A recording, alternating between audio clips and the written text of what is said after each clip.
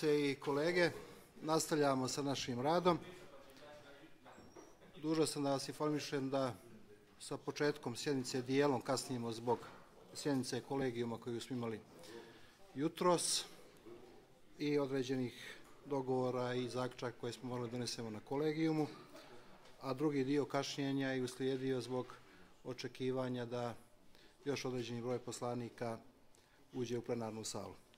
No, ipak mislim da je vrijeme da počnemo i da bi svi zajedno morali da damo svoj doprinos da poštujemo dogovornu dinamiku rada.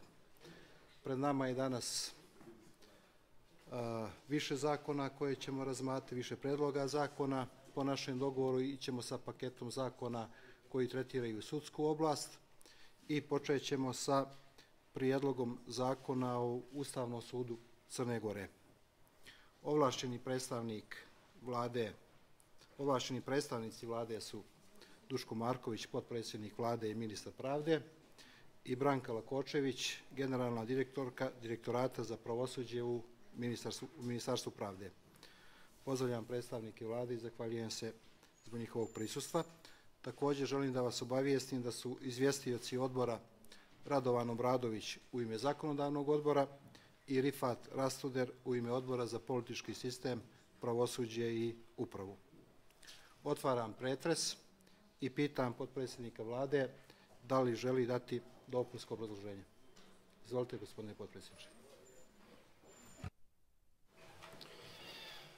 Hvala, gospodine potpredsjedniče, uvaženi poslanici. E, danas razgovaramo o predlogu zakona o Ustavnom sudu koji predstavlja, da kažemo, e, krunu napora Ministarstva pravde i radne grupe e, koju su činili predstavnici Ustavnog suda i predstavnika parlamenta, odnosno nadležnog odbora za politički sistem i pravosuđe koje je, koja je radila na ovom zakonu u poslednjih 20 dana. Rekao bih da je ovaj zakon e, zakon završetak, odnosno dogradnja e, ustavnih opredeljenja e, kada je u pitanju pravosuđe u generalno u širem smislu, a koja su slijedila nakon ustavnih amandmana iz 2013. godine. Dakle, na ovom zakonu smo radili više od godinu dana. To dovoljno govori o posvećenosti, odgovornosti i da kažem, ozbiljnosti e, svih onih koji su učestvovali na e, pripremi ovog zakona, e, da bi se on danas razmatrao u parlamentu i nadam se usvojio.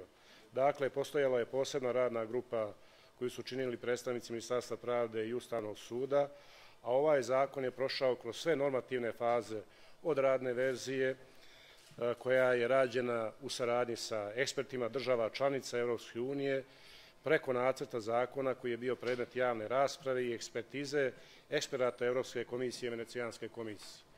Dakle, Venecijanska komisija ne samo da je dala svoje pismeno mišljenje na ovaj zakon, kao i na ostale zakone iz oblasti pravosuđa, već je imala svoju radnu posjetu Ministarstvu pravde i institucijama u Crnoj Gori koje su zainteresovane za ove zakone.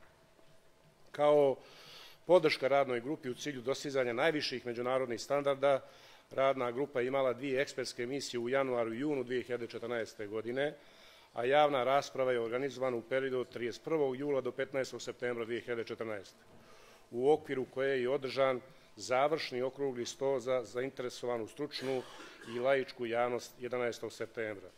Dakle, kao što sam već rekao, ovaj zakon, odnosno nacrt zakona je bio i predmet razmatranja Venecijanske komisije i naravno njihovo konačno, konačno mišljenje. Ovu priliku u ovom uhodnom dijelu koji se tiču tehničkih aspekata želim da se posebno zahvalim predsjedniku odbora za politički sistem i pravosuđe na način kako je i odbor u cijelini, kako je organizovana rasprava u odnosu na ovaj zakon i rad e, e, sa Ministarstvom pravde u radnoj grupi koju je formirao odbor sa poslanicama Martom Šćepanović, Draginjom Vuksanović i Snežanom Jonicom i zaista Jesmo radili dugo i naporno po više sati, ali je bilo zadovoljstvo na takav način raditi i vjerujem da je to dalo odgovarajuće rezultate i unaprijedilo e, sadržaj ovog zakona. Osnovne novine zakona su, ili najznačajnije novine, novine zakona su finansijska samostalnost Ustavnog suda, da raspolaže odobrenim sredstvima u budžetu, što je u pravcu jačanja nezavisnosti Ustavnog suda kao zaštitnika ustavnosti i zakonitosti i poslednjeg nacionalnog zaštitnika ljudskih prava i sloboda. Odrebe o postupku izbora sudija Ustavnog suda izmijenjene su samo u dijelu da kandidati za sudije Ustavnog suda mogu prijaviti, da se mogu prijaviti na javne pozive oba predlagača ukoliko se istovremeno, istovremeno objavljuju. Značajna novina je u cilju funkcionalnosti, obezbeđivanja funkcionalnosti Ustavnog suda, a tiče se normi koje obezbeđuju da kada sudi Ustavnog suda prestane funkcija zbog isteka mandata, a predlagač ne predloži ili Skupština izabere sudi Ustavnog suda, Skupština istovremeno donosi odluku o prestanku funkcije sudiji kome je istekao mandat i odluku da taj sudija nastavlja da vrši funkciju sudije do izbora novog sudije, ali ne duže od jedne godine, da ne bi došli u situaciju zbog nemogućnosti izbora u parlamentu da nemamo ustavni sud, što bi bilo neprihvatljivo i neodgovorno za, za državu u cijelini. Značajna novina takođe, značajnu novinu i predstavljaju i odredbe o izuzeću sudija koje su uvedene u cilju jačanja principa nepristrasnosti Ustavnog suda. Odredbe predloga zakona o postupku ocjene ustavnosti i zakonnosti značajno su napređene u pogledu jasnog propisivanja kada sud, drugi državni organ, organ lokalne samuprave, pet poslanika i sam Ustavni sud mogu pokrenuti postupak abstraktne kontrole. Novine su i odredbe koje, koje, koje imaju za cilj prevazilaženje pravne praznine koja bi nastala zbog prestanka važenja neustavnog zakona, odnosno propisa, tako da se može odložiti datum objavljivanja odluke i njeno dejstvo do usaglašavanja propisa sa Ustavom, odnosno zakonom i u ovoj normi smo u okviru radne grupe i Ministarstva pravde u ovom vakumu između sjednica odbora i parlamenta zaista dugo diskutovali. Predlogom su takođe značajno unapređene odredbe o pravima lica koje, kojima je povrijeđeno pravo pojedinačnim aktom, donijeti na osnovu zakona i drugih propisa, za koji je utvrđeno da nije saglasan sa Ustavom i zakonom, tako što ta lica imaju pravo da traže od nadležnog organa izminu tog pojedinačnog akta, ako ta izmjena ne utiče na prava savjesnih trećih lica i to u roku od šest meseci od dana objavljivanja odluke. Takođe, značajno su napriđene i odredbe postupka po ustavnoj žalbi, tako da ustavnu žalbu može podnijeti svako lice ako smatra da mu je povrijeđeno ljudsko pravo ili sloboda zajemčena Ustavom, pojedinačnim aktom, radnjom ili nepostupanjem državnog organa, organa državne uprave, organa lokalne samuprave ili drugog subjekta koji vrši javno ovlašćenja. Dakle, proširuje se osnov povrede na radnju ili nepostupanje navedenih organa. Ustavna žalba se može podnijeti nakon iscrpljivanja djelotvornih pravnih sestava sa mogućnošću da se ustavna žalba može podnijeti i prije iscrpljivanja pravnih sestava ako podnosilac ustavne žalbe dokaže da pravno sredstvo nije ili ne bi bilo djelotvorno. Ako je prestalo pravno destvo ukinutog akta, Ustavni sud će odrediti način pravičnog zadovoljenja podnosioca ustavne žalbe, e, što takođe predstavlja značajnu novinu. Evo, gospodine potpredsjedniče, nisam, sam prekoračio vrijeme, jesi, izvinjavam se, ali sam htio da ukažem na, na dio važnih novina u ovom zakonu, ali takođe da saopštim da smo prihvatili e, neke amandmane poslanika i samog odbora koji dodatno unapređuju rešenje u ovom zakonu. Ja o tome neću govoriti, prepostavljam da će podnosiocima amandmana ili izvjesilac odbora o tome govoriti. Zahvaljujem se i izvinjavam se zbog prekoračenja. Hvala vam. Pitam izvjestioce odbora da li žele riječ. Razumijem da predsjednik odbora za politički sistem, pravosuđe i upravu želi riječ. Izvolite, kolega Rastuder.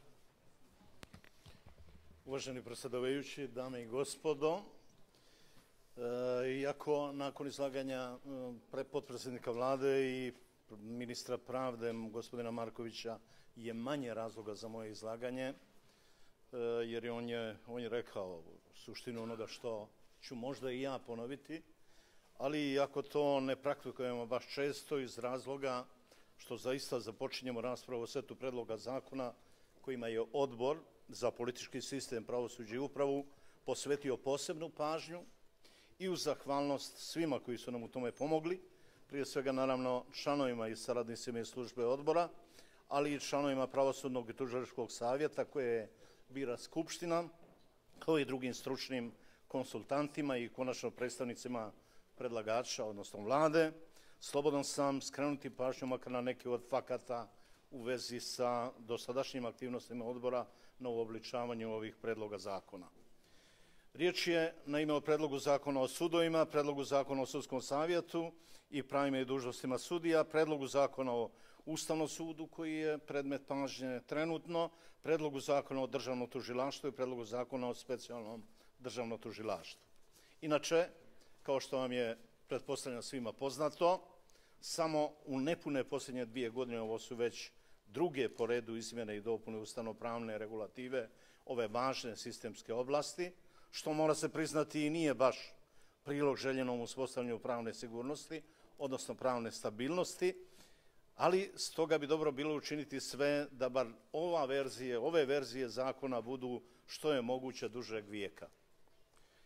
I dakle, da ne bi došli u situaciju da se za koji mjesec ili godinu, svejedno, ponovo bavimo istim ovim zakonima, potrebno je učiniti sve da se što je moguće, da ih što bolje uobličimo i što je najvažnije uskladimo sa pozitivnim evropskim standardima i preporukama evropske eksperata.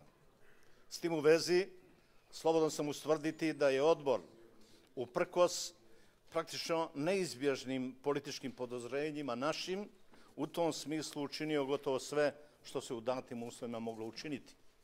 Kao prvo, kao što je i potpredsjednik vlade i ministar pravde rekao, sa dvije stručno-konsultativne rasprave još tokom javne analize nacrta ovih zakona participirali smo u uličavanju njihovih nacrta. Nakon toga i nakon utvrđivanja predloga zakona, u pripremi za ovu sjednicu organizovali smo i obavili još dvije, rekao bih, izvanredne stručno-konsultativne rasprave u kojoj su pored članova odbora i predlagača učestvovali i članovi Sudskog i tužilaškog savjeta koje bira Skupština, kao i predstavnici nevladinih organizacija. Konačno, radna grupa odbora je, na osnovu pomenuti rasprava, danima radila na pripremi preko 50 amandmana i na njihovom usaglašavanju sa predstavnicima predlagača zakona. Rezultat tog i takvog pristupa i rada je 43 usaglašene izmjene i dopune, od kojih su mnoge i suštinskog karaktera.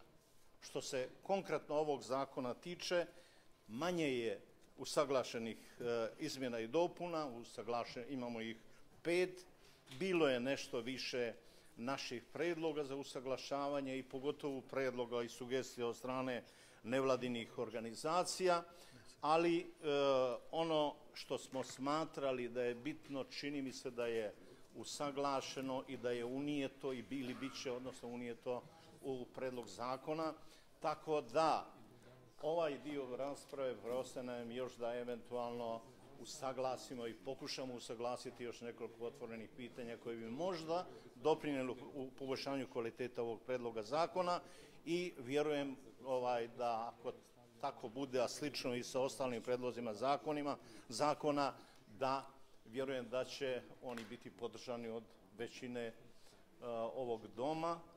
Uh, neću konkretno govoriti o ostalima i nema pretpostavljena ni vremena, to će učiniti uh, moje kolege i koleginice, pretpostavljam u ime klubova. Hvala vam. Zahvaljujem se. Samo da podsjetim da je dogovor sa kolegijuma da rasprava po ovom predlogu zakona traje dva sata, što znači da ćemo imati uvodna izlaganja po pet minuta i ostale diskusije takođe po pet minuta. Ja sam siguran da ćemo ispoštovati dogovorno vrijeme i čini mi se da je garancija u odnosu na takvu prognozu upravo ova dobra komunikacija između odbora i vlade u pripremi ovoga zakona, jedna dobra osnova, jedna dobra javna rasprava i jedna veoma korektna komunikacija između radne grupe odbora i predstavnika Ministarstva pravde, uključujući neposredno učešće ministra pravde. Zamolio bih koleginicu Kovačević da uzme riječ. Izvolite. Skupštine, poštovani poslanici, uvaženi građani, uvaženi potpredsjedniče vlade, gospođo Lakočević, donošenje novog zakona u Ustavnom sudu Crne Gore predstavlja drugu fazu izmjena nakon usklađivanja zakona sa amadmanima na Ustav iz 2013. godine u pogledu izbora sudija Ustavnog suda i funkcionalne nadležnosti za odlučivanje ustavnoj žalbi. Osnovni razlog za donošenje novog zakona je potreba za bližim regulisanjem dejstva odluka Ustavnog suda i odredbi koji uređuju postupak u ustavnoj žalbi u skladu sa međunarodnim standardima. Također, akcijnim planom za poglavlje 23 u cilju efikasnosti ustavne žalbe kao posljednjeg nacionalnog pravnog sredstva za zaštitu ljudskih prava i sloboda, kao i programom rada vlade za 2014. godinu, predviđeno je utvrđivanje predloga zakona Ustavnom sudu Crne Gore, imajući u vidu obim izmjena i činjenicu da je zakon već dva puta minjan, bilo je cijelishodnije pristupiti izradi novog predloga zakona nego ga mijenjati putem izmjena i dopuna. U odnosu na važeći zakon Ustavnom sudu Crne Gore predloženi akt sadrži sljedeće novine. Odredbe o postupku izbora sudija Ustavnog suda izmijenjene su u odnosu na prethodni zakon u smislu slobode kandidata da se prijave na javni oglas oba predlagača jer je prethodno rješenje ocijenjeno kao ograničujuće, a potencijalno je moglo dovesti kandidate u neravnopravan položaj. Značajna novina je također u predlogu zakona koja je posljedica preporuka Venecijanske komisije sadržana u članu 15 predloga zakona kojom se predlaže mogućnost da kad sudi Ustavnog suda prestane funkcija zbog isteka mandata, a predlagač ne predloži ili Skupština ne izabere na upraženo mjesto sudiju Ustavnog suda, Skupština istovremeno donese odluku o prestanku funkcije sudije Ustavnog suda kome je stekao mandat i odluku da taj sudija nastavlja da vrši funkciju sudije Ustavnog suda do izbora novog sudije, ali ne duže od jedne godine. Novinu također predstavljaju odredbe o izdeću sudija koje su uvedene u cilju jačanja principa nepristrasnosti suda, a odnosuje se na uobičajene osnove za apsolutno izuzeće kao što je srodstvo ili lična ili profesionalna zainteresovanost za predmet postupka. Također mogu da kažem da su značajne novine da Ustavni sud može odmah po inicijativu odlučiti da pokrene postupak za ocjenu ustavnosti, odnosno ustavnosti i zakonitosti.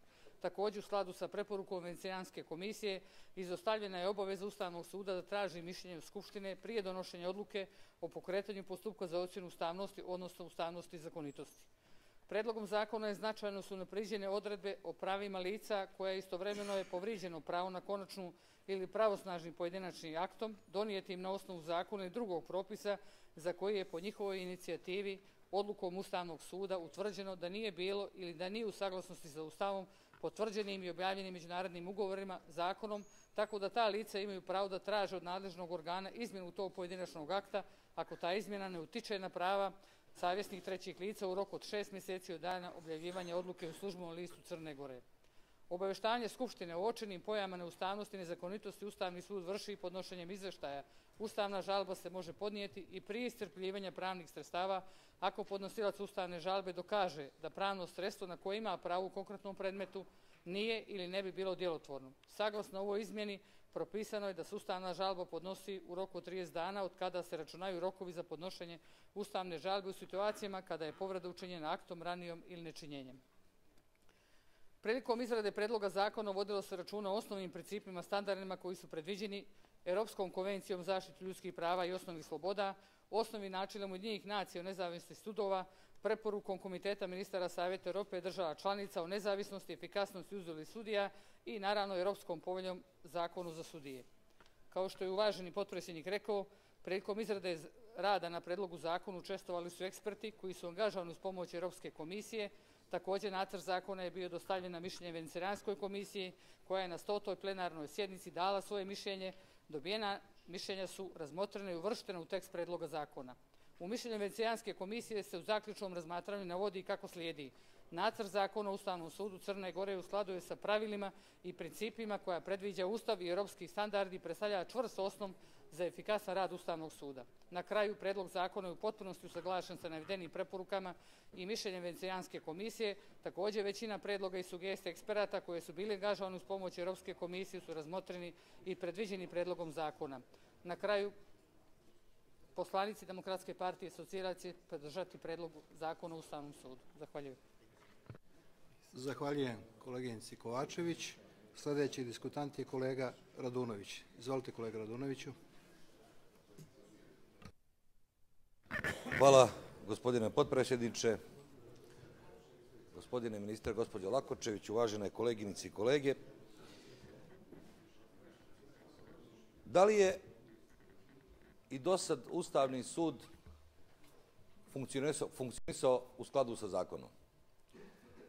Naravno, donošenje ovog zakona je bilo neophodno i sa njime popravljeno dosta normi, ali nekako često u Crnoj Gori se stvara privid kako nešto ne funkcioniše iz razloga što zakon nije dovoljno dobar i sad čim se to ispravi krenut će stvari na bolje.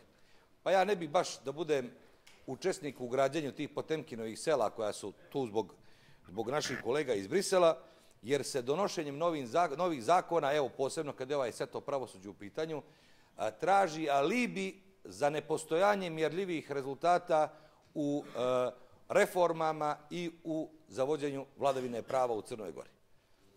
Non stop se nabrajaju napredak, da kažem, pominju se tačke napretka i to nabrajajući koji su sve zakoni donešeni.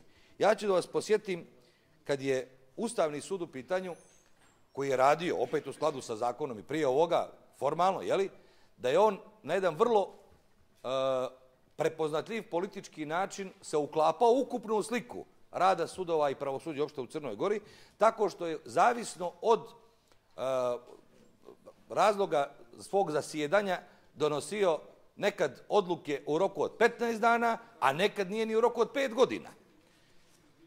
Valjda samo naivni misle da će stvari se promijene donošenjem ovog zakona. Osnovno je da poštuje se zakon, pa kakav god on bio. A to u Crnoj Gori, nažalost, nije slučaj.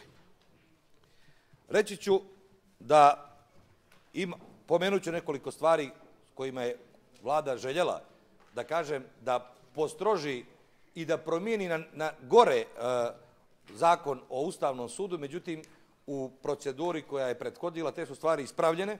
Prvo, po predlogu je bilo da se skrati rok za podnoženje ustavne žalbe sa, sa 60 na 30 dana, to je ispravljeno i drago mi je što ste uvažili uh, primjedbe iz razloga što su mnogi građani izgubili priliku da zaštite svoje osnovna prava samo zato što su zakasnili i kad je dva mjeseca bilo u pitanju da podnesu uh, tu ustavnu žalbu, a takođe je bio, bilo i propisano da se uh, izbaci rok od osa, da se rok od 18 mjeseci za odlučivanje Ustavnog suda izbaci.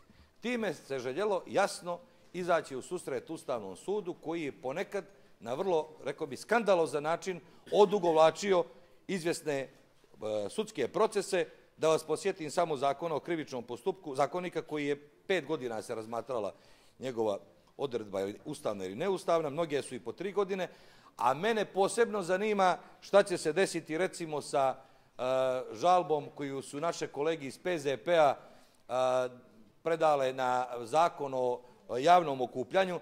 Ja vjerujem da će on ovaj da sačeka sledeću deceniju. Kakve su, kakve su navike kakve imamo od strane uh, rada Ustavnog suda. Znači, taj ta politizovanost i Ustavnog suda i svih ostalih sudova je najveći problem kad, se, kad je pravosuđe u pitanju. Nije nijedan zakon problem. Problem je taj što se uvijek procenjuje šta je bolje za nosioce poluga e, osnovnih vlasti i na osnovu toga se donose zaključci. Kad se tiče ove radne grupe koju ste pomenuli ministra, ja pomenuje i, i, i, i naš predsjednik odbora za politički sistem, ja moram da izrazim e, blago negodovanje iz prostog razloga što kad se formiraju te radne grupe u koje se uključuju i članovi iz opozicije, to uglavnom služi pacifikovanju e, opozicijonih poslanika, jer se onda navodno, zbog toga što se došlo do nekakvih zajedničkih e, normi ili do zajedničkih zaključaka, očekuje od opozicije da se složi otprilike sa predlogom.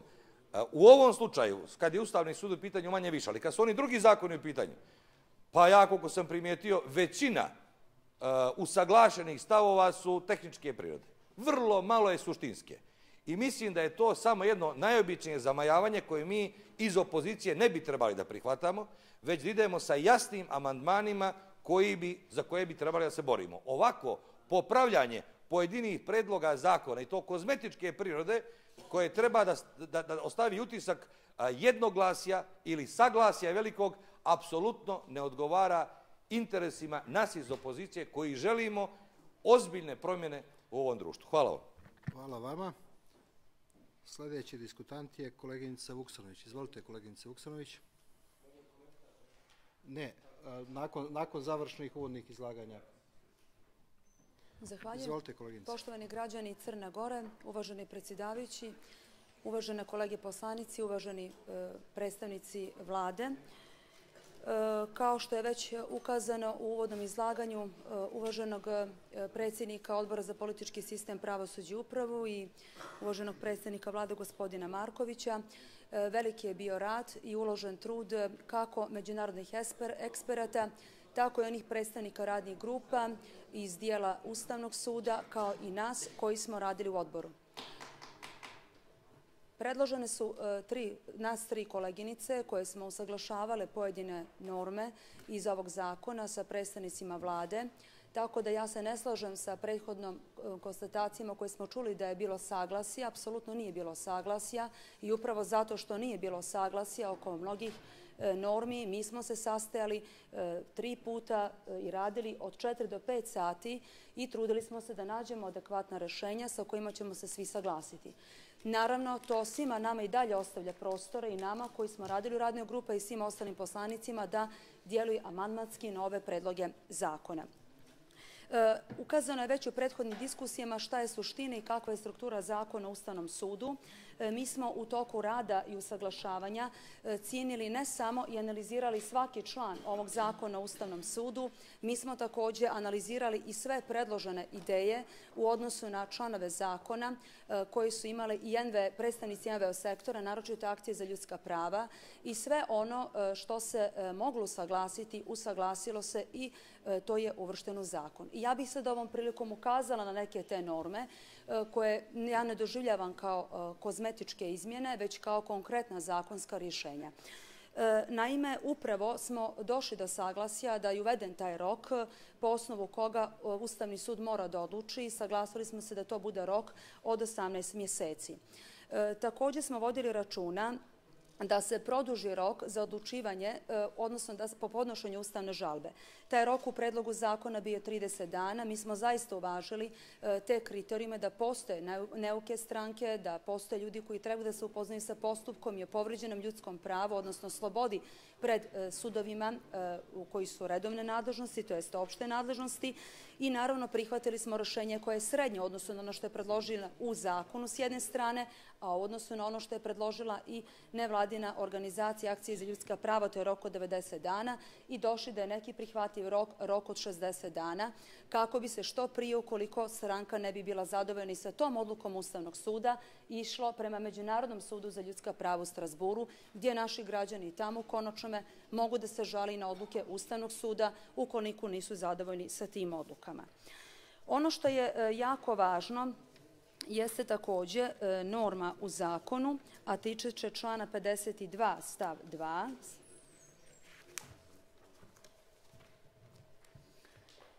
gdje se nakon stava 1 dodaje novi stav 2 e, i u tom e, stavu 2 se kaže da organ koji je dužan da izvrši odluku Ustavnog suda, dužan je da nakon isteka roka iz stava 2 ovog člana dostavi izvješte Ustavnom sudu o izvršenju odluke Ustavnog suda. Znači, veoma je bitno da ako postoji ustavna žalba kao pravni lik na odluku E, Vrhovnog suda da Ustavni sud bude obavješten o tome kakva je konačna odluka. I mi smo u tom dijelu dodali znači određeni stav o dužnosti da se izvršena odluka Ustavnog suda nakon isteka roka dostavi izvješte Ustavnom sudu o izvršenju te odluke Ustavnog suda. Znači organ će morati da to transparentno predstavi. E, takođe, ono što je e, bilo jako e, bitno naglasiti, a to je činjenica da u članu 65 stav 1 predloga zakona nakon riječi u službenom listu dodaju se riječi e, da taj rok za objavljivanje te odluke u službenom listu ne može biti duži od tri mjeseca od dana donošenja odluke. Ja ću samo ukazati na činjenicu na što se taj rok za objavljivanje te odluke odnosi. Naime, dešava se situacija na koju smo vidjeli u praksi e, da nakon, e, ako bi se desilo da zbog prestanka važenja zakona za koji je Ustavni sud utvrdio da nije u saglasnosti sa Ustavom i potvrđenim i objavljenim međunarodnim ugovorima, odnosno zbog prestanka važenja drugog propisa i opšteg akata za koji je Ustavni sud utvrdio da nije u saglasnosti sa Ustavom i zakonom, na dan objavljivanja odluke Ustavnog suda nastala pravna praznina, Ustavni sud u odluci određuje datum objavljivanja odluke u službenom listu i mi smo upravo tu precizirali da taj datum ne može biti duži od tri mjeseca. Znači, tu smo ograničili taj određeni rok. I ja sam samo htjela još na nešto da ukažem. Ovaj, u prethodnom u trenutno važećem pozitivnom ovaj, zakonu, u članu 26 imamo stav 2, citiram, povodom inicijative za ocjenu saglasnosti zakona sa Ustavom i potvrđenim i objavljenim međunarodnim ugovorima ili drugog propisa u Ustavom i zakonom koji donosi Skupština, Ustavni sud može prije pokretanja postupka za zatraže mišljenje Skupštine. Nas samo zanima, ako bi mogli predstavnici vlade nam odgovore, zašto u najvažnijem predlogu, u najnovijem predlogu zakona je izbrisana ova e, stav ovoga člana 26 i naravno e, mi ćemo sada reći da će Socijaldemokratska partija podržati ove e, predložene izmjeni dopune zakona, ali da ćemo u ovom pravcu amandmanski djelovati vezano za ovaj stav 2, odnosno na član 26. Ovdje je bilo još nekih, samo da kažem, još nekih naših doprinosa u radnoj grupi, ali će na to ukazati druge kolege, obzirom na činjenicu da je moje vrijeme isteklo. Zahvaljujem. Zahvaljujem se koleginici Vuksanović. Koleginica Jonica u ime kluba poslanika Sliške narodne partije. Izvolite koleginica. Hvala potpredsjedniče, dame i gospodo poslanici, poštovani građani, predstavnici Ministarstva pravde. Ja moram, nažalost, na početku, prije nego što počnem da pričam o zakonu, se osvrnem na jednu tezu koja se čula u jednom od prethodnih izlaganja gdje se unapred pokušalo predvidjeti kakva je bila uloga nas troje u toj radnoj grupi koje je odredio jednoglasno odbor da pokušamo da zajedno sa Ministarstvom pravde doprinesemo u saglašavanju jednog dijela normi koje smo smatrali norm, e, e, koje smo smatrali problematičnim. Ono što je vjerovatno produkt nedostatka pravničkih izdanja pa se to prevodi na neki pokušaj unapred optužbi ako je neko dao saglasnost na nešto ćemo pojasniti na lak način. U radnoj grupi smo jako ozbiljno, u jednom jako ozbiljnom, izuzetno stručnom pravničkom sastavu pričali o onome što nosi ovaj zakon u Ustavnom sudu, koje moguće nedostatke ima neke usaglašeno otklonili, oko nekih ostavili otvorene dileme, potpuno spremni i da o tome u formi naknadnih amandmana nekoga od nas pojedinačno, u ovom slučaju konkretno mene, razgovaramo i u drugoj fazi priče ili tokom ovaj, e, rasprave u pojedinosti. Mi dakle, e, konkretno kada je u pitanju zakon o Ustavnom sudu, kolege iz ministarstva ili koleginici iz radne grupe znaju da sam ja ukazala da postoji jedan broj normi, odnosno na koje ću amandmanima koje smo imali kada smo mijenjali ovaj zakon nakon ustavnih reformi e, od strane SMP-a insistirali i na kojima na određeni način insistiramo i sada zato što se e, smatramo da bi na takav način upotpunili ono što jeste cilj donošenja ovog zakona. Ali evo da se vratimo na početak priče. Prvo, mi smo napravili ustavne reforme. Nakon toga smo u ovom parlamentu izabrali nove sudije Ustavnog suda. I ono što je najmenje korektno, bez obzira što niko od nas, vjerujem, nije u potpunosti oduševljen uz dužno poštovanje onima koji su izabrani e, punim kapacitetom i e, sastavom Ustavnog suda, ali to je ono što je odluka koju smo ovdje donijeli i na nama je da odlukom koju ćemo donijeti donošenje ovog zakona učinimo ono što je neophodno E, da taj Ustavni sud konačno radi ono što građani od njega očekuju. A ću podsjetiti samo na dvije ključne od niza drugih nadležnosti Ustavnog suda. To je jedna koja se tiče ocjenjivanja saglasnosti zakona sa Ustavnom i druga, za mene mnogo važnija i čini mi se koja jeste cilj ovog zakona, a to je priča o ustavnoj žalbi e, koja jeste jedna u ovom momentu od najvažnijih nadležnosti Ustavnog suda za period koji slidi, a to je dakle ustavna žalba koju koju građani treba da koriste zbog povrede ljudskih prava i sloboda koja su ustavno zajemčena nakon isvrstljivanja svih djelotrovnih pravnih e, sredstava. I ono što je početna priča o koju zaboravljamo svi da kažemo jeste da mi u ovom momentu imamo problem ili činjenicu da ustavna žalba od strane Evropskog suda za ljudska prava u ovom momentu nije e, ocijenjena kao djelotvorno pravno sredstvo u Crnoj Gori. I ono što je trebalo da bude i doprinos ovog zakona je da stvorimo uslove sudije sudijama Ustavnog suda da načinom na koji će raditi u budućem periodu od ustavne žalbe naprave djelotvorno pravno sredstvo kako bi kroz taj mehanizam napravili filter da što manje predstavki naših građana nakon ustavne žalbe ide prema Evropskom sudu za ljudska prava, jer to govori o našem pravnom sistemu.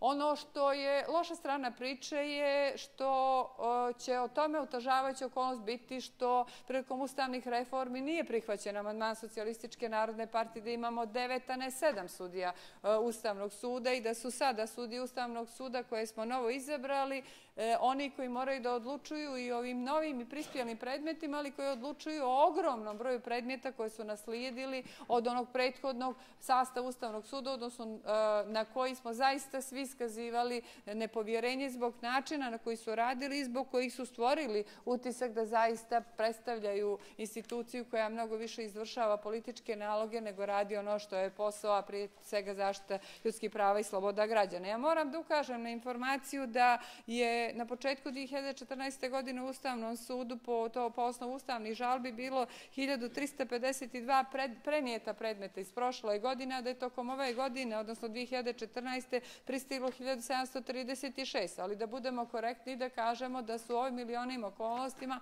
odrađene 1700 predmeta. Ja znam da je kolegama iz Ustavnog suda odgovaralo da ne bude rokova za odlučivanje, jer su zatekli ogroman dio posla i ne žele da sada budu optuženi da ne stižu da rade, ali smo insistirali i rok je definisan. Dakle, rok je definisan i to smatram iskorakom u radu e, e, radne grupe ministarstva. E, definisan je i produženi rok koji je u interesu građana za podnošenje ustavne žalbe i definisan su još neke druge stvari koje mogu biti od koristi u ostvarivanju ovog cilja. Ono što nije urađeno na čemu će se bazirati amandmani socijalističke narodne partije jeste e, dio koji se tiče malo više ili malo preciznije definisane finansijske nezavisnosti Ustavnog suda kroz način na koji se od strane vlade ne mogu ograničiti ili drugačije definisati sredstva Ustavnog suda, a da se za to ne da saglasnost od strane predsjednika Ustavnog suda, a po logici stvari, ukoliko smo to tražili za nas kao Skupštinu,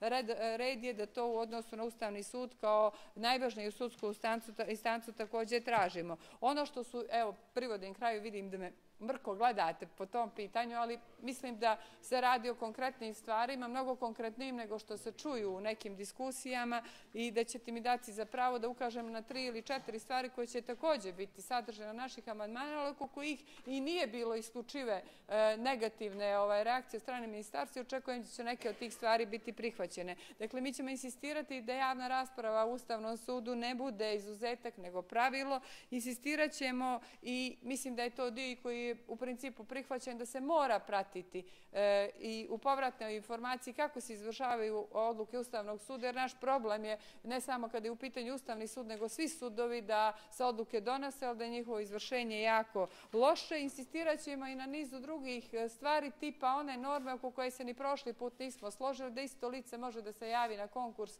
i u Skupštini i kod predsjednika države, jer ja i dalje ne mislim da to može da se riješi ovako kako smo ga propisali, nego da može da napravi pravi konfuziju i insistirat ćemo još na nizu nekih stvari koje smo tada definisali prije godinu dana kada smo podnosili amandmane, ali o tome će biti prilika da na odboru pričamo kad se bude govorilo o našim amandmanima i da pokušamo, ako bude razumijevanja, da zaista i kroz te amandmane i kroz način da se naknada štete mnogo kvalitetno kvalitetnije definišati i, i oni koji mogu da je traže kao uh, ono što je rezultat ili posljedica kršenja njihovih prava nekim odlukama, da okruži sve ono što je bio interes građana kada je u pitanju Ustavni sud i da se omogući da Ustavni sud konačno postane ona instanca koja zaista u krajnjem štiti ljudska prava i slobode građana, ali štiti državu od toga da, budu, da bude značajno veći ili da se stalno povećava broj predstavki pred Evropskim sudom za ljudska prava, jer ako ona postane djelotvorno pravno sredstvo, zaista ćemo unutar sistema zaustaviti ono što je otišlo prema Strasburu u mnogo većoj mjeri. Hvala. Zahvaljujem se koleginici Jonici. Vjerujem da ćemo se složiti da nije bio u pitanju mrki pogled, nego jedno diskretno upozorenje da ste prekoračili vrijeme koje smo dogovorili i koje je poslovnički određeno. Ovaj, zamolio bih sljedećeg diskutanta u ime kluba samostalnih poslanika, kolegu Gošovića da uzme riječ. Izvolite, kolega Gošović. Predsjedniče, kolegnici i kolege, predstavnici Ministarstva pravde, poštovani građani. Čovjek kao pojedinac kome su ustavom data i garantovana osnovna prava i slobode mora da bude siguran da će mu se u pravnom poredku ta prava i slobode obezbijediti i zaštititi onda kada budu povrijeđeni od samih nosilaca vlasti. U ostalom, borba za ustavnost i zakonitost uvijek je značili borbu za stabilnost, pravnog poredka i ostvarivanje zaštitu sloboda i prava građana. Da bi bio u mogućnosti ostvariti funkciju kontrole i zaštite ustavnosti i zakonitosti, Ustavni sud mora biti potpuno samostalan i nezavisan i od parlamenta, i od izvršne, i od upravne vlasti. Jednom riječu, Ustavni sud treba da uživa punu nezavisnost od političke moći. Amandmani na Ustav, doneseni u mjesecu julu 2013. godine, omogućavaju takav položaj Ustavnom sudu Crne Gore. Tako da ostvarivanje uloge Ustavnog suda će isključivo zavisiti od stručnosti, posvećenosti i kredibilnosti samih sudija, za čiju samostalnost u radu su obezbiđene i ustavne i zakonske pretpostavke. Zakon koji danas razmatramo treba da obezbijedi dalje normativne pretpostavke za efikasan rad Ustavnog suda i djelotvornost ustavnih žalbi u svrhu zaštite slobode i prava građana. Jer sud koji godinama ne odlučuje o predlozima za ocjenu ustavnosti nekog zakona ili po ustavnoj žalbi ne može imati povjerenje javnosti. Karakter odluka koje donosi Ustavni sud svakako zahtjeva temeljnu obradu predmeta, sprovođenje odgovarajućeg postupka i objektivno odlučivanje, ali to ne može trajati mjesecima pa i godinama. Amandmanu zakonodavnog odbora koji je predlagač zakona prihvatio, zadržana je norma kojom se propisuje da Ustavni sud o svakom predmetu mora odlučiti u od 18 mjeseci od dana pokretanja postupka pred tim sudom. Posjetit ću da je Ustavni zakon o Ustavnom sudu Republike Hrvatske rok u kome je Ustavni sud dužan odlučiti po podnesenim predlogu utvrđen na godinu dana. To je svakako rok kojim moramo težiti kada je u pitanju i rad Ustavnog suda Crne Gore. Odredbama člana 54 predloga zakona predviđena je hitnost postupanja ako je postupak pred Ustavnim sudom pokrenut od strane drugoga suda koji je u postupku svoga rada došao do ocjene da mora peknuti taj postupak do ocjene usklađenosti sa, sa Ustavom određenog zakona ili drugog propisa. Hitnost je predviđena i u slučaju kada drugi državni organ podnosi predlog za ocjenu ustavnosti, a radi se i o zakonu, odnosno drugom propisu ili opštem aktu koji taj organ primjenjuje u svom radu. Međutim, u postupku pred Ustavnim sudom koji je pokrenut od strane drugog suda, mora se utvrditi precizan, relativno kratar rok od 45 ili 60 dana od dana podnošenja predloga, kako ne bi bilo dovedeno u pitanje suđenje u razumnom roku u predmetu u kome je postupak prekinut kod suda do donošenja odluke Ustavnog suda. Važećim ustavom Ustavnom sudu utvrđeno je i pravo i obaveza da odlučuje po ustavnoj žalbi zbog povrede ljudskih prava i sloboda zajemčenih ustavom nakon iscrpljenih svih djelotvornih pravnih sredstava. U tim predmetima Ustavni sud odlučuje samo o povredi ljudskih prava i sloboda koja je navedena u ustavnoj žalbi. Time je Ustavni sud trebao da bude sve uspješnija zamjena Europskom sudu za ljudska prava, odnosno da uspješnim rješavanjem tih predmeta sprečava njihov odliv prema Međunarodnom sudu. Taj cilj za sada nije ostvaren jer Ustavna žalba u Crnoj Gori ne predstavlja djelotvorno pravno sredstvo. Predlogom zakona, odredbama člana 76 stav 2, po prvi put u Crnoj Gori uvodi se rješenje kojim se propisuje da ako je u toku postupka odlučivanja po ustavnoj žalbi prestalo pravno dejstvo pojedinačnog akta koji je predmet ustavne žalbe, a Ustavni sud utvrdi da je tim aktom povrijeđeno ljudsko pravo ili sloboda zajemčeni Ustavom, donijeći odluku kojom se usvaja ustavna žalba i odrediti način pravičnog zadovoljenja podnosilaca ustavne žalbe zbog pretrpljene povrede ljudskog prava i slobode zajemčenih Ustavom. Međutim, saglasno članu 76 stav 1 predloga zakona, Ustavni sud neće odrediti način pravičnog zadovoljenja podnosilaca ustavne žalbe kada je u pitanju pojedinačni akt čije pravno dejstvo nije prestalo, a Ustavni sud ocijeni da je tim aktom povrijeđeno ljudsko pravo i sloboda zajemčeni Ustavom, već će taj akt ukinuti i predmet vratiti na ponovni postupak organu koji je donio ukinuti akt. Na taj način mogućnost određenja pravičnog zadovoljenja podnosilac ustavne žalbe zbog pretrpljene povrede ljudskog prava i slobode zajemčenih Ustavom predviđena je samo u postupku odlučivanja po ustavnoj žalbi gdje je u toku postupka prestalo pravno dejstvo osparivanog pojedinačnog pravnog akta. Takva rješenja mislim da ne poznaje e, uporedno zakonodavstvo.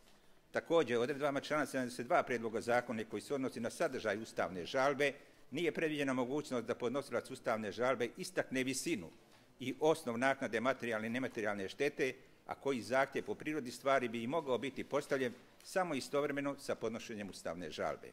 Isti je slučaj kada je u pitanju mogućnost Ustavnog suda da odredi način naknade štete za sva lica kojima je povrijeđeno pravo konačnim ili pravosnažnim pojedinačnim aktom donijetim na osnovu zakona ili drugog propisa za koje Ustavni sud ocijenio da nisu saglasni sa Ustavom ili potvrđenim i objavljenim međunarodnim ugovorima ili zakonom, jer u postupku podnošenja predloga za ocjenu ustavnosti nekog akta ili inicijative po tom, po tom pitanju nije predviđena mogućnost i podnošenja e, oštetnog zahtjeva ukoliko Ustavni sud utvrdi neustavnost takvih normi.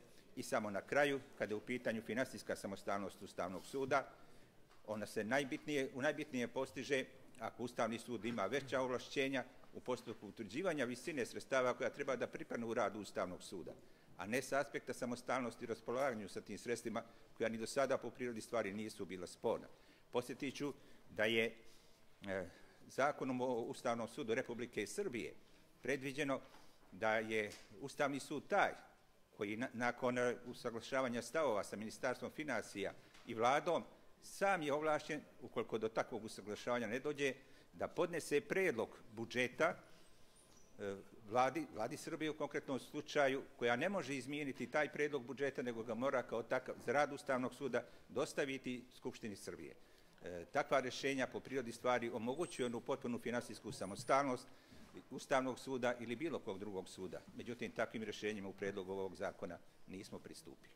Zahvaljujem i izvinjavam se na prekoračenje. Zahvaljujem se kolegi Gošoviću. Sljedeći diskutant je koleginica Jasavić. Izvolite koleginica. Zahvaljujem. E, poštovani potpredsjedniče, poštovane koleginice, poštovane kolege, poštovani gospodine Markoviću, gospođo Lakočević, poštovani građani.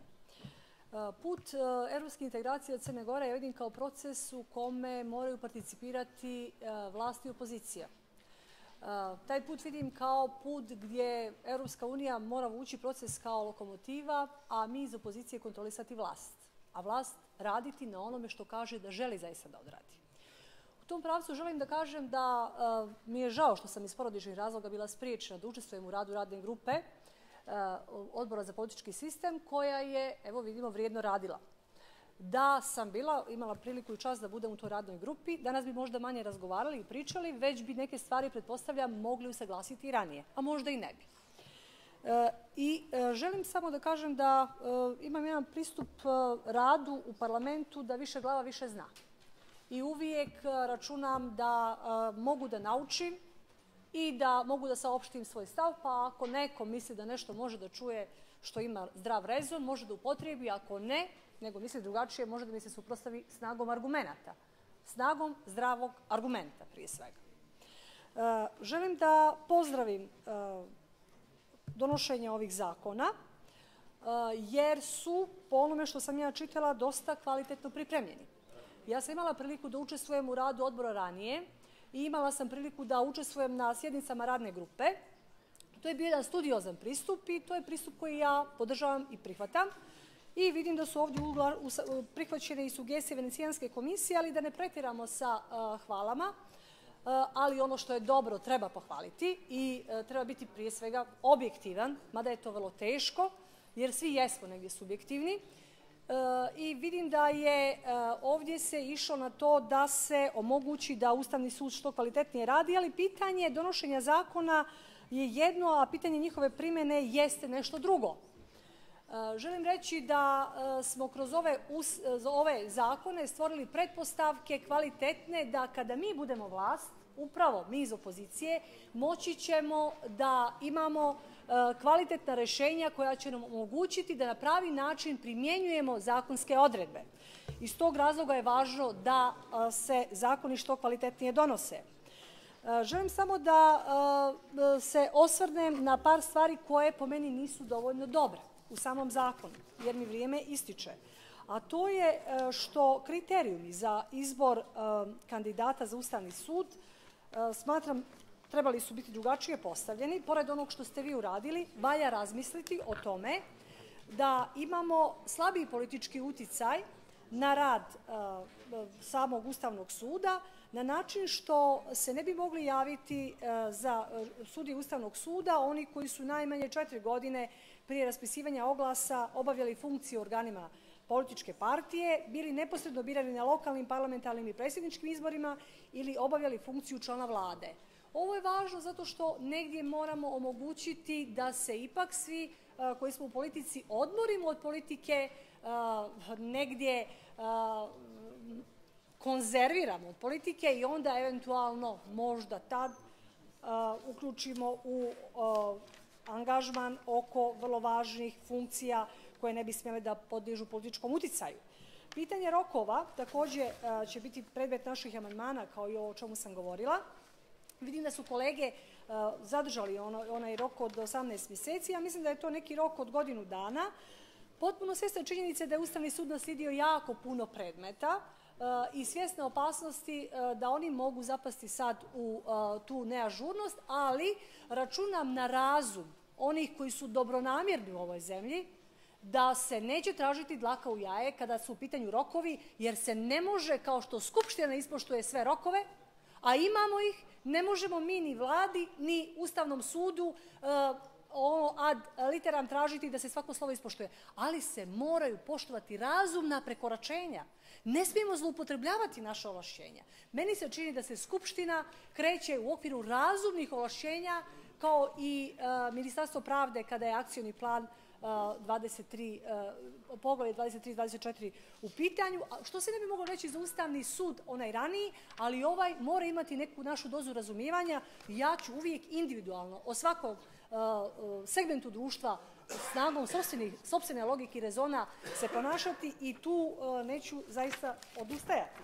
Ono što želim da kažem, ne dopada mi se to što ste negdje u jednom članu 67 isključili poništavanje pravostaži pojedinačnih akata ukoliko je povrijeđeno pravo konačnim pravostažnim pojedinačkim aktom donijetom na osnovu zakona i drugog propisa, pa ste onda ovdje rekli ako ta izmjena ne utiče na prava savjesnih trećih lica.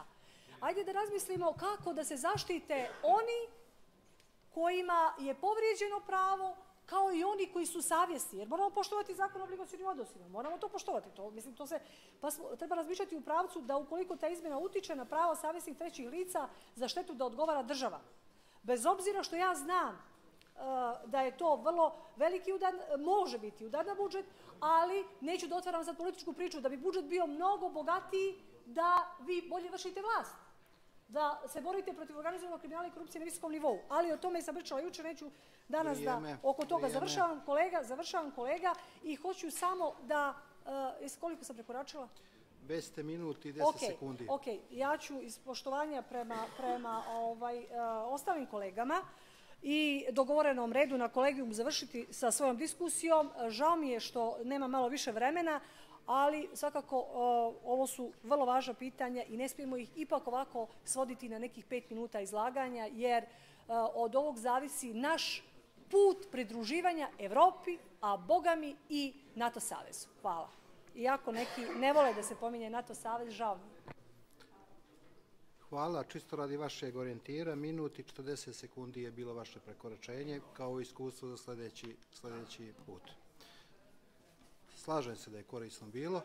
Kolega, kolega Popović je sljedeći diskutant. Izvolite kolega Popović. Hvala potpredsjedniče, poštovana Skupštino, uvaženi predstavnici vlade, pošt... može, može malo lakše, molim vas. Poštovane gledateljke i gledalci pored malih ekrana, Predlog zakona o Ustavnom sudu Crne Gore mislim da je korak naprijed u odnosu na aktuelni. Naravno, treba uvažiti neka moguća poboljšanja, naročito e, akcija za ljudska prava je puno uradila u ovoj oblasti. Mislim da su njihove sugestije korisne, liberalna partija će ići sa... Molim vas, ja, ja stvarno ne znam kako da...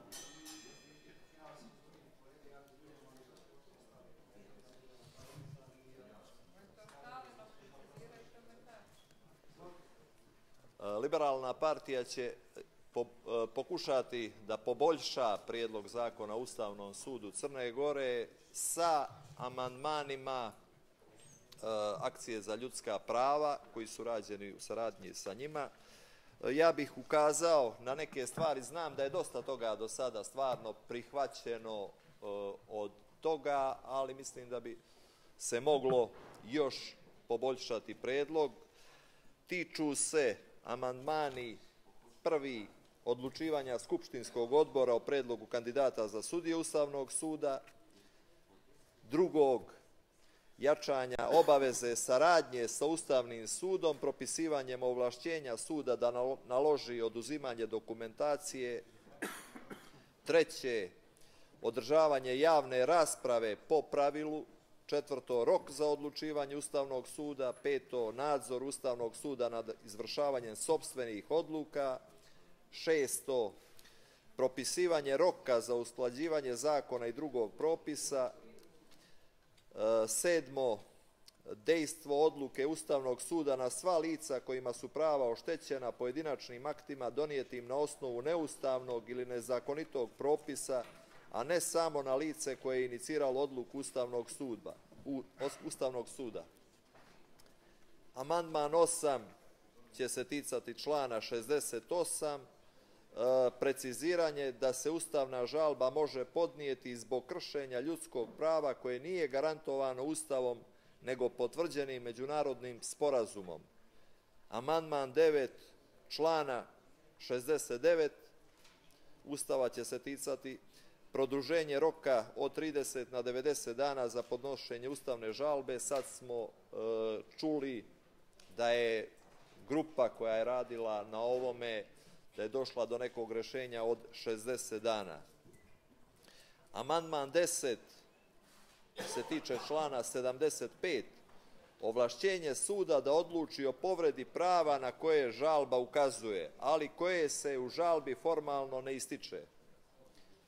Amandman 11 se tiče člana 76 prijedloga Ustava, dopuna ovlašćenja Ustavnog suda u odnosu na uklanjanje posljedica kršenja ljudskih prava.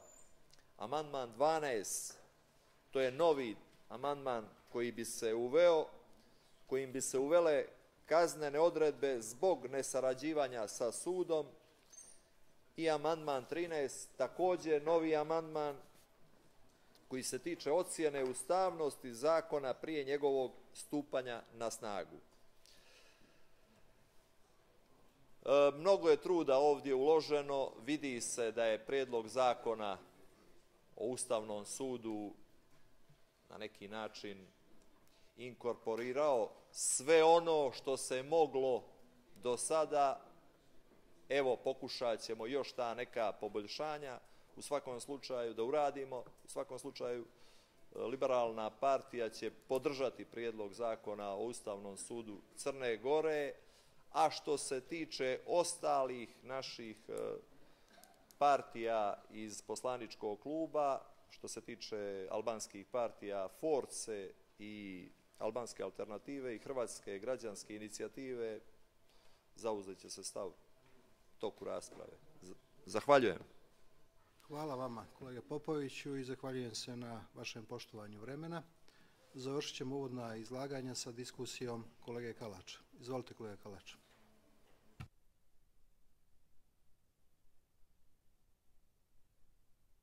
Hvala vam, predsedavajući, uvaženi potpredsjedniče vlade sa saradnicom, uvaženi kolegi i koleginice, uvaženi građani Crne Gore. Predlog zakona o Ustavnom sudu Crne Gore, kao i ostali zakoni iz oblasti pravosuđa o kojima danas raspravljamo, u ovoj fazi pregovaranja sa Evropskom unijom predstavlja prioritetno pitanje iz poglavlja 23 pravosuđe i osnovna prava. Predloženi zakon o Ustavnom sudu je usaglašen sa amandmanima na Ustav Crne Gore, dok je ranije Venecijanska komisija ocijenila da iako je potrebno usaglasiti pojedine odredbe sa opštim standardima, nacrt zakona predstavlja čvrst osnov za efikasan rad Ustavnog suda. Pozitivno ocenjujem potpunu usaglašenost predloga zakona sa preporukama u mišljenju Venecijanske komisije. U cilju poboljšanja teksta zakona predložit ću pojedina rešenja za koja smatram da treba da budu sastavni dio zakona.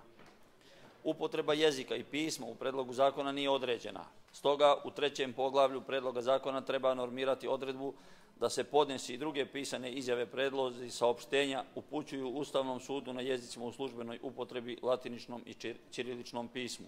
To je član 31.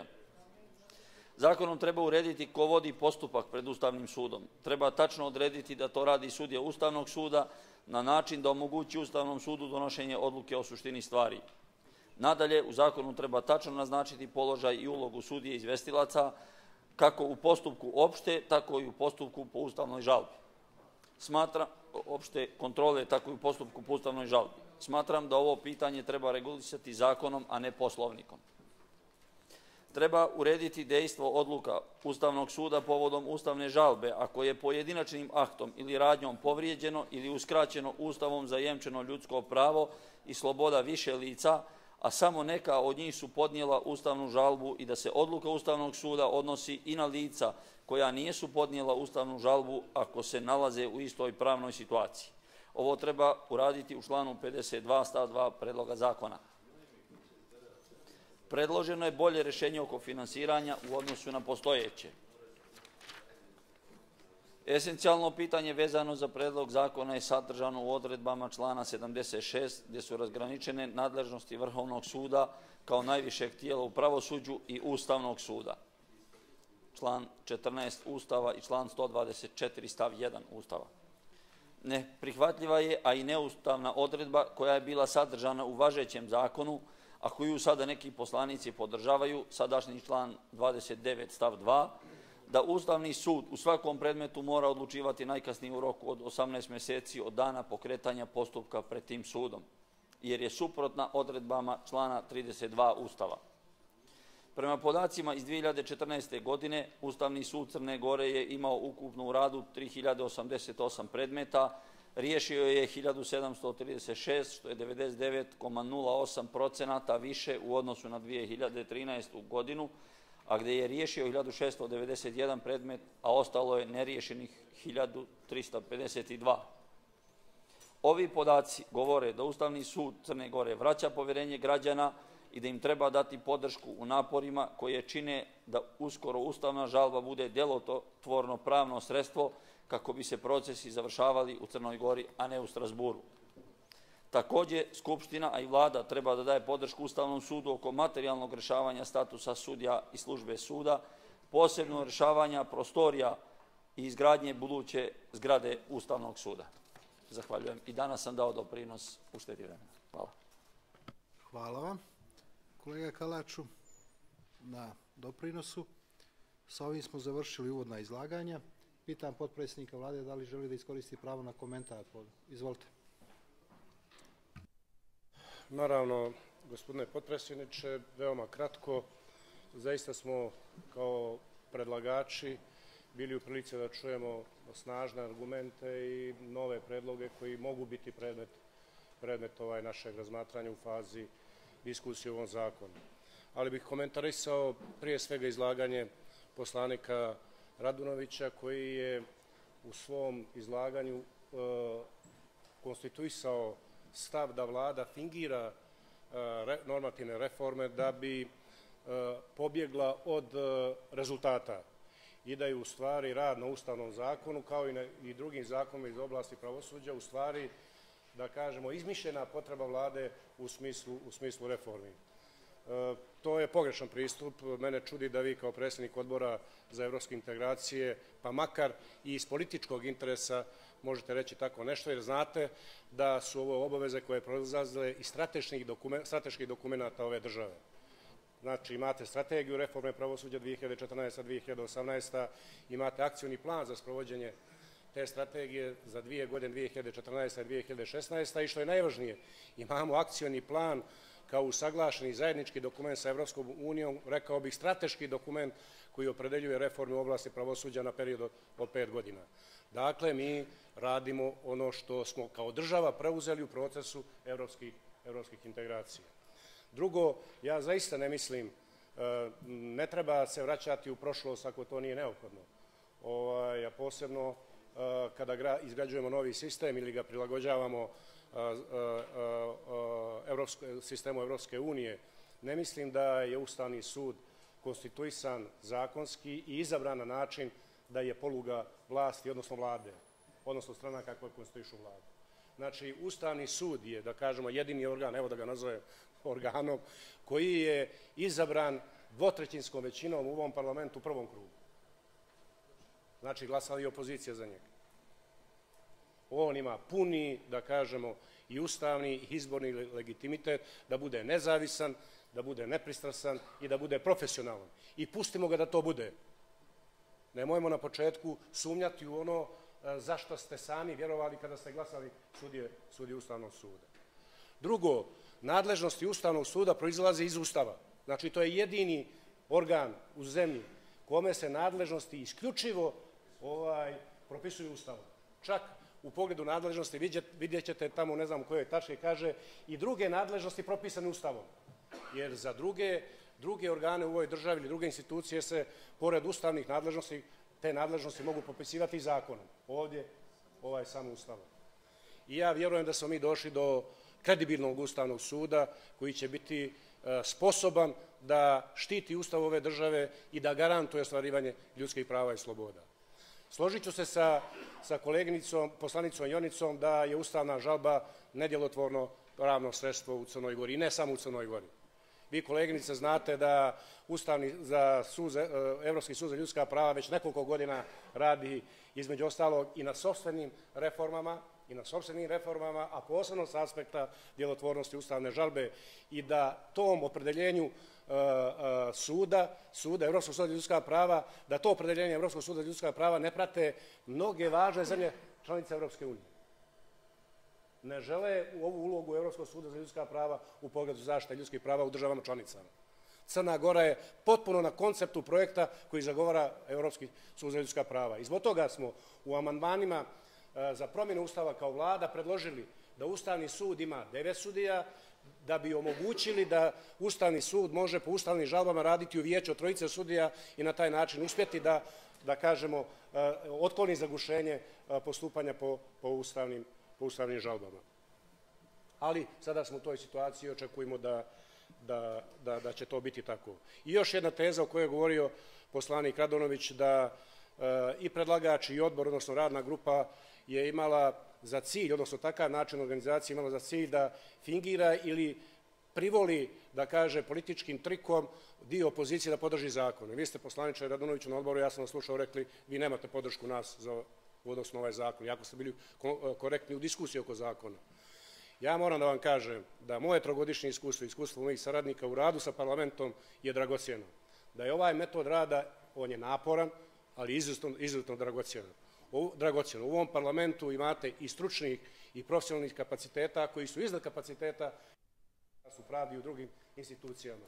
I moram vam reći da u desetak sati u, u tri sesije radne grupe u kojima sam učestvovao, znači u dvije, skoro deset, deset sati, ovaj, moram da vam kažem, i nije me sramota da to kažem, ne znam zašto je bilo sramota, i da sam učio u toj diskusiji.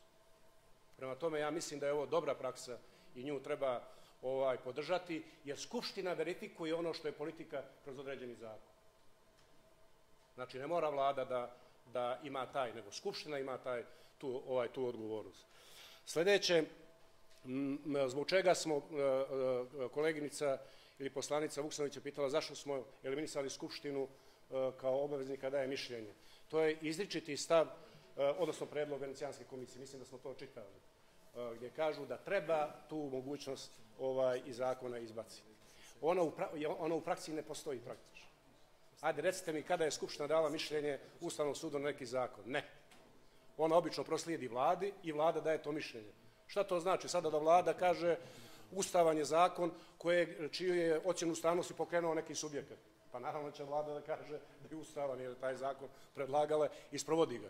Prema tome, izvorna je nadležnost Ustavnog suda da sa svojim potencijalom i znanjem, poznavanjem Ustava i sistema ovaj, utvrdi da li je, da li je pravni akt u skladu ovaj, sa, sa, sa Ustavom. I zbog toga mislim da treba da ostanemo pri ovom opredeljenju. Mislim da je ovo obrazloženje, ovo obrazloženje dovoljno. I veoma važno pitanje uh, poslanika Kalača, da li je dobro opredeljenje da Ustavni sud, tako sam razumio, ako sam, ako sam dobro razumio, može poništiti odluku Vrhovnog suda kao najviše sudske instance? Ja mislim da da. Nema veće vrijednosti koje treba štititi u jednoj državi od ljudskih prava i sloboda svakog pojedinca. Ako je odlukom Vrhovnog suda ugroženo to pravo ili povrijeđeno to pravo, Ustavni sud treba da to pravo zaštiti i da poništi odluku da poništi odluku ovaj ustavno. Ali samo u dijelu povrede ljudskih prava i sloboda, ne u meritumu da li ima dokaza da je neko izvršio krivično djelo ili nije izvršio krivično djelo. E, bilo je velike polemike u javnosti oko toga, ozbiljne smo probleme imali sa Vrhovnim sudom ovaj, na tom pitanju, ali smo ostali, to smo pitanje razriješili i ostali smo na ovom principu koji je demokratski, ja mislim, princip i koji je i pravni princip i a, treba ga u crnogorskom pravnom sistemu ovaj implementirati. Zahvaljujem se. Zahvaljujem se potpredsjedniku Markoviću. Kolega Radunoviću, samo trenutak. Dakle, slijedi sad pravo poslanika da komentarišu komentare i odgovore predstavnika predlagača, u ovom slučaju uvaženog potpredsjednika vlade. Ono što sam ja evidentirao u komentaru potpredsjednik vlade je komentarisao diskusiju poslanika Radunovića, složio se sa određenim konstatacijama poslanice Ionice, komentarisao je iz, diskusiju koleginice Vuksenović i kolege Kalača. Iz cijelog ovog komentara čini mi se da pravo na komentar u odnosu na predstavnika predlagača u skladu sa članom 97 stav 2 našeg poslanika bi trebao da dobije prije svega kolega Radunović i od ovih tri diskutanta ko, ko želi. Kolega Radunoviću, izvolite. Izvolite. Gospodine vaše tumačenje poslovnika je u redu.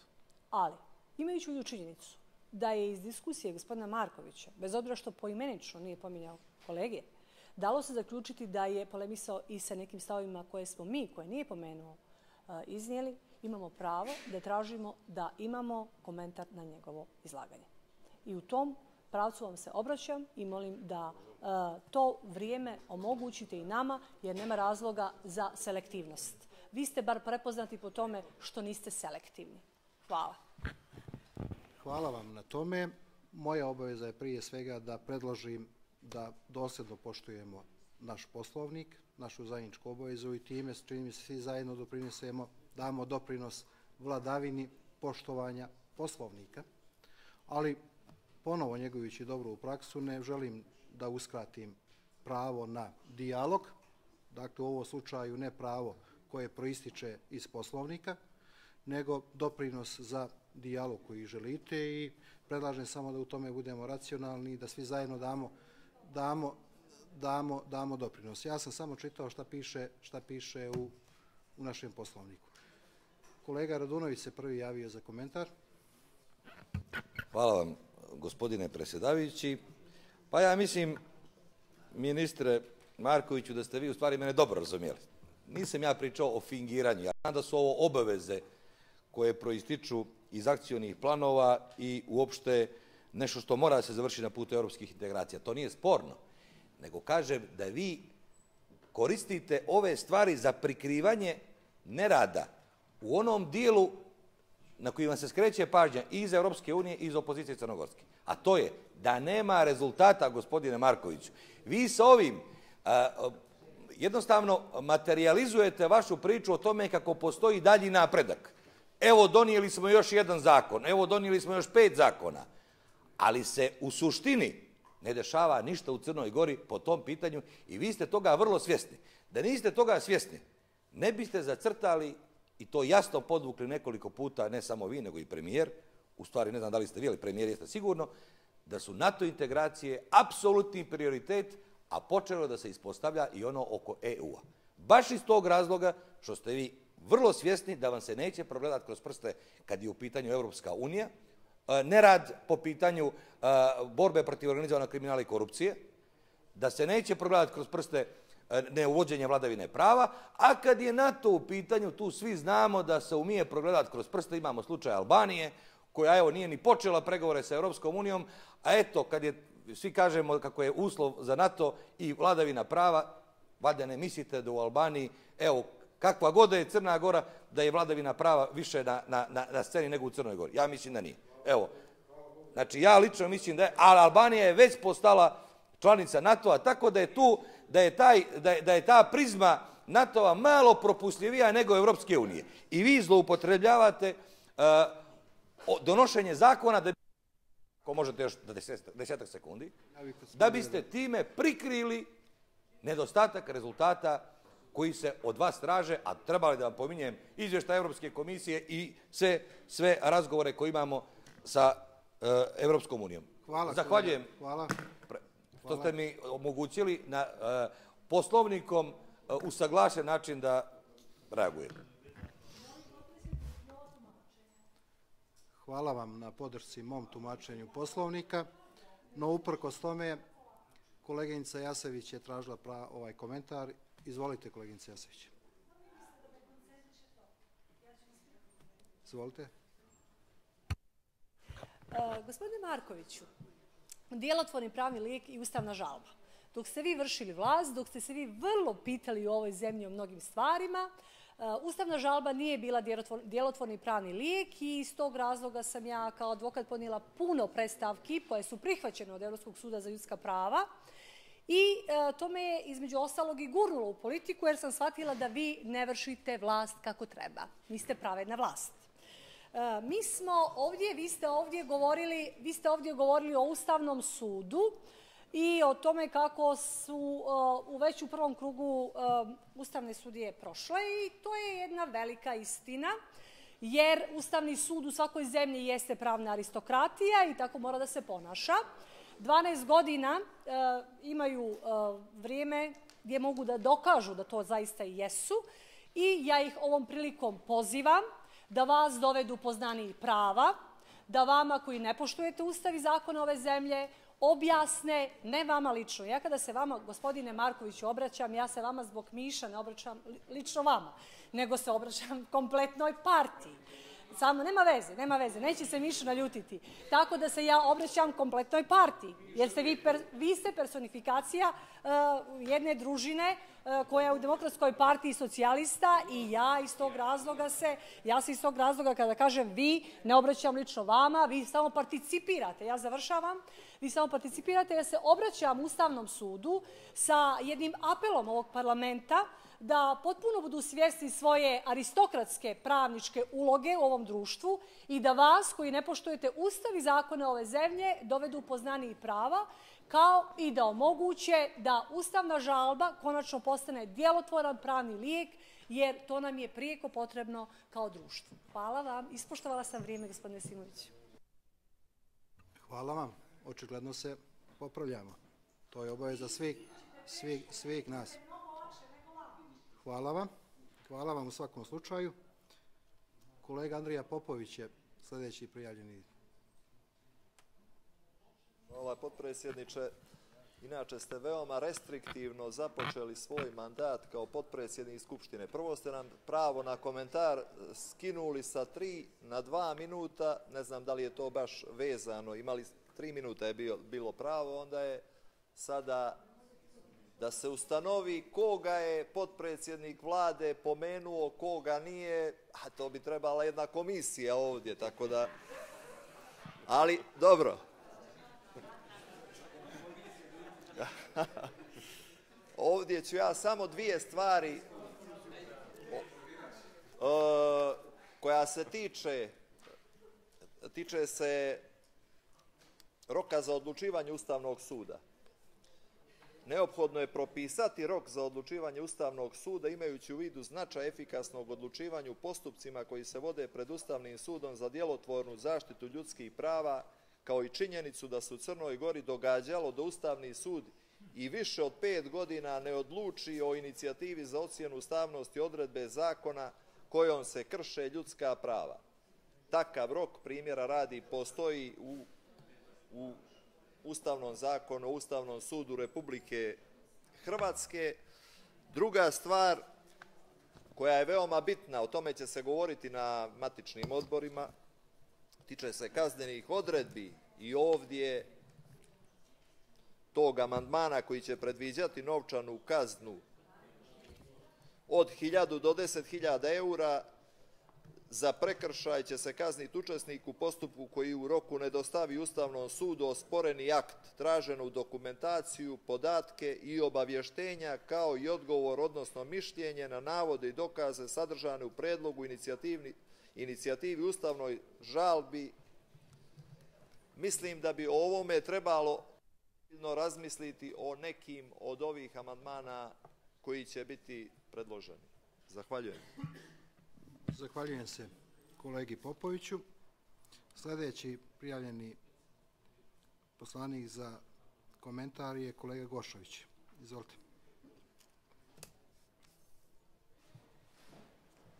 Zahvaljujem, potpredsjedniče. Evo, gospodin Marković se nije u svom komentaru osvrnuo na problem koji će po meni biti veoma izražen u primjeni ovog zakona. To je način rada Ustavnog suda, kada je u pitanju donošenje odluke o pravičnom zadovoljenju ili o naknadi materijalne i nematerijalne štete u slučaju kada utvrdi da je nekim zakonom e, povrijeđen Ustav, na osnovu takvog zakona doneseni pojedinačni akti i povrijeđena sloboda i prava građana. Ako se te norme ne urade na način koji će obezbijediti jedan cjeloviti postupak od prava građana da zahtijevaju tu naknadu do načina odlučivanja Ustavnog suda, u praksi ćemo stvoriti veliki problem u radu Ustavnog suda i dovesti građane u situaciju da nemaju povjerenje u rad suda. Sa druge strane, e, činjenica je da je uklonjena ona norma da je e, Skupština, Skupština Crne Gore u obavezi da dostavi mišljenje Ustavnom sudu po pitanju predloga zakona čija se ustavnost ocjenjuje. Međutim, nije, ostale su odredbe člana, stava 1 člana 34, gdje je Skupština i dalje obavezna, ali sada kao učesnik u postupku da dostavi to mišljenje. Znači, nije ta obaveza uklonjena kao takva, ukoliko se u članu 34 stav 1 ne izmijeni ta norma. Ona je ostala kao takva. I gospodine ministre, produžen je rok za odlučivanje Ustavnog suda po žalbama u izbornom procesu sa 48 na 72 časa. Zaista ne znam zbog čega, od kada sud dobije kompletnu dokumentaciju vezanu za, za, za izborni spor. U pitanju je hitnost odlučivanja, izborni je proces, a sa druge strane, ako je igdje uspostavljena praksa u radu nekog suda, konkretno Ustavnog suda, onda je to sigurno izbornim sporovima i zaista toliko vrijeme nije potrebno Ustavnom sudu da odluči po nekoj žalbi u izbornom sporu. Zahvaljujem. Zahvaljujem se kolegi Gošoviću i završavamo komentare sa prilogom koji će dati koleginica Jonica. Izvolite. Hvala potpredsjedniče. Kada je gospodin Marković govorio ili, kako vi rekao, se složio se sa mnom sa pričom o djelotvornosti ustavne žalbe, ostala je i njemu i meni da zaokružimo priču. Da ovim nećemo ipak obezbijediti djelotvornost ustavne žalbe. Da imamo problem koji smo napravili kada smo propisivali nadležnost Ustavnog suda uh, Ustavom i da nas u jednom trenutku čeka da bismo to dostigli i izmjena Ustava, zato što smo definisali da se ustavna žalba mogu štititi samo ona prava koja su zagarantovana Ustavom, a pred Evropskim sudom za ljudska prava se štite prava koje su zagarantovana Evropskom konvencijom o ljudskim pravima. I mi ćemo opet imati jedan opseg prava odnosu na koja ovo neće ni biti uopšte relevantno relevantno pravno sredstvo će, jer će se preskakati jer u odnosu na Ustavni sud ne mora ni biti korišteno jer se ne daje pravo. Ono što također čini mogućnost da ovo bude djelotvorno pravno sredstvo jeste i ono o čemu smo najmanje govorili, a negdje sam to načelo u jednom trenutku, a to je jačanje finansijske nezavisnosti, jačanje kapaciteta Ustavnog suda i ne samo onom dijelu u kojem eto ispade da je vlada predlagala devet, da je SMP predlagao devet, a da je većina na koju gospodin Marković ima nesporan uticaj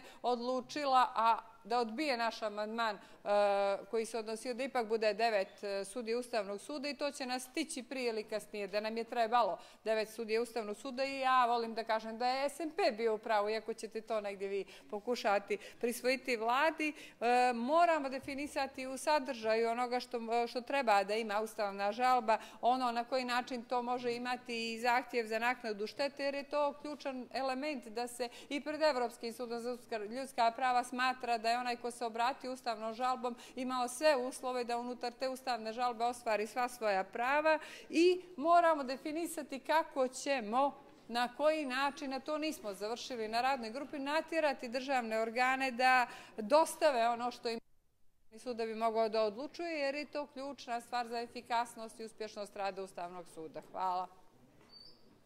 Zahvaljujem se. dozvolite da konstatujem da smo završili sa ovim uvodna izlaganja i komentare i sada bi prešli u drugi krug pojedinačnih diskusija po klubovima. Napominjem da imamo ukupno 12 prijavljenih pojedinačnih diskusija i predložio bih da i u tom dijelu poštojemo naš dogovor koji je već odavno uspostavljen, da je istekao rok za prijavljivanje diskusija nakon završenog kruga uvodnih izlaganja. Za ovo nam je potrebno sat vremena. Nakon toga vjerovatno imat ćemo i završnu riječ ovaj, predstavnika predlagača i moguće neki komentar. Time bi, dakle, već u ovom trenutku dakle, prekoračili dogovorno vrijeme od pola sata za rad na ovoj tarsi dnevnog reda. Prosto kao ovaj molbu upućujem vas svima da damo svi zajedno doprinos da ispoštujemo ono što smo svi zajedno dogovorili. Prvi diskutant je kolega Vuletić. Izvolite kolega Vuletić.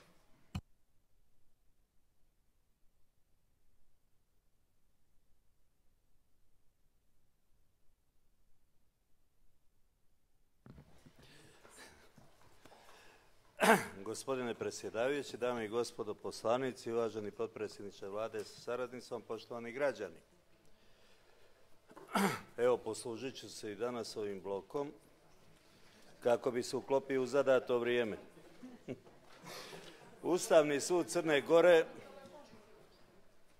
u redu.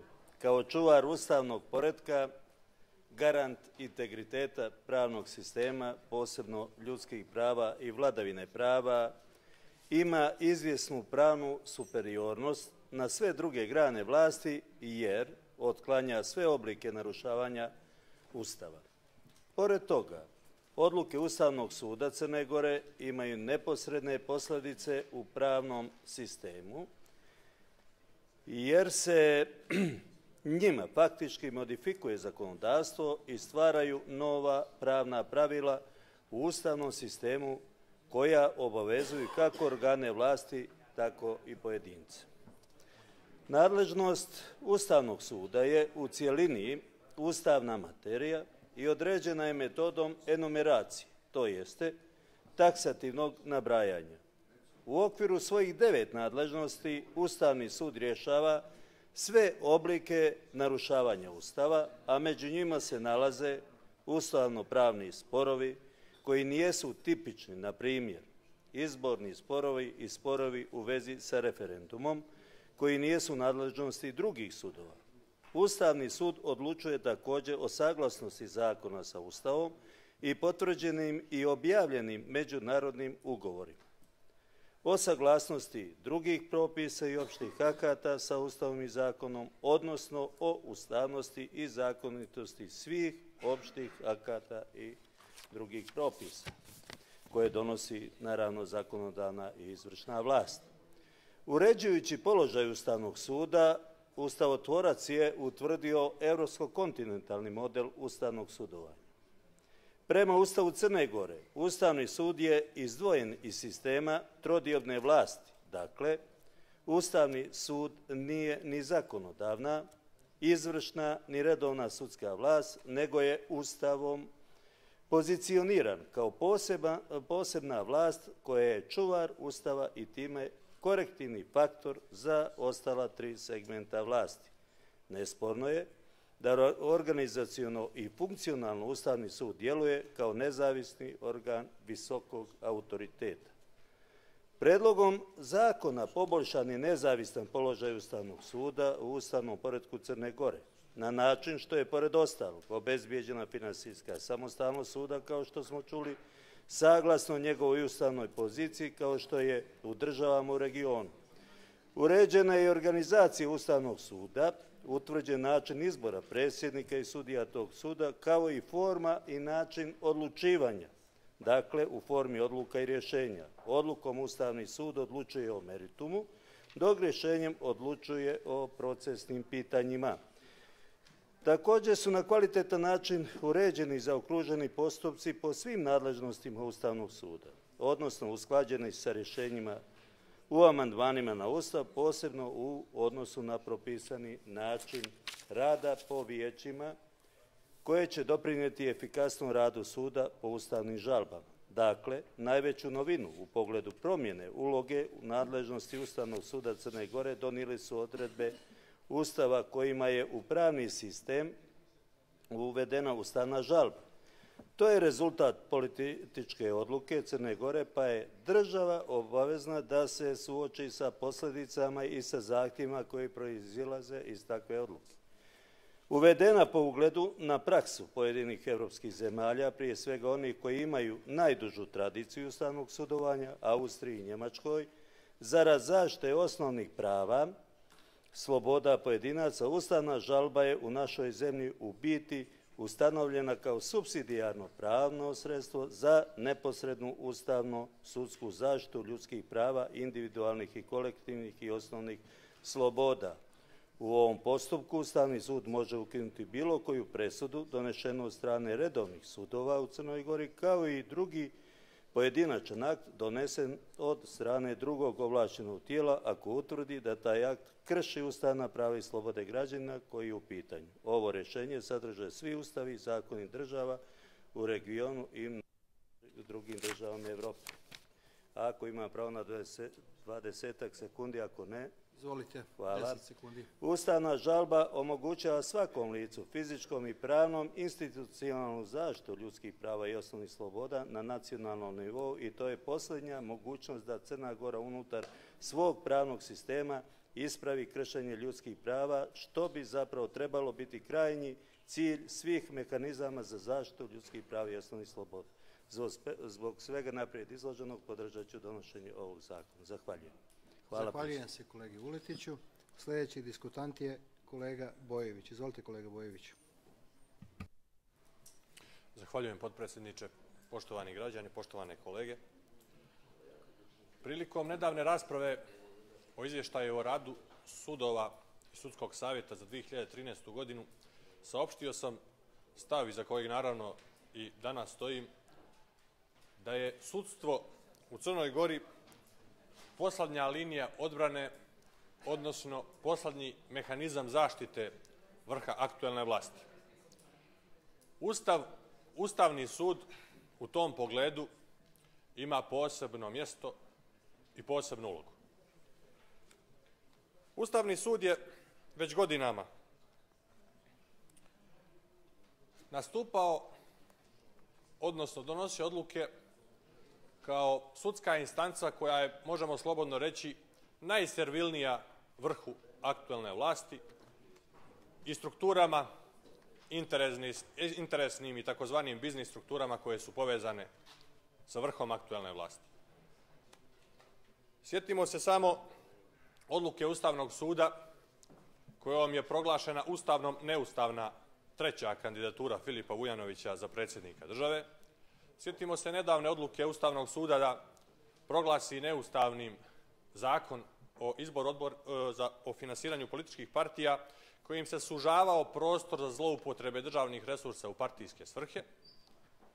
A isto tako, sada je veoma važno da vidimo kada će Ustavni sud i na koji način odlučivati o inicijativi poslanika Demokratskog fronta, kolege pokreta za promjene su to procesuirale, da se ocijeni ustavnost zakona o javnim okupljanjima kojima se zapravo zabranjuje javno okupljanje i protesti građana ispred vlade Crne Gore. Tada ćemo da vidimo kakve aršine primjenjuje Ustavni sud kada odlučuje. U više navrata, kao što znamo, Ustavni sud je legalizovao neustavne zakone i odluke, legalizovao je brutalno kršenje Ustavom zagarantovanih prava građana od strane državnih institucija ali isto tako proglašavao neustavnim potpuno legalne i potpuno ustavne zakone i odluke. Sve u zavisnosti, naravno, od toga kakav je bio interes predsednika DPS-a, prije svega i strukture oko njega. Gospodine ministre, ustavne promjene koje vi sprovodite, odnosno puko donošenje zakona ili njihovo predlaganje, predstavljaju, kao što znamo, samo formalni dio reformskog procesa.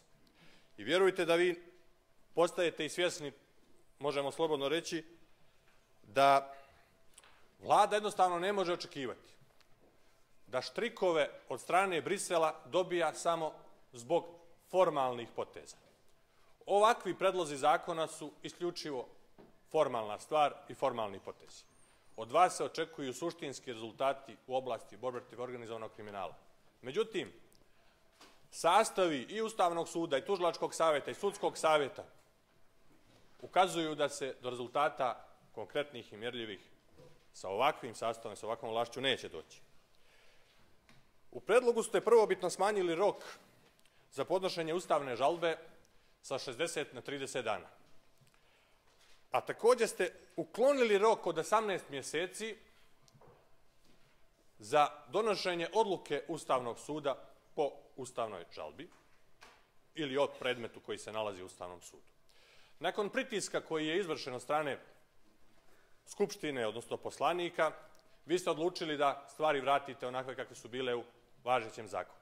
Međutim, ja moram ovdje da ukažem da je postojala namjera u ovom predlogu zakona koji ste dostavili prvobitnom parlamentu, to se vidi, da vi zapravo dodatno relaksirate obaveza i odgovornosti Ustavnog suda. A još, manj, a još više da ograničite prostor za ustavnu žalbu od strane građana time što ste smanjivali rok za podnošenje ustavne žalbe sa 60 na 30 dana. Dakle, ja primjećujem da ste imali tu namjeru, međutim, zbog pritiska ste odlučili da vratite na staro. Međutim, ja moram da ukažem i ovo je suštinska stvar o, o kojoj želim da govorim. Dozvolit ćete meni 15 sekundi. Dakle, ovaj rok od 18 mjeseci koji je u zakonu predviđen kao rok u kome Ustavni sud mora da donese odluku je razmatran na jednom od odbora. I znate koje je bilo obrazloženje predstavnika predlagača iz vaših redova?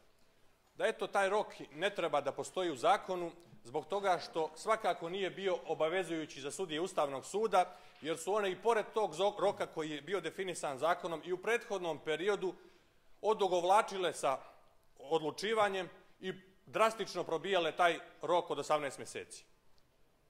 Apsolutno je nejasno kako je mogla da bude neobavezujuća norma koja glasi Ustavni sud u svakom predmetu mora odlučiti najkasnije u roku od 18 mjeseci. Ona je apsolutno imperativna i obavezujuća. Ali je stvar što se tolerisalo i dozvoljavalo Ustavnom sudu da prolongira u nedogled odlučivanje po predmetima. Dakle, posebno veliki problem je neodlučivanje Ustavnog suda po određenim predmetima. Potpuno su nepoznati kriterijumi. Gospodine Markoviću, ja mislim da to veoma dobro znate, po osnovu kojih se iz fioka izvlače pojedini predmeti i stavljaju se na odlučivanje Ustavnom sudu, dok drugi ostaju u istoj toj fioci da čekaju godinu, dvije ili tri. Dakle, završavam. Niko ne zna u ovom trenutku koliko je predmeta u Ustavnom sudu na čekanju, niti po kojim kriterijuma se oni procesuiraju i o njima se odlučuje. Ja mogu da kažem da sam dobio informaciju da jedan broj sudija Ustavnog suda također ne zna zašto neki predmeti čekaju, a neki se odjednom stavljaju na odlučivanje. I na kraju, predlogom zakona je utvrđeno da prilikom izbora sudija Ustavnog suda i prilikom predlaganja kandidati, kandidata, predlagači su, kaže, dužni da vode računa o srazmjernoj zastupljenosti pripadnika manjinskih naroda i drugih manjinskih e, nacionalnih zajednica. Ja još jednom pozivam, zbog ove odredbe koja je sporna sa stanovišta njene usklađenosti sa Ustavom, da se Ustavom konačno definiše, definiše ko su nacionalne manjine u Crnoj Gori.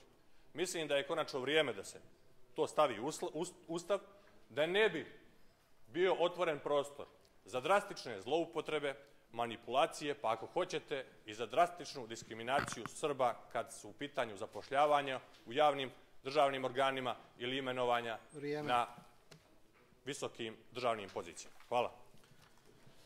Kolega Bojeviću, danas ste od svih diskutanata bili rekorder po prekoročenju vremena. To je bilo više od dva minuta. Razlog zbog čega sam bio tolerantan je što ste u 10 sekundi kraja vaše diskusije najavili suštinsku stvar. Zbog toga, vjerujući da će to biti naše zajedničko iskustvo da suštinske stvari saopštavamo u prvom dijelu diskusija. No, prilog za toleranciju. Hvala. Hvala vam. Sljedeći diskutant je kolega Sekulić. Hvala vam gospodine predsjedavajući, gospodine potpredsjedniče vlade, gospodin Lokočević, uvažene kolege.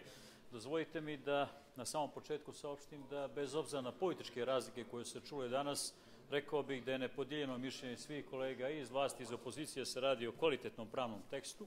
Naravno, hvala gospodinu Markoviću na lijepim riječima kada je u pitanju pravni kapacitet e, ovoga doma.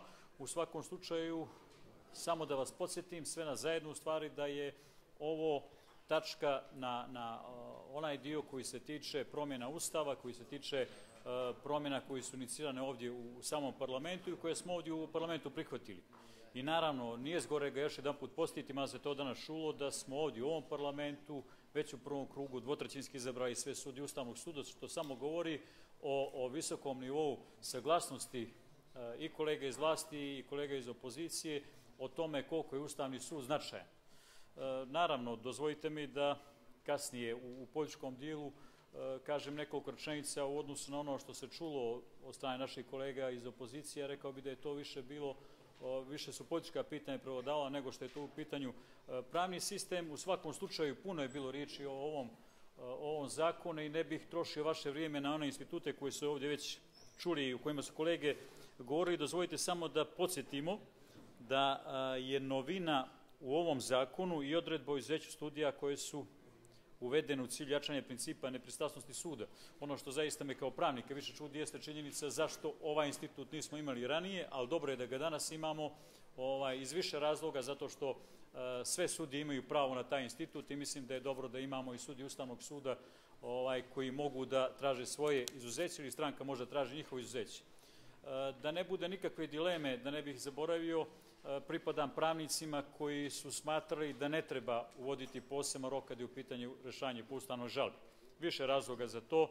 Dozvojite da je ipak i to novi institut koji je uveden u posljednjih nekoliko e, godina, kojim je povećano opterećenje rada e, sudija Ustavnog suda, ali dozvolite da neko ko je glasao za ovaj sastav Ustavnog suda, kažem da je svim sudijama Ustavnog suda veoma, veoma dobro poznato da spora pravda jeste gotova nepravda i da smatram da će oni svojim autoritetom i pravnim znanjem zaista uticati da broj ustavnih žalbi bude smanjen, odnosno ustavne žalbe rešavaju koliko toliko na vrijeme. Naravno, kažem još jedan put, novi institut i rekao bih da e, će vjerovatno nakon prvih par godina isprobanja tog instituta i građani shvatiti da se e, i građani shvatiti da ustavna žalba ne može riješiti ono što nije po zakonu ili neće ovaj, moći na taj način da djeluju ili će jednostavno shvatiti da ustavna žalba, iako jeste zadnji pravni rik u našem nacionalnom zakonodavstvu, ipak na neki način ne može služiti svojoj svrsi ako nemaju pravo ono koje je upisano u zakonu.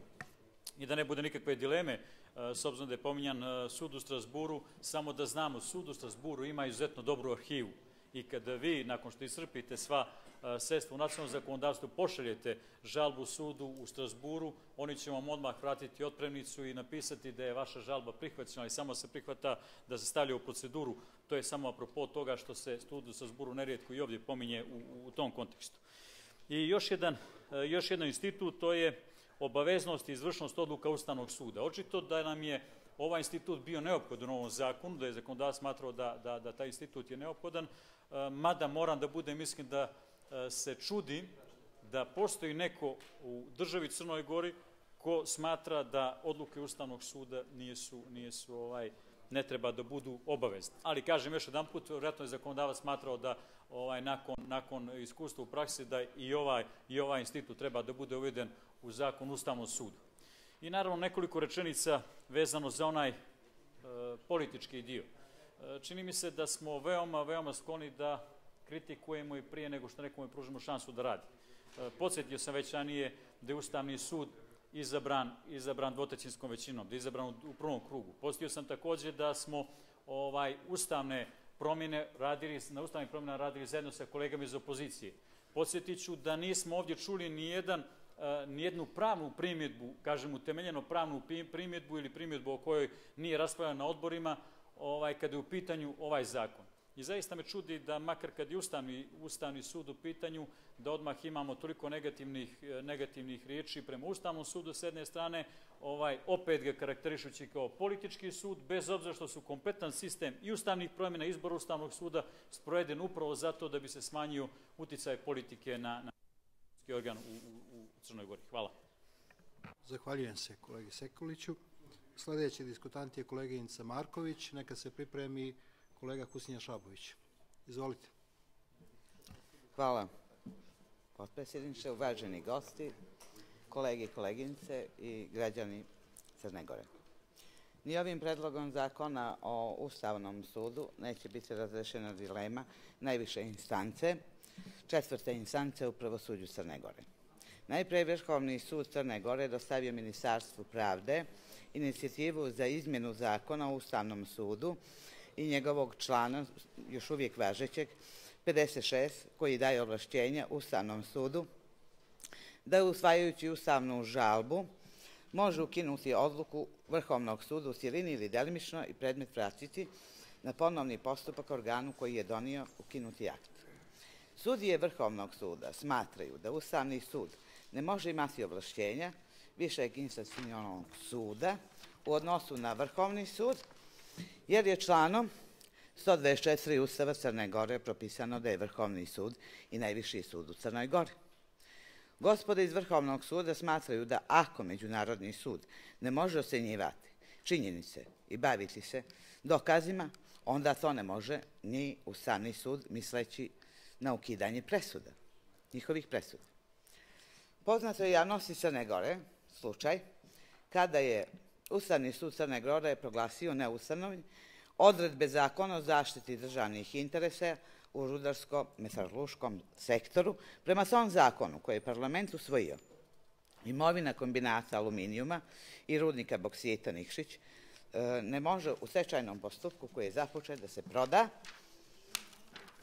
bez saglasnosti Skupštine Crne Gore. Taj zakon predsjednik Vujanović potpisao je tek nakon drugog izglasavanja u parlamentu. Međutim, nisu sedeli skrštenih ruku ni vlada, ni Vrhovni sud, koji je pokazao veliku brigu i zabrinutost za podjelu vlasti, baš na ovom predmetu. E, biva da je sada bila ugrožena podjela vlasti od strane parlamenta zakonodavne vlasti. ekspeditivno, u najkraćem roku, Ustavni sud izlazi u susret predsjednici Vrhovnog suda, vladi i predsjedniku Crne Gore i donosi odluku koju obrazlaže. Spornim odredbama zakona zakonodavac je donošenje odluke o prodeji kapa strateškom investitoru i zaključivanje ugovora uslovio pribavljanje saglasnosti Skupštine. Skupština se na taj način konstituisala kao novi organ u stečajnom postupku sa neprihvatljivim stepenom arbitražnosti. Zakonodavna vlast je prekoračila svoje ovlašćenja i povredila ustavno načelo o podeli vlasti i pravo na nezavisno suđenja. To je bila odluka nezavisnog Ustavnog suda Crne Gore koju su inicirali Vrhovni sud i vlada. Što se tiče člana 76 u ovom predlogu, a tiče se odluke Ustavnog suda o ustavnoj žalbi, u suštini je ista kao što je bila i odredbe člana 56 sada važećeg zakona. Vrlo mali broj predmeta je Ustavni sud ukinuo, a koji se tiču e, sudova, redovnih sudova. Međutim, kod e, sudija redovnih sudova postoji sujeca u odnosu na odluke Ustavnog suda, pa se ide čak dotle da predlažu i ukidanje Ustavnog suda i pripajanje isto kao odeljenje Vrhovnog suda, ističući nepostojanje ustavnih odredbi, što je i tačno. Kad Ustavu piše da je najviši sud u Crnoj Gori Vrhovni sud, znači da ne može njegove odluke ukidati Ustavni sud. Protiv takvih odluka trpe građani, kako Vrhovnog suda, tako i Ustavnog suda. Zato pravdu traže pred sudom u Strasburu. Tako pred sudom u Strasburu do kraja 2014. godine bilo je 1062 predmeta. Toliko, hvala. Zahvaljujem se. Dakle, sljedeći diskutant je kolega Šabović. Neka se pripremi kolega Srđan Perić. Izvolite, kolega Šabović. Hvala, gospodine potpredsjedniče, kolege poslanici, predstavnici vlada gospođo Lakočević. Ustavni sud Crne Gore je sui generis ustavni organ sa specifičnom ulogom u pravnom sistemu. Vezan je ustavom i nije organ koji može da vodi politiku i stvara izvore prava, niti da sudi poput redovnih sudova. On je organ pravne države, ustavne kontrole, koji odlučuje o pravnim okvirima i uslovima pod kojima zakonodavac i vlada mogu da postupaju i uređuju odnose kada donose ili izvršavaju zakone. Ustavni sud ima ovlašćenja da u postupku zaštite osnovnih prava stavi van snage zakon parlamenta, propis vlade, presudu redovnog suda, zabrani rad političke partije, nevladine organizacije, utvrdi povredu izbornog prava i mnoga druga. Dakle, jasna je uloga Ustavnog suda Crne Gore kao čuvara Ustava, on je kontrolor ostvarivanja ustavnosti kao temeljnog načela funkcionisanja Crne Gore kao moderne države. Najveću novinu u predlogu promjene uloge i nadležnosti Ustavnog suda Crne Gore donijeli su odredbe Ustava kojima je utvrđena neposredna zaštita ljudskih prava i osnovnih sloboda od strane suda putem ustavne žalbe koja je promijenila karakter Ustavnog suda. Ustavna žalba je postala veoma popularno pravno sredstvo zbog izuzetno liberalnog oblika i sa sigurnošću se može reći da je Ustavnom sudu donijela epitet suda običnih ljudi. Rešavajući po ustavnim žalbama, Ustavni sud cijeni da li su sudovi odlučujući o pravima obezbjedili ostvarivanje i zaštitili osnovna ljudska prava i slobode zajamčene Ustavom. U dosadašnjoj praksi Ustavni sud je sa velikom opreznošću postupao u ukidanju sudskih odluka, čineći to samo kada se posledice neustavne odluke suda nijesu mogle otkloniti na drugačiji način. Predlogom ovog zakona na kvalitetan način su uređeni postupci po drugim nadležnostima Ustavnog suda, odnosno usklađeni sa rešenjima i amandmanima na Ustav u odnosu na propisani način rada po vijećima koje će doprinijeti efikasnijem radu suda po ustavnim žalbama. Iz substancijalnog određenja uloge i položaja Ustavnog suda slijede tri osnovna aspekta njegove nezavisnosti, organizaciona, funkcionalna i finansijska nezavisnost. Rešenje predloženo u predlogu zakona u postupku donošenja budžeta za Ustavni sud da se sredstva za rad suda obezbeđuju u jedinstvenom državnom budžetu, ali na predlog Ustavnog suda, a ne predlog izvršne vlasti, treba pohvaliti kao iskorak predlagača u postupku finansijske nezavisnosti. Za očekivati je da će država shodno težini i dostojanstvu funkcije Ustavnog suda naći načina za poboljšanje materijalnog položaja suda i sudija kao ekvivalentu za uloženi rad. Vjerujem da će usvajanje predloga ovog zakona doprinijeti ostvarivanju načela vladavine prava kao temeljne ustavne vrijednosti ukupnog pravnog sistema Crne Gore, što jeste zajednički zadatak i ustavno-sudske i sudske vlasti. Hvala. Zahvaljujem se kolegi Šaboviću. Sljedeći diskutant kolega Perić. Neka se pripremi i koleginica Šćepanović. Izvolite kolega Perić. Uvaženi potpredsjedniče, uvažena predstavnica vlade. Znači ovdje danas raspravljamo tri zakona koje se odnose na sudsku granu vlasti. To je ovaj zakon u vezi s Ustavnim sudom, u vezi sa sudskim savjetom i u vezi sa sudovima. I njih treba negdje gledati kao jednu cijelinu koja, kad ovako dobijamo zakone u koje jeste uložen značajni napor, to nije zaista sporno, dolazimo do toga da kada pišete zakone bez vizije i kada nemate sprovođenje sa hrabrošću, imate ono što mi danas imamo. Imamo stalno mijenjanje zakona iz godine u godinu, nekih čak iz mjeseca u mjesec i imamo primjenu koja je prilično slaba, posebno u oblasti koja najviše tišti crnogorsko društvo, a to je borba protiv korupcije i organizovanog kriminala. I naravno sve to ne bi bilo toliko, možda nije ništa novo rečeno, da to negdje treba, ne treba kopčati za generalno uopšte kvalitet života koji vode građani Crne Gore, a to da pravda jest, da bude svima dostupna, jedan preduslova, vladavina prava jeste jedan od preduslova i ekonomskog prosperiteta.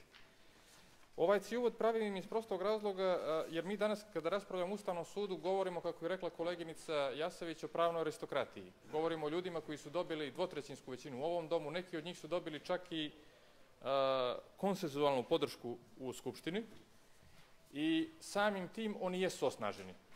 I sada kad vidimo da se mijenja ovaj zakon o Ustavnom sudu, mi bismo mogli negdje zaključiti da je u našem sudstvu sve apsolutno od početka do kraja pod konac, i sada se bavimo nekim sitnicama, maltene podešavamo nišana na, na, na, na zadnju decimalu.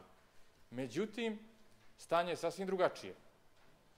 Pitanje je koliko ćemo zakona iz oblasti sudstva i pravosuđa opšte i tužilaštva raspravljati do kraja godine, ali sa druge strane velika bojazan dok je ova vlada u mandatu da ćemo imati ikakav progres. I nemoguće je kada raspravljamo ovim temama na bilo koji način izaći iz tog okvira. A kada se pišu zakoni bez vizije koji imaju negdje zaista tu spremnost vlade da će, da će da sprovode te zakone, imamo nekad i neke blage nelogičnosti da se nešto promoviše kao velika novina, da to nije i sa druge strane treba otvoreno priznati, ima rešenja koja su dobra.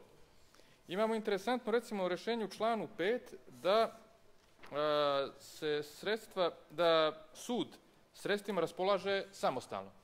I na prvo čitanje to bi zaista trebalo dosnaži autonomiju tog suda konkretno Ustavnog suda. Međutim, ima tu poredna rešenja koja su u stvari mnogo bolja u, u, u zemljom okruženju. Šta znači to što neko ima, što samostalno raspolaže sredstvima ako ne znamo kolika su ta sredstva? To znači da izvršna vlast kroz sistem usvajanja budžeta može da značajno iz ovog ili onog razloga deklarativno ali suštinski da umanji sredstva za taj sud i oni nemaju mehanizam da se zaštite. A mnogo je možda bolje bilo rešenje da sud, ako već vjerujemo toliko Ustavnom sudu, da njihov predlog bude obavezujući za budžet kada je riječ o Ministarstvu financija. Naravno, nemamo ništa protiv ni ovog rešenja na, na nivou načela, ali opet kažem, ovo suštinski može biti mehanizam koji može da, da ukoči ovaj proces. S druge strane, ima tu dobrih novina. Uvođenje generalnog sekretara, zamjenika, predsjednik Ustavnog suda, da se može zasida da i troje sudija mogu procesno obavljati stvari. Nije to sporno sa te, te tehničke strane ako gledamo. Međutim, pažnju na ove zakone mi obraćamo upravo samo iz jednog razloga. Iz toga jer to Evropa traži od nas. A ne iz potrebe vlade da procesuira bilo što u bilo kom smislu, to si najmanje odnosi na Ustavni sud. I onda, opet kažem, dolazimo do toga da imamo zakon sa, u, u koji se, evo, kolege pravnici su govorili dosta o tome kojim se može o nijansama puno polemisati, ali kad imamo konačan rezultat tih promjena, građani jednostavno ne znaju šta će to biti. Da li će ovaj, ovaj zakon, ovakav kakav jeste, dodatno garantovati samostalnost Ustavnog suda, ne znamo. Da li će to u konačnom takav osnažen Ustavni sud, ako bi se osnažio, produkovati bolju, bolji stepen borbe protiv, evo sad opet stalno ponavljamo, ali jako je bitno, protiv korupcije na visokom nivou, sasvim izjesno da, da to neće imati realnosti. Sve se svodi na tu političku volju, a ona se u konkretnom zakonodavstvu pretače u to da vršimo neke izmjene koje negdje imaju smisla, negdje su možda mogle biti malo bolje i da se maltene svi zapetljamo oko toga da govorimo o sitnicama, a da ona krupna stvar promakne, a to je jednostavno da kada je sudstvo u Crnoj Gori u pitanje, mi ključnih rezultata nemamo. Zahvaljujem. Zahvaljujem se kolegi Periću. Sljedeći diskutant je koleginica Šćepanović. Neka se pripremi poslanik Oča Pavlović. Zahvaljujem potpredsjedniče, poštovani potpredsjedniče, poštovani predlagači, kolege, poslanici, uvaženi građani Crne Gore. Pred nama je danas set zakona iz oblasti pravosuđa. Činjenica je da bez efikasnog pravosudnog sistema nije moguće uspostaviti potpunu vladavinu prava u jednom društvu. A uspješnost ovoga čini uslov pristupanja Evropskoj uniji. Dakle, odluka Evropske unije da se pregovori otvore i zatvore poglavljima 23 i 24 jasno govore koliko je reforma pravosuđa važna za pristupanje Crne Gore Evropskoj uniji. Što se tiče zakona Ustavnom sudu, ovaj zakon predstavlja drugu fazu izmjena nakon usklađivanja e, zakona sa amandmanima iz 2013. amandmanima na Ustav 2013. godine u pogledu izbora sudije Ustavnog suda i funkcionalne nadležnosti za odlučivanje ustavnoj žalbi. Takođe je izmjenama, e, takođe je ova izmjena predviđena i akcijnim planom za poglavlje 23 u cilju efikasnosti ustavne žalbe kao poslednjeg pravnog sredstva za zaštitu ljudskih prava i sloboda. A imajući u vidu da je zakon dva puta mijenjan, pokazalo se kao najcelishodnije rešenje da se donese novi predlog zakona. Zakon je usklađen sa relevantnim međunarodnim aktima, a mišljenje Venecijanske komisije je u potpunosti ispoštovano od strane predlagača. U odnosu na važeći zakon, ovaj zakon sadrži više novina, ali zbog vremenskog ograničenja ja ću se samo svrnuti na neke odredbe. Dakle, izmijenjene su odredbe o izboru sudija u odnosu na prethodni zakon u smislu slobode prijave e, na javni oglas oba predlagača, jer je prethodno rešenje ocijenjeno kao neograničavajuće i dovodilo je kandidatu u neravnopravan položaj. Takođe je značajna novina da i mogućnost da kada sudi Ustavnog suda prestane funkcije zbog isteka mandata, a predlagač ne predloži ili Skupština ne izabere na upražnjeno mjesto sudi Ustavnog suda, Skupština istovremeno donese odluku o prestanku funkcije sudi Ustavnog suda kome istekao mandat i odluku da taj sudije nastavlja da vrši funkciju sudije Ustavnog suda do izbora novog sudije, ali ne duže od jedne godine i ovim je u potpunosti ispoštovana preporuka Venecijanske komisije. U cilju što kvalitetnije organizacije rada suda, ovim zakonom je predviđena mogućnost donošenja poslovnika i drugih akata. Što se tiče podnesaka kojim se pokreću postupci pred Ustavnim sudom, unijeta je odredba koja obavezuje Ustavni sud da omogući učesnicima u postupku da se izjasne na navode drugih učesnika u postupku sa ciljem obezbeđivanja načela kontradiktornosti postupka. Takođe, predlogom je predviđeno da Ustavni sud odlučuje pitanjem iz svoje nadležnosti na sjednici svih sudija, kao i u vijeću od troje sudija kada se radi o ustavnoj žalbi. E, akti Ustavnog suda su odluke rešenja, pri čemu odluke Ustavni sud donosi kad odlučuju meritumu, dok rešenjem odlučuju procesnim pitanjima. Ono što je važno jeste da je izmijenjeno postojeće rešenje po kojem je predsjednik suda potpisivao sve odluke Ustavnog suda, jer je opravdano da one odluke koje se donose u sjednici vijeća potpisuje samo predsjednik vijeća. U postupku pred Ustavnim sudom se ne plaća taksa, a učesnici u postupku snose svoje troškove. Predložena je i e, odredba koja bi obavezala podnosijec ustavne žalbe da naknadi troškove postupka ili da plati novčanu kaznu koliko se radi o zloupotrebi prava. E, što se, obzirom da je predlagač cijenio, što je svakako imalo i svoje razloge, da se izostavi odredba koja obavezuje Ustavni sud da u svakom predmetu donese odluku u roku od 18 mjeseci, i za to imao svoje razloge, jer iz objektivnih razloga može da se desi da postupak traje duže. E, mi smo smatrali da ovu odredbu iz važećeg zakona treba izostaviti i predlagač u jednoj konstruktivnoj raspravi ovo razumiju i uvažio i ovdje odgovorno tvrdim da nije bilo nikakvog pritiska na predlagače od strane poslanika da prihvate, da prihvate ovaj naš zahtjev.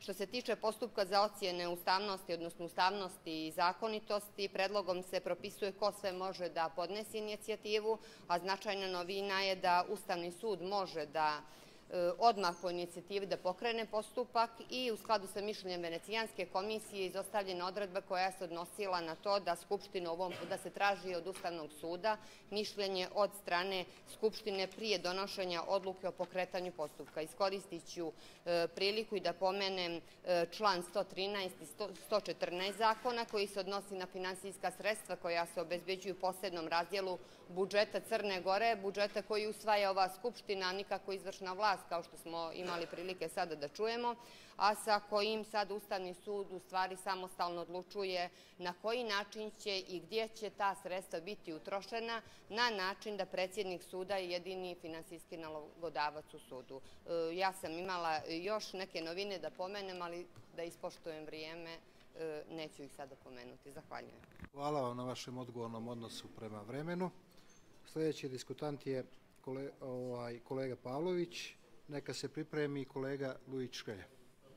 Izvolite. Hvala gospodine predsjedavajući. E, poštovane građanke i građani Crne Gore, ovo je još jedan, da kažem, doprinos glavnog kočničara crnogorskih reformi, potencijalnih, glavnog iluzioniste crnogorskih reformi, režimskog iluzioniste, koji stoji na čelu ministarstva koje predlaže ovaj zakon, jednom opštem, da kažem, jednoj opštoj iluziji koja pokušava da se napravi, jedno, jednom, jednoj pozorišnoj predstavi koja pokušava da se napravi, a koja ne daje nikakve rezultate. Eto, to je ključ.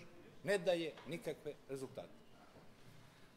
Malo prije sam, ovaj, konsultujući se sa jednim, uh, sa kolegom Radunovićem, ovaj, uh, prije ove rasprave, zajedno smo konstatovali da je dosta teško govoriti o nekom zakonskom tekstu koji pritom e, na e, predlagač, oko koga predlagač prihvati sve ili gotovo sve predloge opozicione za izmjenama zakonskog teksta.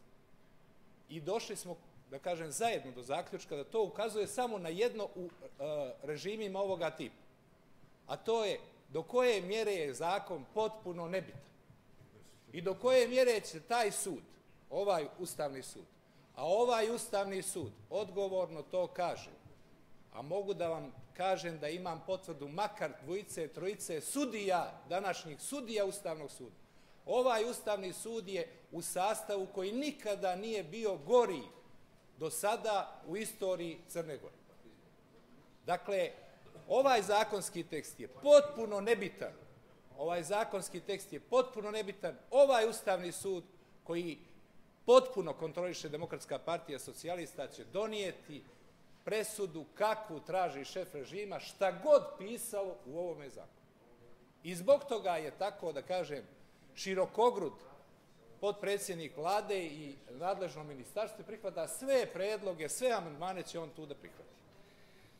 Dakle, i juče smo imali jedan, jedan zakonski tekst koji je takođe po ponašanju prosto predlagača, bilo je očigledno da njima apsolutno nije bitno, bitan sadržaj toga zakona. Osim u jednom dijelu koji je, koji je obavezujući automatski, to je ono oko, oko toga kako ćemo s kojim godinama da penzionišemo ljude, pa to treba da se napravi sa dva parametra kako bi se ostavio prostor da se provuku oni zbog kojih navodno zakoni donosimo kako bi njih navodno penzionisali. Na kraju se ti provući. Dakle, juče smo imali takođe takav jedan, jedan nebitni zakon A zašto je onaj jučerašnji nebitan? Pa zato što ta služba ANB niti jedan član toga zakona ne poštuje. Dakle, ovdje danas u ovoj priči o Ustavnom sudu mi još imamo, da kažem, jedno normativno dolivanje goriva, tako da, ne, da, da, da se tako izrazim figurativno, na onu već, da kažem, započetu polemiku između Vrhovnog suda i Ustavnog suda, ko je kome nadređen, može li on meni da obara presude, ja sam pobogu Vrhovni sud, a ovaj kaže ja sam ustavni i tako dalje. Znači, pravljenje još jedne od mnogih predstava za evropske oči, a to je ona predstava koju smo gledali, da, sjetit ćete se, poštovane građanke i građani Crne Gore, kada se raspravljalo o tome koja je to daska trula. Pa je li to policija? Policija kaže nismo mi nego sudovi, a sudovi kažu nismo mi nego tužilaštvo, a tužilaštvo policije i pravi se stalno jedno vrzino kolo u kome se vi pogubite. Ono što želim da kažem, ovdje se više puta čulo, ja se, gospodine predsjedavajući, i zahvalnosti na vašu toleranciju za, za, za prekoračenja koja mi pravimo, a vi ih tolerišete, nisam htio da javim u polemiku. Dakle, ovdje se stalno pojavljuje taj argument, mi radimo ovo zbog Evrope. Čak je bila jedna neviđena nebuloza ministar policije izjavio mi, mi ćemo se, kaže, boriti protiv kriminala zbog Evrope i zbog evro, evrointegracije. Ministar policije je to izjavio. Pa to je bilo, jedino od toga luđe je bilo kad išao ministar policije da protestuje ispred ministarstva policije, protiv postupanja svoje policije. To je bilo luđe, zaista. Ovo je potpuno nevjerojatno. Znači, šta želim da kažem? Reforme koje treba da provedemo ne radimo ni zbog evropskih integracija, ni zbog uh, Brisela, ni zbog NATO-a, ni zbog Vašingtona. Mi ih radimo zbog sebe. I upravo ova priča o tome da mi to moramo da uradimo zbog uh, pozivnice za NATO, zbog članstva u Evropi, zbog nastavka, to je samo dio ove prevare, ove, da kažem, igranke koju dotični potpredsjednik vlade stalno, permanentno organizuje, u kojoj smo mi uvučeni. A to je igranka koja daje legitimitet prevari. Jer kada nametnete takvu sliku, mi smo prosto u procesu, moramo da ga pratimo, onda se stvara jedna atmosfera u kojoj je legitimno prevariti Brisel. Legitimno je prevariti Vašington. Postoji javni interes da ih varamo. To je patriotski da ih varamo. Poštovane građanke i građani Crne Gore, Vrijeme. svaka takva prevara koju oni pripremaju je prevara vas, prevara Crne Gore. I to su vidjeli građani Grčke. Nekoliko godina u Grčkoj je postojao unutrašnji konsenzus oko toga da je dobro što grčke vlade različite varaju Brisel oko finansijskih izvještaja, jer su svi imali neke koristi od toga. Naravno, najveće koristi su imali oni koji su krali iz tih fondova milione, ali su bili i 15. plata i tako dalje, i stvorio se jedan konsenzus oko toga da je patriotski varati. E sada građani Grčke vide da sve te prevare nisu bile prevare Brisela, ni prevare Vašingtona, nego prevare građana Grčke koji će platiti sve ono, cijelu tu predstavu koju su za njih napravile te vlade i vi građani Crne Gore ćete platiti, vi, vaša djeca i vaši unuci, ovu predstavu koju decenijama već igra dotični potpredsjednik vlade. Hvala. Kolega Pavloviću, vaše prekoračenje je bilo minut i 34 sekunde, manje nego što to obično činite, ali ja bih zamolio da, čini mi se su ovo dobre prilike, da se svi zajedno da se svi zajedno posjetimo našeg poslovnika u dijelu poglavlja koji definiše održavanje reda na sjednici, član 106, i da se posjetimo člana 9 našeg zajedničkog etičkog kodeksa koje smo nedavno usvojili u parlamentu. Dakle, uputio bi samo da vodimo računa, da se ne koriste riječi i izraze koji mogu vrijeđati i omaložavati drugoga. Moj utisak je da ste vi tokom vaše diskusije u par navrata narušili i poslovnik i etički kodeks. Ne insistiram, prosto želim da onako se svi zajedno posjetimo kako bi u hodu, da kažem, prilagođavali naše diskusije onim dokumentima koje smo mi zajedno usvojili i čini mi se jednoglasno. Izvolite. E, samo jedan detalj, gospodine predsjednici. Dakle, ja sam svjestan toga da smo usvojili poslovnik, etički kodeks, koji je naravno invalidan kao i mnogo toga što smo ovdje usvojili. Nema neke ključne dijelove koje imaju svi ostali kodeksi, slični kodeksi, pa i onaj poslanik u Europskom parlamentu, ali dobro, nebitno. Ono što je bitno jeste da je tamo zaista zapisana ta formulacija, ali tu, tu formulaciju mora pratiti popis tih, tih ovaj, da kažem, uvredljivih izraza koji su zabranjeni, jer je to vrlo jedna uh, subtilna materija. Evo, recimo, Mene, bi, mene je svaka pohvala koju bi ja dobio sa strane DPS-a od bilo koga, pogotovo od ovih ljudi iz vrha režima, uvredljiva. Razumijete? Tako da je strašno teško odrediti apsolutni kriteriju. Mi smo Hvala. u okvirima vjerujem ipak da će ova napomena ovaj biti korisna za sve nas u ovome domu i siguran sam da ćemo etički kodeks, ponavljam, kojeg smo svi zajedno jednoglasno usvojili, izvinjavam se, govorimo o odnosu ovaj klubova, moguće da nijeste učestvovali u glasanju i da to bude obavezujući dokument i da time doprinosimo kvalitetu rada ovoga parlamenta i doprinos toleranciji međusobnoj, uvažavajući posebno naše goste koji dolaze u parlament u ime predlagača pojedinih akata. Zahvaljujem se kolega Pavloviću. Sledeći diskutant je kolega Škelja. Neka se pripremi kolega Goran Tupunja. Izvolite kolega Škelja. Gospodine Hvala gospodine potpredsjedniče. Evo i ja konačno nikako da nikako da stignem da vam čestitam gospodine potpredsjedniče jer svaki put, svaki put kad dolazim ja na red zamjenjuje vas neko, želim vam srećnu i beričetnu, novu, zasluženu parlamentarnu funkciju. Sada, Hvala, gospodine potpredsjedniče. Ja ovo ozbiljno, ja imam... Uvaženi gospodine potpredsjedniče, poslanice i poslanici, dame i gospodo, uvaženi građani, uvaženi ministre pravde i potpredsjedniče vlade, gospodine Markoviću, e, mislim, unaprijed se izvinjavam nek, nekolicini poslanika što ću iskoristiti malu istoriju, jer ja volim uvijek da napravim neki uvod, pa unaprijed da, da se ne proizvode neke replike, neka bude koliko bude. Ja, ja vas molim da ukoliko mogu, ja ja čutim ukoliko mogu, ali sad... Crna Gora je deset vjekova stara država. Izrasla iz antičke prevalitane Prevalis, srednjovekovne Dukle i Zete, novovjekovne Crne Gore. Ime Crna Gora prvi put se pominje u drugoj polovini 13. vijeka. Privrženost pravu i vladavini prava jedna je od temeljnih osnova istorijskog bića crnogorskog naroda, o čemu svjedoče brojni pravni dokumenti iz najstarije i nove prošlosti.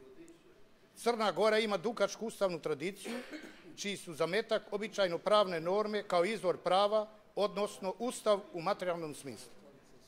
Prvi pisani izvori ustavnog prava pojavljuju se krajem 13. i početkom 19. vijeka, a ogledaju se u pravnim aktima zakonicima kakvi su Stega iz 1796. godine, zakonik opšte crnogorski Brdski iz 1798. godine i opšte zemaljski zakonik iz 1855. godine. Donošenjem Stege pravno je regulisan bitan dio osnovnih društvenih odnosa koji su u savremenom društvu, društvu regulišu ustavom. Norme koji su sadržane u pomenutim aktima su prevasodno imali krivično-pravni karakter, ali je bilo i oni koji su uređivali organizaciju vlasti. U drugoj polovini 19. vijeka dobijanjem faktičnog, a potom i međunarodno pravnog priznanja Crne Gore 1878. godine povećava se broj pravnih akata koji uređuju ustavnu materiju. Donošenjem prvog crnogorskog ustava 1905. godine počinje istorija crnogorske pisane ustavnosti. Ovaj ustav je značajan po tome što se njime ograničava knjaževska vlast, garantuje veća lična i imovinska sigurnost građana, ustvrčuje zakonitost. Cijelokupni društveni život progresivno je izmijenjen na osnovama i u tu ustava, a začet je i utemeljen novi tip političke kulture pet godina kasnije, 1910. godine. Crna Gora je proglašena kraljevinom. U razdoblju od 1946. godine do 19. oktobra 2007. godine Crna Gora je donijela pet ustava. I to 46. 53. 63. 74. i 92. godine. Svako od ovih ustava je ustav Crne Gore kao članice federacije, a ne kao nezavisne države a posljednji iz 1922. godine u doba kada se ustanovljava parlamentarni sistem organizacije vlasti, sudska nezavisnost propisuje obimna lista ljudskih prava i sloboda i uvodi tržišni sistem privređivanja. Danas smo u drugom razdoblju Crnogorskog ustavnog sudstva, кој е отпочел од 2006 година. На основу резултата референдума о независности Црна Горе, Скупштина Црна Горе е, 3, Црна Горе е 3. јуна 2006 година донијела одлуку о проглашењу независности Републике Црна Горе. Као и веќина други европски држава, Црна Гора е прифатила европски континентални модел уставног судовања, утемелен на Келзановом учењу. Ustavni sud je ustanovljen kao najviše ustavno tijelo sui generis u čiju nadležnost spada zaštita supremacija Ustava, odnosno ustavno-pravnog poredka i ljudskih prava i sloboda zajemčeni Ustavom i potvrđenim i objavljenim međunarodnim ugovorima. Ustavni sud je neposredno i bez ograničenja dostupan građanima i pravnim licima. posebno u dijelu nadležnosti koji se odnose na ocjenu ustavnosti i zakonitosti, opšti pravni akata i odlučivanje u povredu ustavom zajamčenih ljudskih prava i sloboda.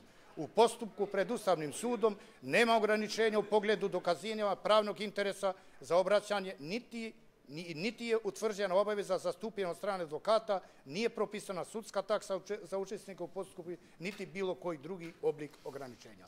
Hvala. Hvala vam. Hvala vam, kolega Škelja. Hvala vam. Hvala vam.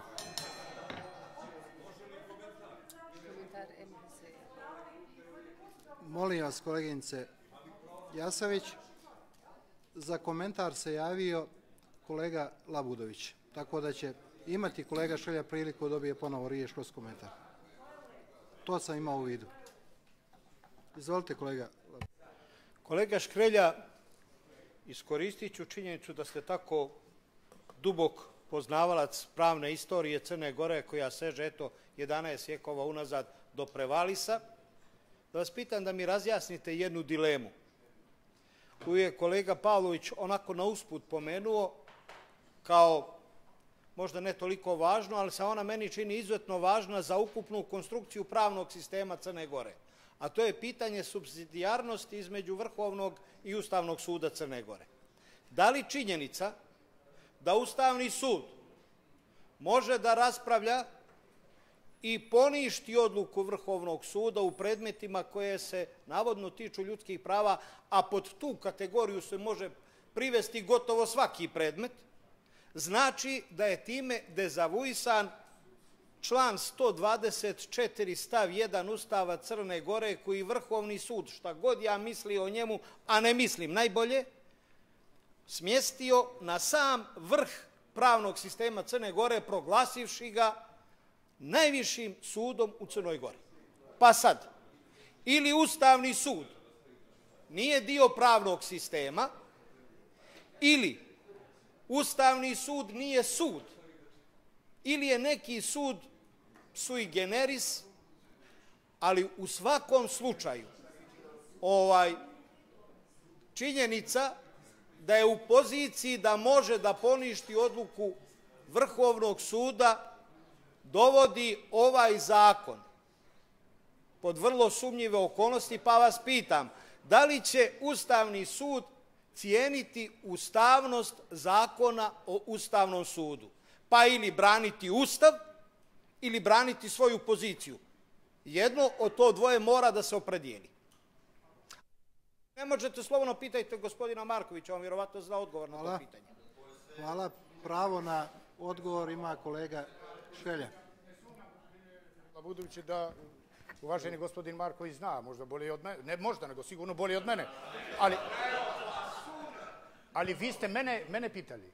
Vi ste mene pitali, pa ja ću pokušati da odgovorim. Sad, kako, koliko će vi, ćete vi biti zadovoljni, ja znam da nema odgovora koji može da vas zadovolji. Ne vama lično, nego politički vas.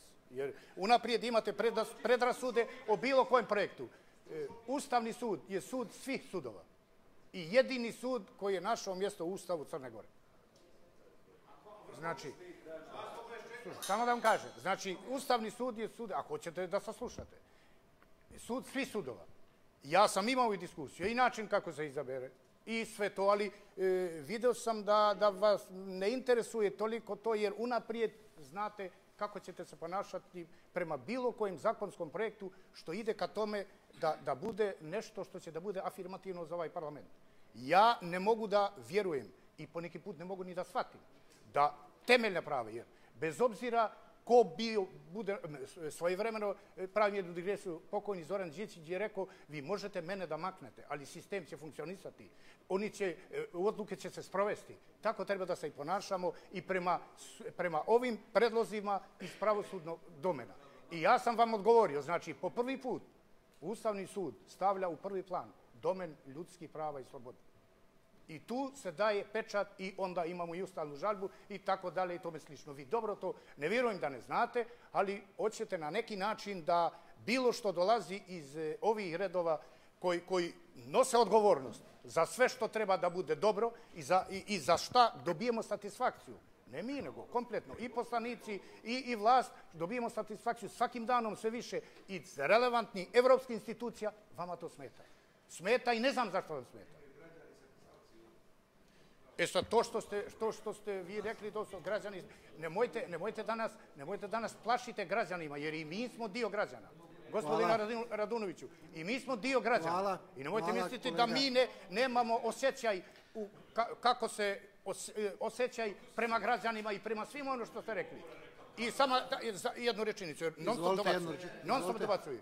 Gospodine Radunoviću, e, znaš šta je rekao Marks? Prazan stomak menja mišljenje. Ako je za vas ta krilatica, jer ste pokazali na stomak, onda neka je on sa srećom. Ja ne mogu to da vam kažem. ništa. Kolega, kolega, kolega Škrelja, vidio sam i čulo se, no ipak, no ipak ovaj, u prekoračenju vašeg vremena pomenuli ste ovaj kolegu Radunovića i time je kolega Radunović stekao pravo da predlažem sa jednim minutom i da damo posle toga kolegi Štelji još jedan minut, da taj, da taj, dijalog, da taj dijalog ipak završite. Izvolite.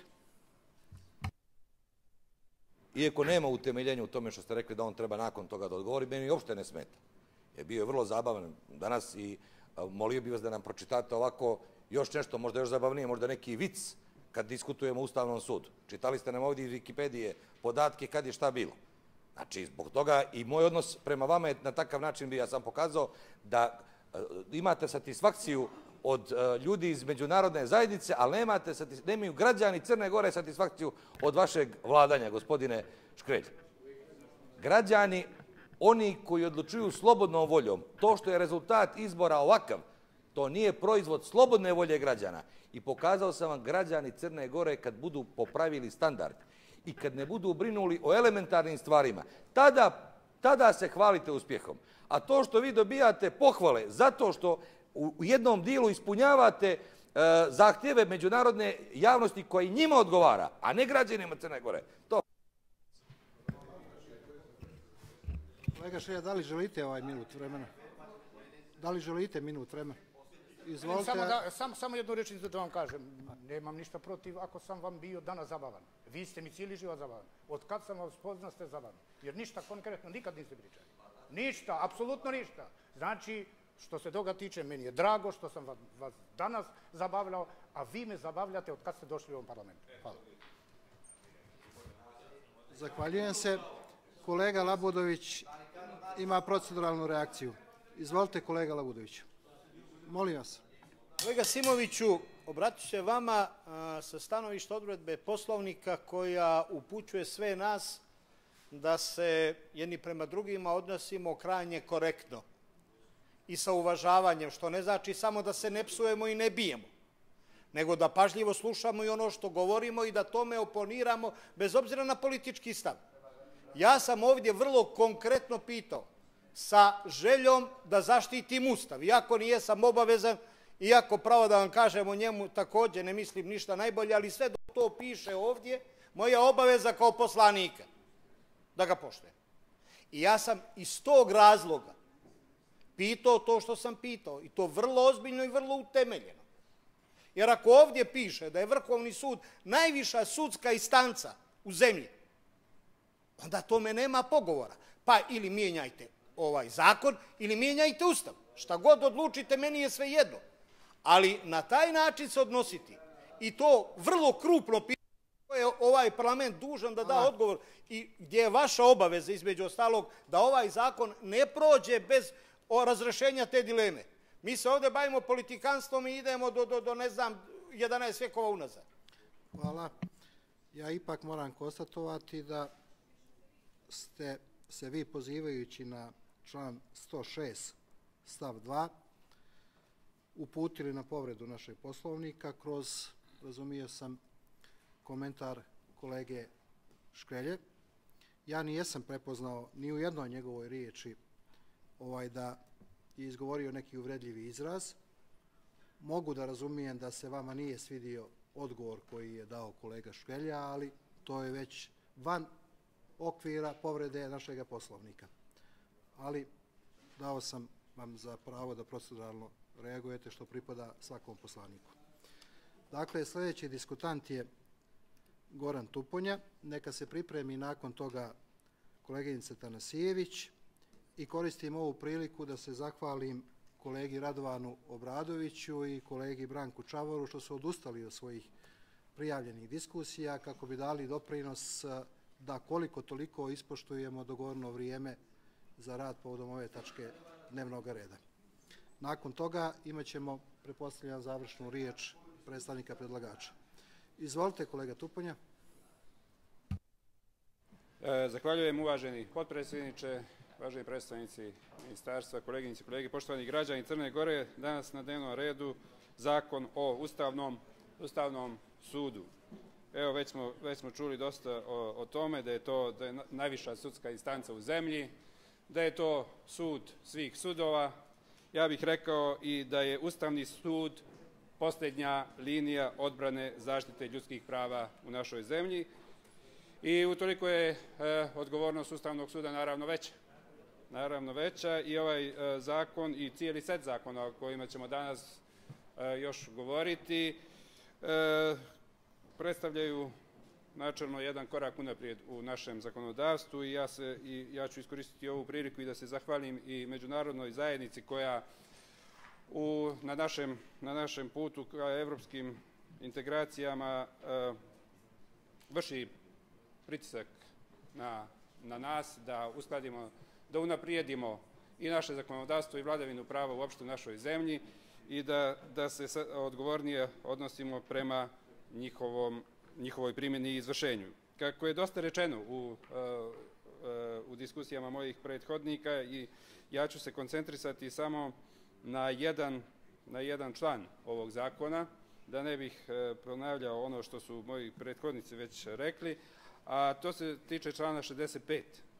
Član 65 koji govori o tome da ukoliko, ukoliko Ustavni sud utvrdi da neki zakon nije u saglasnosti sa Ustavom i potvrđenim i objavljenim međunarodnim ugovorima, odnosno zbog prestanka važenja drugog propisa i opšteg akta za koji Ustavni sud utvrdio da nije u saglasnosti s Ustavom i zakonom, na dan objavljivanja odluke Ustavnog suda nastala pravna praznina, Ustavni sud u odluci određuje datum odjavljivanja odluke, objavljivanja odluke u službenom listu Crne Gore i o tome obavještava nadležne organe i javnost na internet stranici, a učesnicima u postupku dostavlja odluku. E sad, e, ova, o, e, ovaj član u principu želi da ima jednu pozitivnu konotaciju u kojoj e, želi da eventualnu praznu, pravnu prazninu e, na taj način premosti na taj način, e, jer ukoliko bi toga časa, ukoliko Ustavni sud konstatuje da neki zakon nije u skladu sa Ustavom i njegova odluka bude donešena da taj zakon prestaje da važi, imamo pravnu prazninu do donošenja novog zakona ili do e, ispravke tog postojećeg zakona, to je njegovog usklađivanja sa, sa Ustavom Crne Gore. E, potpuno je u redu što se ta pravna praznina želi izbjeći na ovaj način i dati mogućnost e, da se, da se taj zakon e, e, upodobi sa Ustavom Crne Gore, ali ono što nije u redu je da ovaj zakon ne, ne predviđa da se, e, i tu smo mi amandmanski djelovali e, na ovaj član, e, potrebno je da se dopuni ovaj član na način da eventualno nastala šteta onim licima koja su pretrpjela štetu primjenom ovoga zakona, ona mora biti, mora biti zagarantovana. Znači, u redu je da se, da bi se izbjegla pravna praznina, da se da mogućnost, vremenski prostor kojim će, kojim će ovaj zakon biti ispravljen, ali ukoliko u tom nekom prostoru se desi da određena lica pretrpe štetu zbog primjene takvog zakona, takođe mora postojati i mehanizam da se, da se njima ta šteta nadoknadi. E, vjerujem da, da smo svi svjesni važnosti ovog, ovog e, zakona, kao što rekoh, e, Ovo je posljednja linija odbrane zaštite ljudskih prava i ovaj zakon, ukoliko budete imali sluha za naše amandmane kojih je e, pozitivna Crna Gora dosta podnijela, će imati našu podršku. e, i vjerujemo da, će, da ćemo e, sa tim amandmanima one neke finese, one neke, one neke dopune ovoga zakona koje su možda ostale još nedorečene unaprijediti i na taj način svi zajedno imati koristi od toga. Hvala lijepo. Zahvaljujem se kolegi Tuponji i zahvaljujem se na odgovornom odnosu prema vremenu. Zamolio bih koleginicu Tanasijević da da svoju diskusiju i time bi završili drugi krug diskusija povodom ove tačke dnevnog reda. Izvolite. Predsjedniče, poštovani ministre Markoviću, poštovana koleginice Lakočević, koleginice i kolege poslanici, poštovani građani. Set zakona koji se odnose na pravosuđe izraz je nastojanja da se ova oblast suštinski unaprijedi. Rad na ovim zakonima pokazatelj je saradnje između zakonodavne i izvršne vlasti, međunarodnih ekspertskih tijela i civilnog sektora, što je rezultiralo visokim stepenom konsenzusa oko ponuđenih rješenja, a usaglašavanje oko nekih rješenja je u toku i vjerovatno će se još neki amandmani u tom smislu usvojiti. Ovim povodom želim da kažem da je konsenzus u stvari jedno od osnovnih demokratskih načela. On je pretpostavka i demokratizacije i europeizacije i znak je dostignutog nivoa političke kulture u jednoj državi. I vrlo sam ponosna što se u ovom parlamentu veliki broj zakona, odnosno amandmana i nekih drugih zakonskih rješenja upravo donosi konsenzusom, a u ovom slučaju smatram da zakoni koji su doprinos reformi pravosuđa u Crnoj Gori, kad postoji ovoliki stepen saglasja, da je to pokazatelj demokratskog iskoraka Crne Gore i napredovanja u smislu evropskih integracija. Nadležno radno tijelo Skupštine Crne Gore i radna grupa u tom smislu su dali značajan doprinos, kao što je rekao ministar Marković, što potvrđuje činjenicu da je prvo čitanje zakona, kako je to precizirano poslovnikom članom 137, vrlo kompleksan i naporan posao na analizi i eventualnom poboljšanju zakona koji se nalaze u skupštinskoj proceduri. Odnosno, rad u radnim tijelima je značajna komponenta kompletne suštine rada poslanika Skupštine Crne Gore. Što se tiče predloga zakona o Ustavnom sudu, o kome je već mnogo toga rečeno, on je izraz nastojanja da se nacionalna pravna regulativa usaglasi sa evropskim i međunarodnim propisima koji se odnose na ovu oblast, sa Evropskom konvencijom o zaštiti ljudskih prava i osnovnih sloboda, osnovnim načelima Ujedinjenih nacija o nezavisnosti sudova, preporukom Komiteta ministara Savjeta Evrope državama članicama o nezavisnosti, efikasnosti i ulozi sudija, Evropskom poveljom o zakonu za sudije itd. Prilikom izrade predloga zakona ispoštovane su preporuke iz mišljenja Venecijanske komisije, postojeća zakonska rješenja su unaprijeđena i stvoreni su uslovi za efikasniji rad Ustavnog suda. Opštim odredbama predloga zakona utvrđen je postupak izbora sudija Ustavnog suda, prestanak i razrješenje njihove funkcije, organizacija suda, postupak pred Ustavnim sudom i tako dalje. Takođe, ustanovljena su osnovna načela koja su od suštinskog značaja za rad ovog suda. Smatram da je vrlo važno pomenuti da načelo samostalnosti i nezavisnosti obezbjeđuje se na način da niko ne smije uticati na Ustavni sud prilikom odlučivanja o pitanjima iz njegove nadležnosti. Javnost se prema članu 4 predloga obezbjeđuje objavljivanjem odluka na internet stranici Ustavnog suda, održavanjem javne rasprave u postupku pred Ustavnim sudom, održavanjem konferencija za medije i tako dalje. Odredbe o postupku izbora sudija Ustavnog suda su izmijenjene u odnosu na važeći zakon. Kao što je rečeno, predsjednik Crne Gore i nadležno tijelo Skupštine Crne Gore kao predlagači sprovode postupak predlaganja sudija Ustavnog suda nakon dobijanja obavještenja o prestanku funkcije ili razrješenju sudije Ustavnog suda. Kandidati za sudije Ustavnog suda mogu da se prijave na javni oglas oba predlagača, što je doprinos ostvarivanju principa ravnopravnosti. Lice koje se prijavilo na javne pozive obra predlagača može biti kandidat samo jednog od njih. Prema predlogu zakona, Ustavni sud je dužan da o ispunjavanju uslova za starostnu penziju, odnosno isteku mandata sudije Ustavnog suda, obavijesti predlagača koji je sudiju predložio šest mjeseci prije ispunjenja uslova za ostvarivanje prava na starostnu penziju, odnosno prije isteka mandata.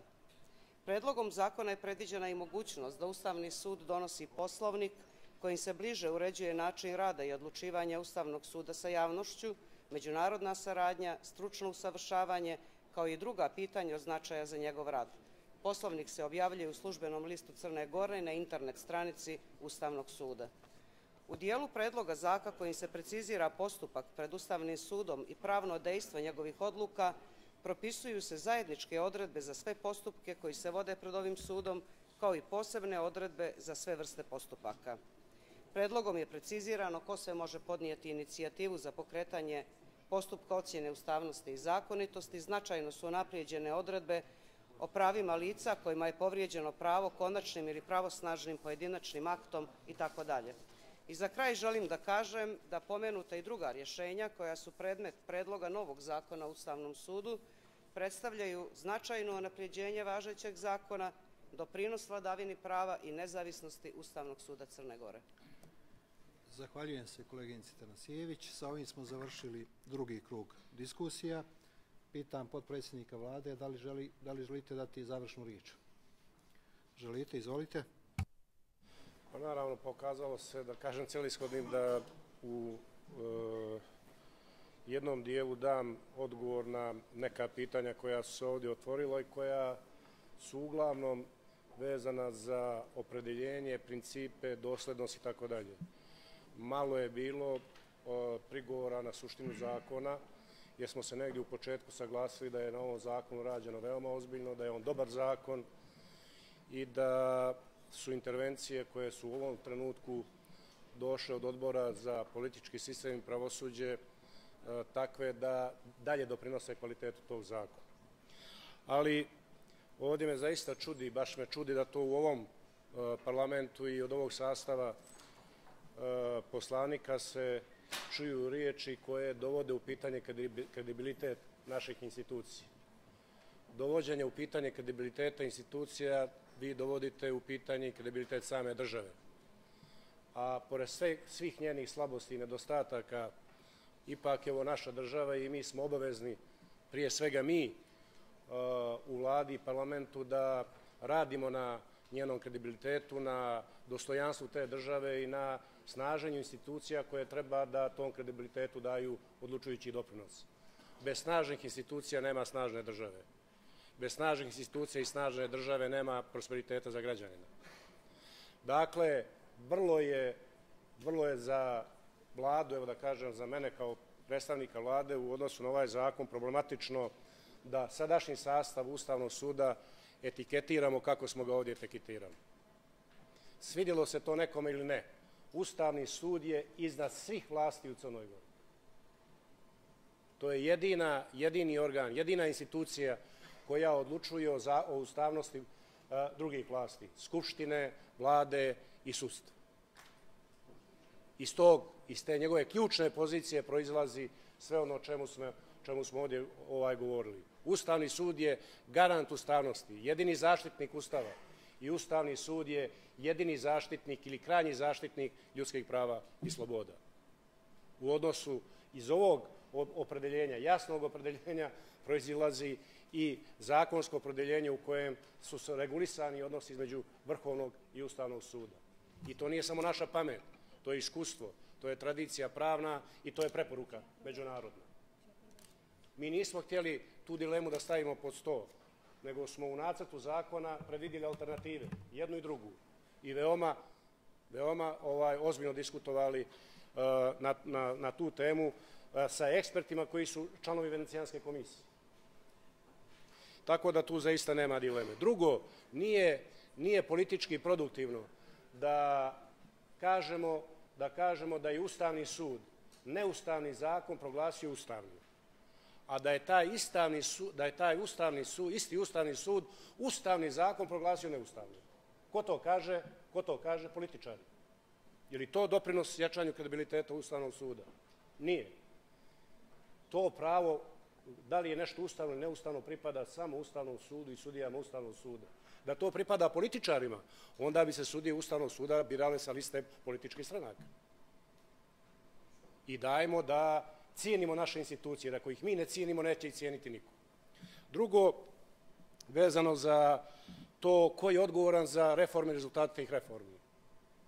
I s te strane, od onih, da kažemo, političkih, sa kojima ne želim da se sporim, ali bilo je i, da kažemo, na neki način vulgarnih ovaj, poruka i neutemeljenih, vi sprovodite reforme samo zbog toga, kao da vi niste dio tih reformi. Mi smo svi zajedno. Mi smo, mi smo odgovorni za te reforme. Pa nijesu valjda poslanici koji su u sastavu e, parlamentarnog odbora Savjeta Evrope, zajedničkog parlamentarnog odbora Savjeta Evrope, tamo zbog toga kao gosti, nego kao dio ove države. I obavezni su da rade na reformama. I obavezni su da postiču te reforme. Jer ih je narod izabrao i dao im instrumente državne infrastrukture da na tim reformama rade u interesu građana bez obzira što su poslanici opozicioni ili, ili ovaj pozicije. Znači, mi smo svi na instrumentima, drž, na, na državnoj infrastrukturi obavezni da radimo korist ove države. Bez obzira na nivo odgovornosti. Veća je nivo odgovornosti vlade i vlasti nego opozicije, naravno. I drugačije su pozicije, ali svi imamo obavezu da dajemo doprinos, da dajemo doprinos reformama. Sledeće, mi e, e, pokušao se kompromitovati zakon u smislu kakav je to zakon. Zamislite kada je, kada je predlagač prihvatio sve predloge ovaj, e, opozicije. Ono kao da smo mi sad u strašnom strahu. Ovaj, ne, nego smo prihvatili argumente i ti amandmani nisu rezultat rada opozicije, nego rezultat svih u odboru gdje je i opozicija i pozicija. Za razliku što dio opozicije tamo nije bio prisutan i nije o tome diskutovao. Prema tome, očigledno, neki poslanici su zauzeti i nisu informisani kako radi parlament i kako rade njihova radna tijela jer imaju preče obaveze. Ali zato ne dozvoljavam da se ta vrsta etikete ovaj prelijepi. Zakon od 118 članova u ovom trenutku ima samo 7, 6 i 7 amandmana. I to je neka drastična ovaj, drastično izvitoperenje postojeće zakona. Ne, to je dokaz da je ovaj zakon dobar i da smo pogodili ovaj suštinu, suštinu onog naših, naših, naših opredeljenja. U odnosu na, na amandmane, ovde se često govori o amandmanima, o amandmanima nevladnog sektora i za koje stoje sada određene poslaničke grupe. Mi smo u svih ovih godinu dana, više od godinu dana, bili otvoreni za saradnju sa nevladnim sektorom na pitanju ovog zakona, kao i drugih zakona. Javni poziv, niko se nije prijavio. Dostavljeni amandmani, nažalost, to je praksa, ne znam da li je marketinška ili je zaista suštinsko opredeljenje, da se onda dostavljaju na desetine amandmana kada zakon dođe u Skupštinu.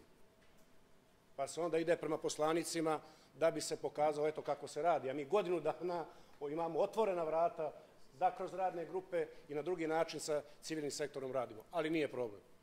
I te amandmane nije su dobili samo pojedini poslanici, nego sve poslaničke grupe.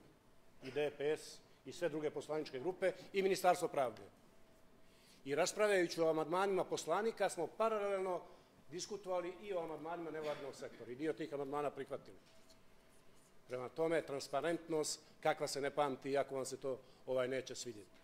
Dakle, završavam u svakom društvu u svakom procesu i u svakom poslu, bilo on u kući ili u državi, imate one koji rade, imate one koji vuku, imate one koji koče iz različitih razloga, ali imate i one koji, doprinose, koji donose štetu. U narodu se kaže parazit. Prema tome, to je dio, to je dio svakodnevnog života, svakodnevne prakse, pa i u politici. I ako smo mi kao vlada kočečari ovog procesa, mi ćemo tu cijenu platiti na sledećim izborima ili nekim prevremenim. Spremni smo da nosimo tu odgovornost, ali rijetko se kad desi da parazit postane lokomotiva procesa.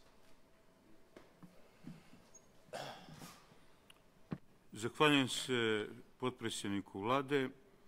Konstatujem da je pretres završen, a o njemu ćemo se izjasniti naknadno. E sad, uvažene kolege, da se nešto dogovorimo. Znači, ostale su još dvije tačke dnevnog reda.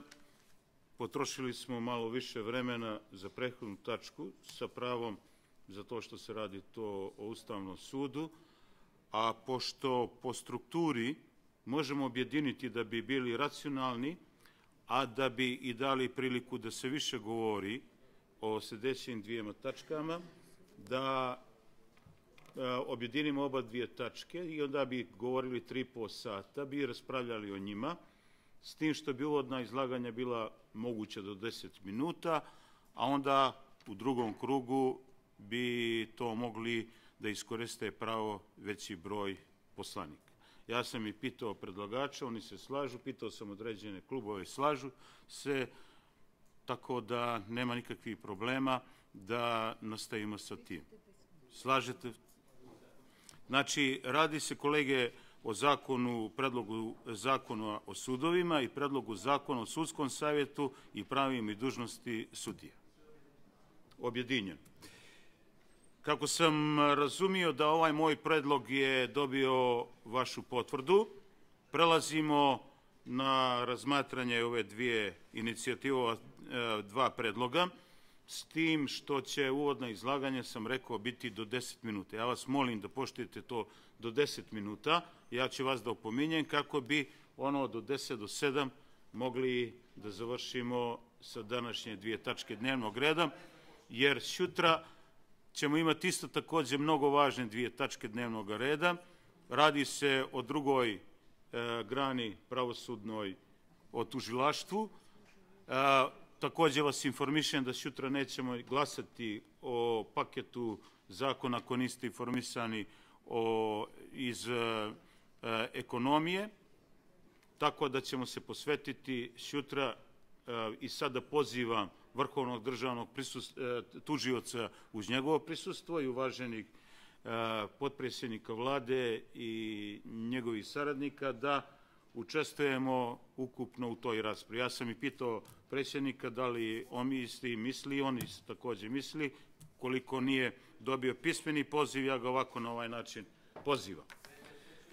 Znači, e, ovlašćeni Predstavnici vlade su Duško Marković, potpredsjednik vlade i ministar pravde i Branka Lakočević, generalna direktorka direktorata za pravosuđe u Ministarstvu pravde.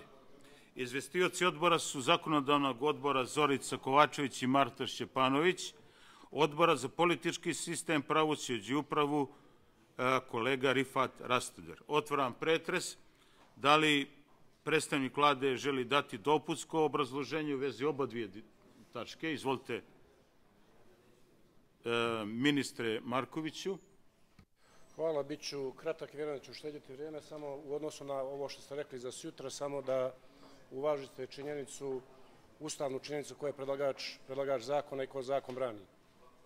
Ovaj, da doprinosimo, da, da doprinesemo poštovanju reda i institucionalne discipline. Prema tome, ako treba neko drugi da brani zakone iza kojih stoji vlada, onda ovaj, to recite, ali mi nećemo učestvovati u farsi. E, Ministre, da. ovaj, e, nisam, nema nikakva farsa. E, jednostavno želimo i bili su i VDT je bio čak i na odborima, ja sam to pratio. To je druga stvar, na odborima. I... Ali odbori su možda odbori, a plenum je možda plenum ne može u plenu. Ja poštujem izvršnu i sudsku vlast i zakonodavnu vlast i mislio sam da je ovo mjesto gdje treba da ukrstim argumente. Ukoliko se svi slažete ili ne slažete, ja sam tu kao tre, drugi ili treći spiker da to onaj Idemo ako mi sa današnjim dnevnim redom. Ako je to opredeljenje, šutra, šutra, ako je to opredeljenje ja predlažem da sada prekinemo sjednicu i da u ovom raspravi prisustuje predsjednik Vrhovnog suda. Ili Dobro. Sudskog savjeta govoriti? Od, sutra, od sutrašnjem dnevnom redu i prisustvu ćemo se dogovoriti, predlagač je vlada i poslanici su po obavizi tu. Od VDT-a ćemo se dogovoriti. Izvolite, ministre, ajde pređite na ove mnogo dva važna zakona, isprovocirajte nam pozitivno da bi mogli da, da diskusiju u tom smjeru i usmjerimo. Hvala vam, gospodine potpredsjedniče. Vi znate da sam ja uvijek spreman za pozitivno provociranje. Tačno, izvolite. Ovaj, kada, što se tiče zakona, predloga zakona o sudovima, najznačajnije novine ovog zakona su izmjene u pogledu nadležnosti sudova za vođenje prekršajnog postupa, kao i reorganizacija privrednih sudova i centralizacija nadležnosti za krivična dijela organizovanog kriminala i korupcije. Imajući vidu potrebu da se prekršajni sistem uvede u redovno sustvo, predloženo je da se osnuju tri suda za prekršaj u Bilom polju, Budvi, Podgorici, sa odjeljenjima u opštinama kao jedan viši sud za prekršaje sa sjedištem u Podgorici koji će biti nadležan za odlučivanje po žalbama na odluke sudova za prekršaje. Drugo, predviđeno je da se osnoje jedan privredni sud u Podgorici za teritoriju Crne Gore, a da prestane sa radom privredni sud u Bijelom polju i predložena izmjena predstavlja prvi korak racionalizacije pravosudne mreže iz razloga što Crna Gora u odnosu na evropski prosjek od udara od utvrđenih standarda za određivanje mreže sudova kada je u pitanju broj sudova i geografska rasprostranjenost sudova također. Posebno značajna organizacijona novina je centralizacija nadležnosti za krivična dijela organizovanog kriminala, korupcije, ratnih zločina i terorizma u jedno specijalno odelenje u Višem sudu u Podgorici. U pogledu načelnih pravnih stavova došlo je do preciziranja odredaba koje, kojima se uređuje postupak za uzimanja načelnog stava i njegovog dejstva, a potreba ovih izmjena je obezbeđivanje jedinstvene primjene zakona, odnosno kod obezbeđivanje jedinstvenosti primjene zakona. Kada su u pitanju poslovi obezbeđenja, imali smo u vidu izmjene zakona o unutrašnjim poslovima u smislu da policijski službenici neće vršiti poslove obezbeđenja objekata sudova i državnih tužilaštava od 1. jula 2015. godine i u tom smislu zakonom predlažemo uvođenje sudskog obezbeđenja. Kada je u pitanju finansiranje rada sudova, predviđeno je da su finansijska sredstva za rad sudova obezbeđuju u posebnom razdjelu budžeta, tako što će Sudski savjet predložiti razdio godišnjeg budžeta za rad sudstva sa posebnim programom za svaki sud pojedinačno. Nadalje, predviđena je i finansijska samostalnost Sudskog savjeta i sudova u pogledu raspolaganja odobrenim budžetskim sredstvima, što je značajan aspekt nezavisnosti pravosuđa. Kada je u, pit, kada, kada je u pitanju zakon o Sudskom savjetu i sudijama, novine su sljedeće, uvođenje plana slobodnih sudijskih mjesta koji donosi sudski savjet i koji sadrži mjesta sudija u svim sudovima koja će biti slobodna u naredne dvije godine. Uvodi se jedinstveni sistem izbora na nivou države za sudije osnovnih sudova koji se prvi put biraju. Naime, sudski savjet vrši odabir onolikog broja kandidata za sudije koliko je oglašeno slobodnih mjesta u osnovnim sudovima prema redosledu na rang listi. Odabrani kandidati za sudije obavezni su završiti inicijalnu obuku koja se sastoji od teorijskog i praktičnog dijela i zbog kvaliteta inicijalne obuke određeno je da će se praktični dio sprovoditi u osnovnom sudu u Podgorici. Uvođenje također uveden je sistem periodičnog ocenjivanja sudija i on predstavlja značajnu novinu predloga zakona. Ocjenjivanje će se vršiti kroz transparentan postupak u koji će učestvovati i sam sudija, a na osnovu više izvora za ocjenjivanje koji omogućavaju da se na objektivan način vrši procjena njihove stručnosti, kvantiteta i kvaliteta rada, etičnosti i potrebe za obukom. Takođe, ovim zakonom, se, e, ovim zakonom odnosno uvođenje sistema ocjenjivanja, predstavlja osnovu i za uvođenje sistema karijernog napredovanja sudija tako što su više sudove, apelacioni i vrhovni sud mogu birati sudije koji su dobili ocjenu rada odličan i dobar, s tim što je predviđena jedna otvorena pozicija u vrhovnom sudu za kandidate koji imaju dugogodišnje iskustvo na pravnim poslovima. Unaprijeđen je sistem disciplinske odgovornosti sudija tako što su jasno precizirani razlozi za disciplinsku odgovornost kao lakši, teži i najteži disciplinski prekršaji, a proporcionalno njima određene su i disciplinske sankcije. Disciplinski postupak je zasnovan na principima pravičnog i nezavisnog suđenja uz punu garanciju prava sudije kojem se na tere stavlja disciplinski prekršaj u smislu prava na odbranu, prava na žalbu i suđenja pred nezavisnim sudom. Tako se uvodi disciplinski tužilac koji je nadležan za sprovođenje istrage po podnijetom predlogu za utvrđivanje disciplinske odgovornosti sudije i zastupa optužni akt pred disciplinskim vijećem odnosno sudskim savjetom za najteže disciplinske prekršaje.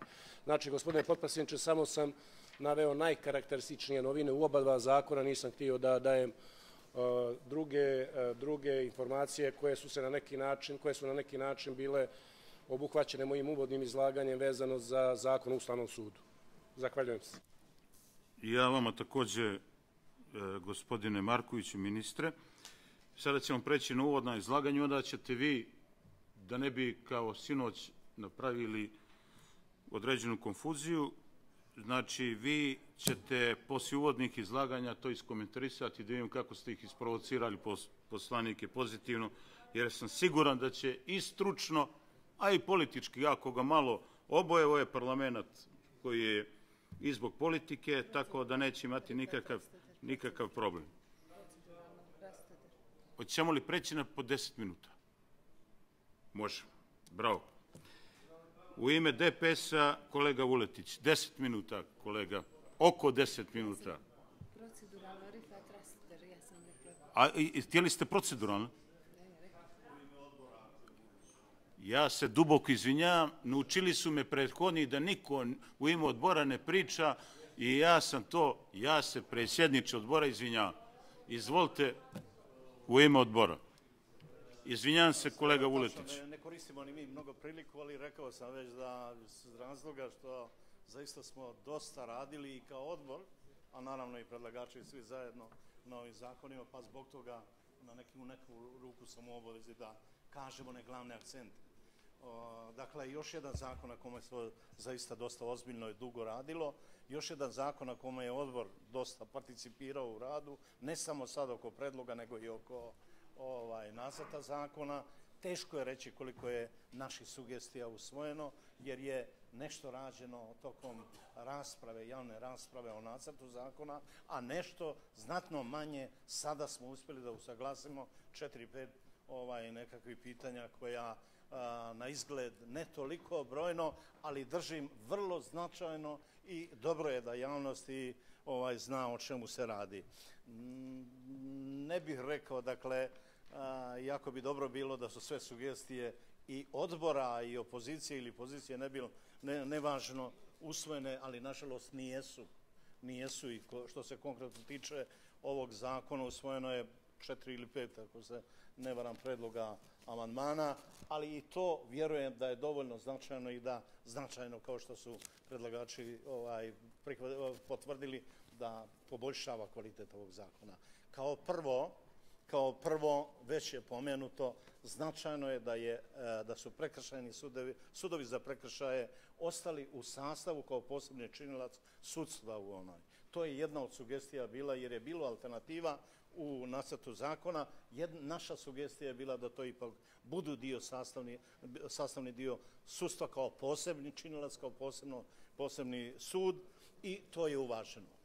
Drugo što je uvaženo, ovaj, zaista izražavam zadovoljstvo, jeste da su nacrtom zakona e, i, i, predlogom bile predviđene e, značajne restrikcije gdje u mnogim većim gradovima nije bilo, gdje je čak ukinuta i odjeljenja, osnovni sudovi, čak nije bilo ni odjeljenja. Međutim, novim predlogom, pored tri osnovna suda u Bijelom polju, Podgorici, Budvi, u gotovo, za prekršaj, izvinjavam se, gotovo svim opštinama, svim većim opštinama i svim većim gradovima ostala su odjeljenja i tako sačuvan pristup građana, lakši pristup građana ovim sudovima.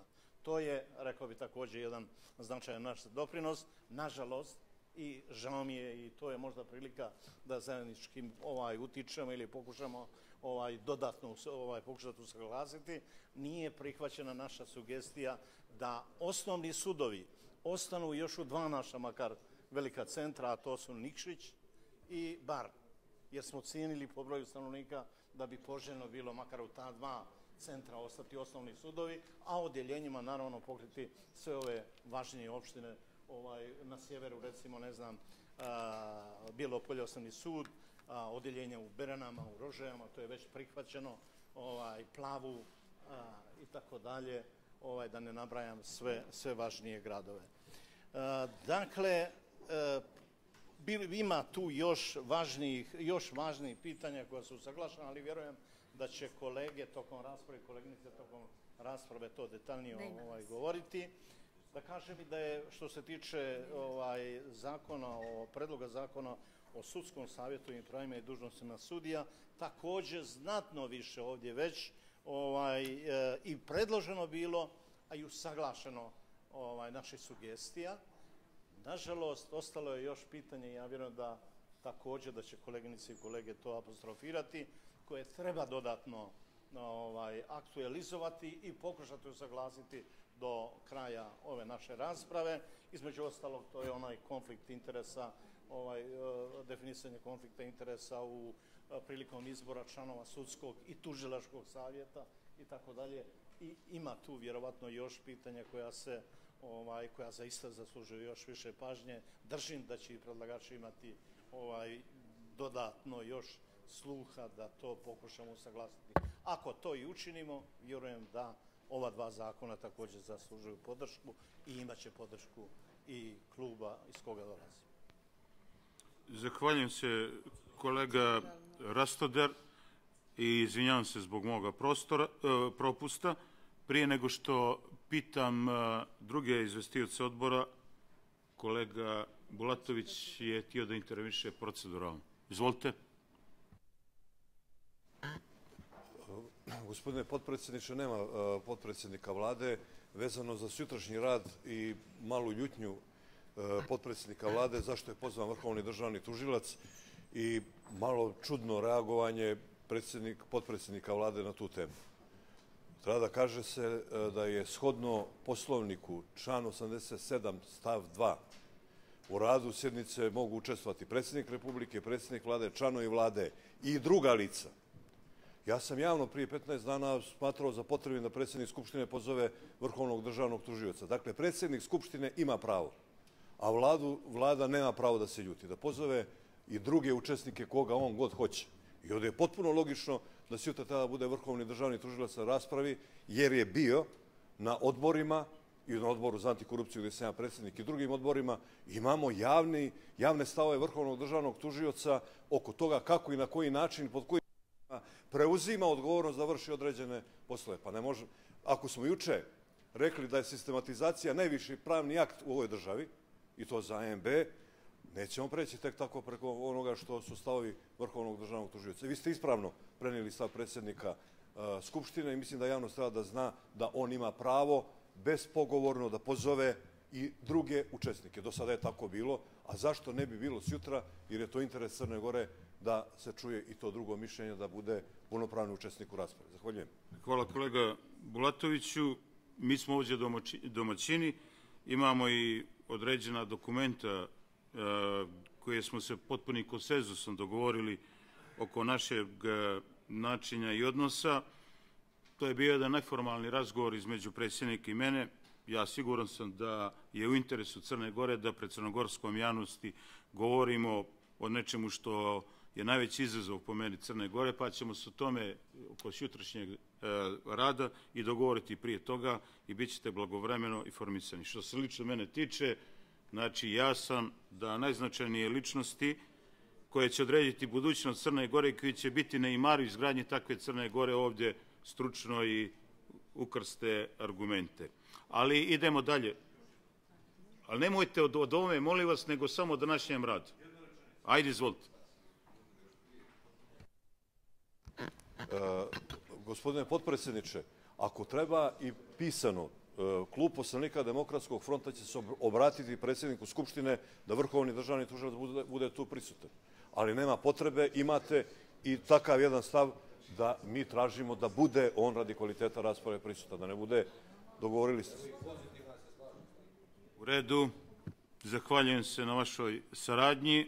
Siguran sam da ćete vi to i uraditi i kao predsjednik odbora koji tangira izuzetno ovaj, vrhovnog državnog tužioca, također to uraditi, pa ćemo to imati u vidu prilikom odluke. Jeste li vi htjeli isto, kolega, koleginica Jasević, proceduralno, izvolite. E, reagovao gospodin Marković, ali zaključujem da je bilo nekakvog sporenja da li treba sutra da bude prisutan vrhovni državni tužilac i da je izrazio nekakvu, nekakvo eventualno protivljenje takvom zahtjevu opozicije, koji je potpuno logičan i očekujemo da o tom vrlo važnom zakonu, zakonu o državnom tužilaštvu i glavnom specijalnom tužilaštvu, jer ključna karika koja nedostaje u borbi protiv organizovanog kriminala i korupcije na visokom nivou jeste kvalitetan zakon o glavnom specijalnom tužiocu. Sjutra želimo da prvi čovjek koji, koga smo ovdje birali sa tri petine bude tu kada se o toj temi koja je presudna za naše evropske integracije bude tu. I uopšte ne vidim šta bi trebalo nekom da bude sporno. I na kraju krava i da je sporno. Koga obavezuje u ovom parlamentu mišljenje ministra pravde? Uz dužno uvažavanje izvršne vlasti, i e, gospodina Markovića, mi imamo svoje zahtjeve, mi ih ovdje legitimno ističemo i očekujemo da predsjednik parlamenta razumije ozbiljnost momenta društvenog u kome se nalazimo i značaj uloge VDT-a i potrebu poslanika da se jutra e, na e, raspravi o tim zakonima bude upravo Vrhovni državni tužilac. Zahvaljujem. Hvala i vama, koleginice Jasović. Niste pratili očito prenos, tako da vidim da niste do kraja informisani. To je inicijativa bila i postoji ta inicijativa i postoji većinsko tako mnjenje, tako da će najverovatnije to biti. Evo, već imamo i nešto što su najavili kolege i vi ćete se tome pridružiti, tako da oko toga neće biti nikakvog spora. E, pitam e, drugi izvestioci odbora da li žele riječ? Ne. Prelazimo na prvi krug razmatranja dva predloga. Kolega Vuletić u ime kluba poslanika DPS. Izvolite kolega.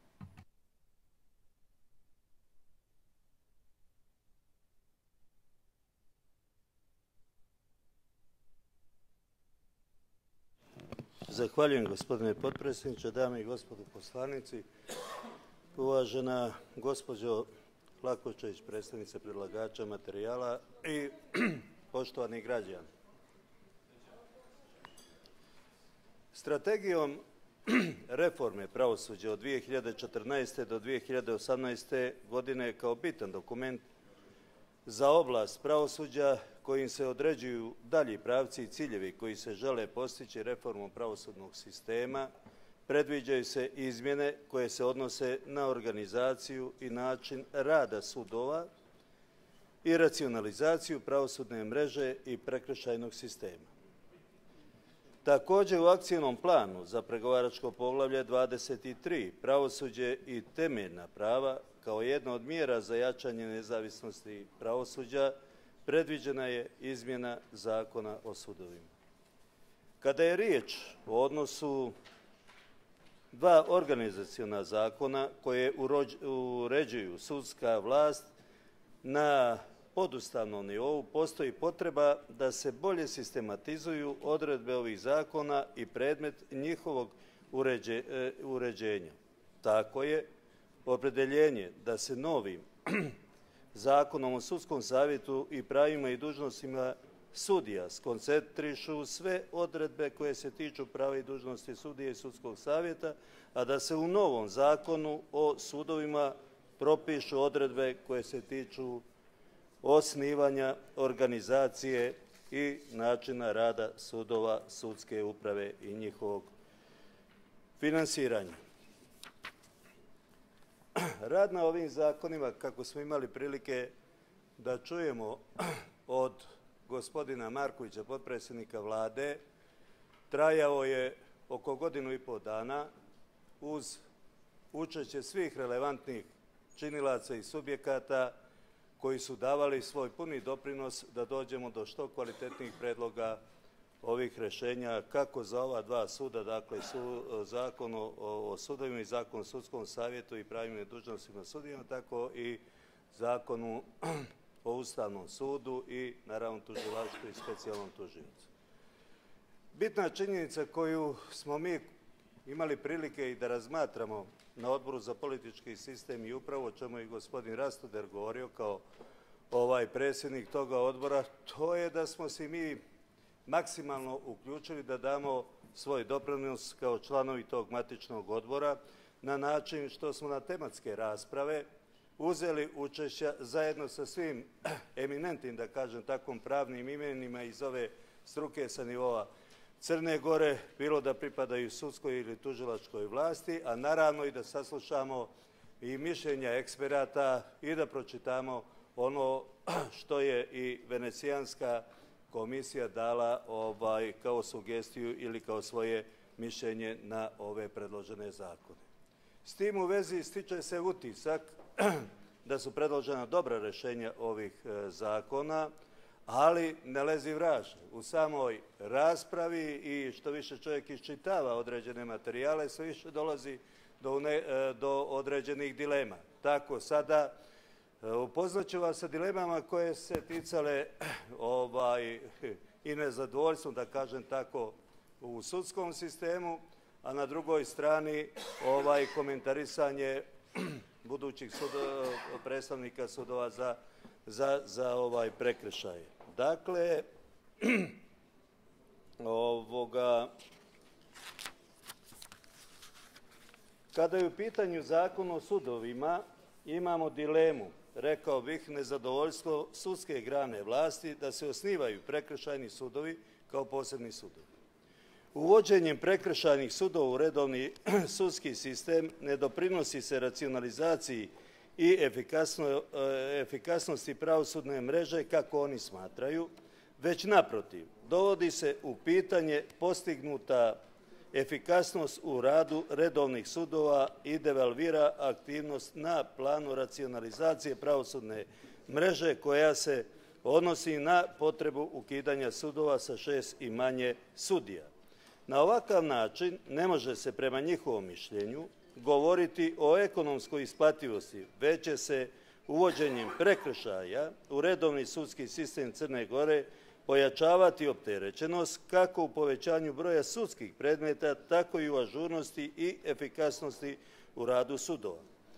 Predlažu da se u okviru redovnih sudova formiraju prekršajna krivična odjeljenja kao posebna odjeljenja za koje bi drugostepena i nadležnost sudska instanca bili viši sud, a sudili bi samo one prekršaje za koje je propisana kazna zatvora, a na kojih se odnosi slovom i brojem osam zakona.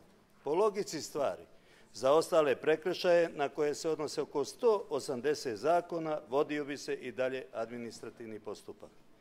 Na drugoj strani imamo saglasnost Vijeća za prekršaje, normom da organi za prekršaje postaju sudovi za prekršaje, kao integralni dio pravosudnog sistema u formi specijalizovanih sudova kao što su to upravni i privredni sud.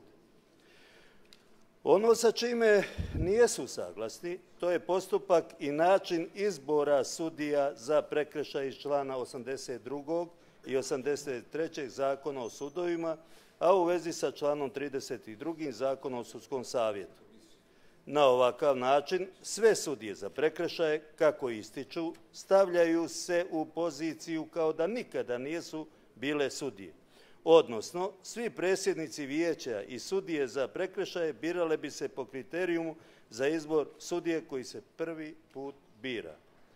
Polazeći od činjenice da su prekršajni organi nekada bili prekršajni sudovi, te da u njima radi ne mali broj sudija sa stažom iz redovnih sudova, predlažu da se prekršajne sudije biraju po kriterijumu za sudije koje napreduju, shodno članu 32. zakona o sudskom savjetu, a to znači da se ne vrši pisano testiranje, već bi se između ostalih kriterijuma predsjednici sudije birale na osnovu dosadašnjih rezultata rada i obavljenog informativnog razgovora, osim za sudije koje se biraju prvi put. Lično ovakav predlog u cijelosti podržava.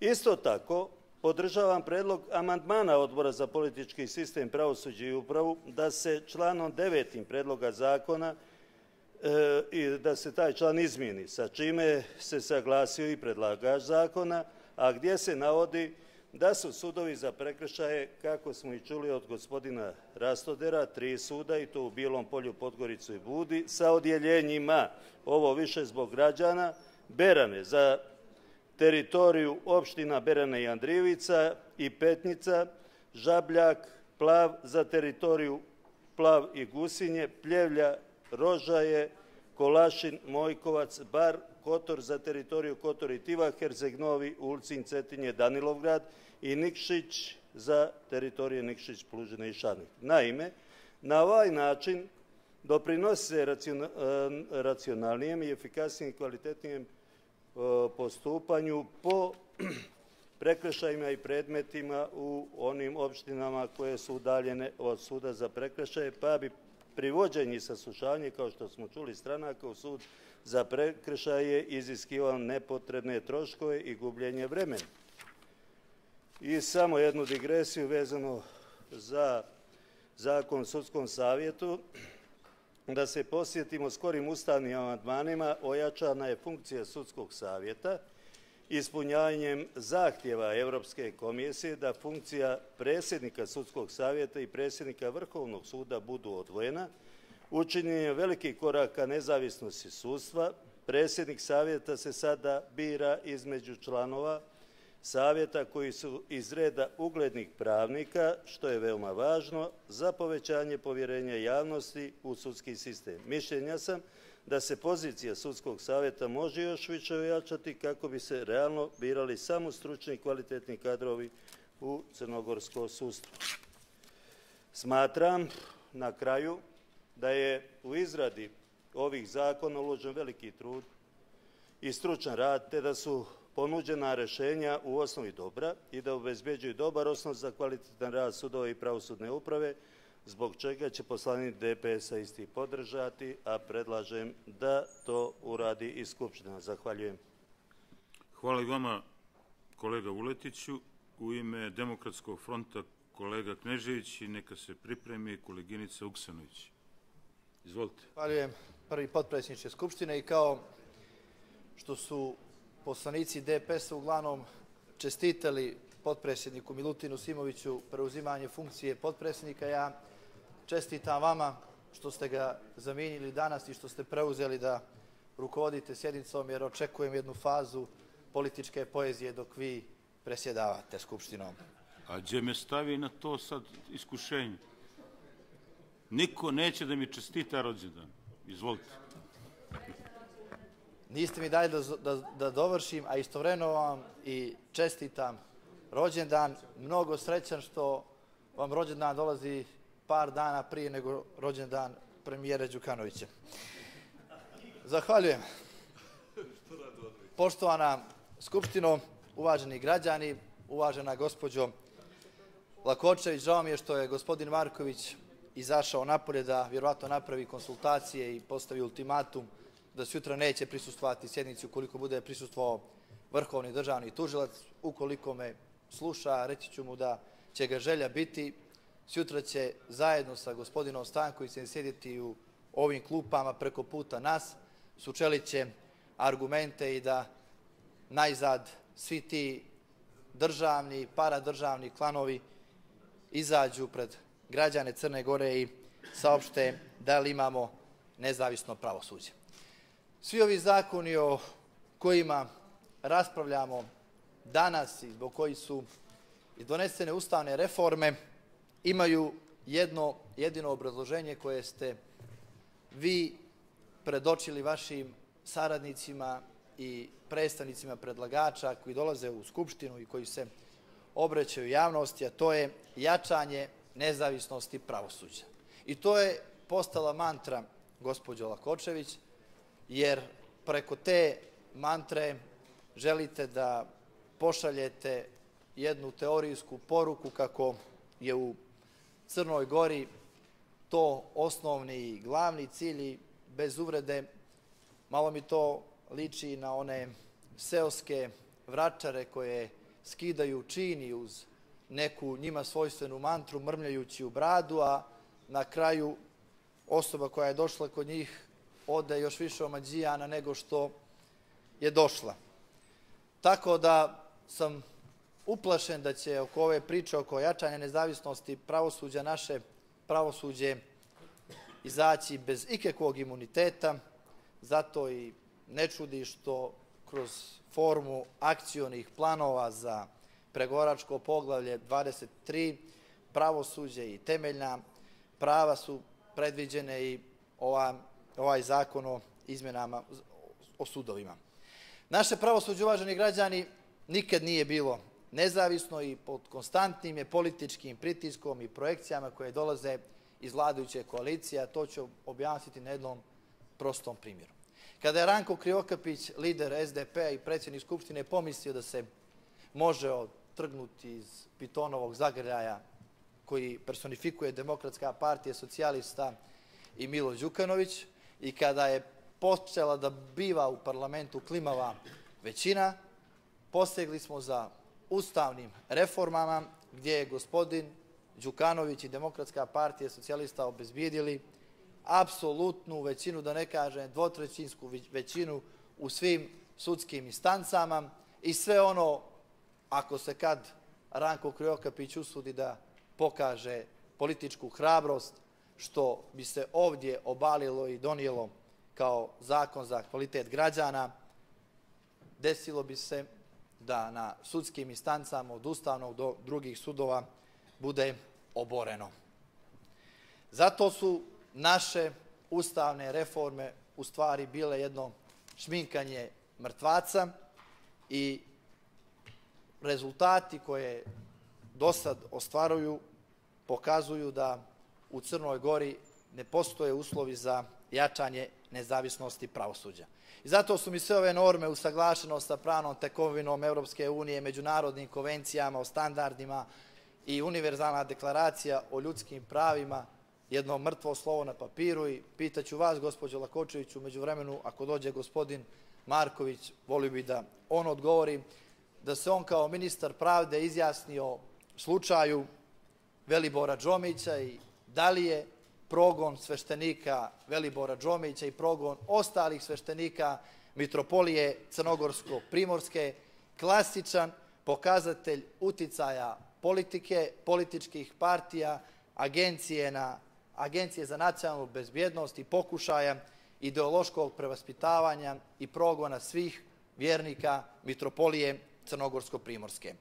Kako je moguće da Ministarstvo unutrašnjih poslova donosi rešenje o protjerivanju sveštenika Velibora Džomića nakon nepotpisanog mišljenja Agencije za nacionalnu bezbjednost da Velibor Džomić predstavlja opasnost po nacionalnu bezbjednost Crne Gore i smatrate li da u trenutku dok traje postupak pred upravnim sudom između Ministarstva unutrašnjih poslova i Velibora Džomića, ovo što je uradilo Ministarstvo unutrašnjih poslova ne predstavlja klasičan pritisak na upravni sud, izrugivanje sudskim instancama i jasan pokazatelj i poruka da su se u vladajućoj koaliciji omeđili privatnim ministarstvima, privatnim interesima, privatnim sudovima i da svako ima pravo da vodi svoje privatne, ideološke i svake druge ratove. Dalje, najava MUPA da i u slučaju odluke Upravnog suda kojom bi se usvojila, usvojio tužbeni zahtjev Velibora Džomića da neće dozvoliti ulazak Velibora Džomića ponovo u Crnu Goru, šta predstavlja drugo nego klasično demonstriranje zloupotrebe i položaja, zloupotrebe sile i gaženja osnovnih ljudskih prava i sloboda. I onda meni ovdje zvuči smiješno i groteskno da se vi pozivate na univerzalne međunarodne konvencije, a protjeruje, protjerujete sveštenike Mitropolije Crnogorsko-Primorske na osnovu mišljenja Agencije za nacionalnu bezbjednost, nepotpisanog mišljenja Agencije za nacionalnu bezbjednost koja se nalazi u VD stanju i koja je dobila zamjenika direktora na osnovu akta o sistematizaciji. Juče smo čuli od gospodina Duška Markovića, ministra pravde i potpredsjednika vlade, da je VD direktor Agencije za nacionalnu bezbjednost imenovan na osnovu akta o sistematizaciji. I došli smo do saznanja da je akt o sistematizaciji izgleda veći pravni akt i od samoga ustava, da ne spominjem zakone. I na osnovu čega se temelji ovo mišljenje Agencije za nacionalnu bezbjednost? Zato što se sumnja da je Velibor Džomić i ostalo sveštenstvo Mitropolije Crnogorsko-Primorske organizovalo protest protiv dolaska Hašima Tačija u Crnu Goru. Odmah da vam kažem, gospođo Lakočević i gospodine Marković, ukoliko slušate u hodniku, ali evo vi dolazite i ja svašta sumnjam, vi čujete kad niste tu. Tako da Vi ste veliki brat crnogorske vlade i crnogorske države.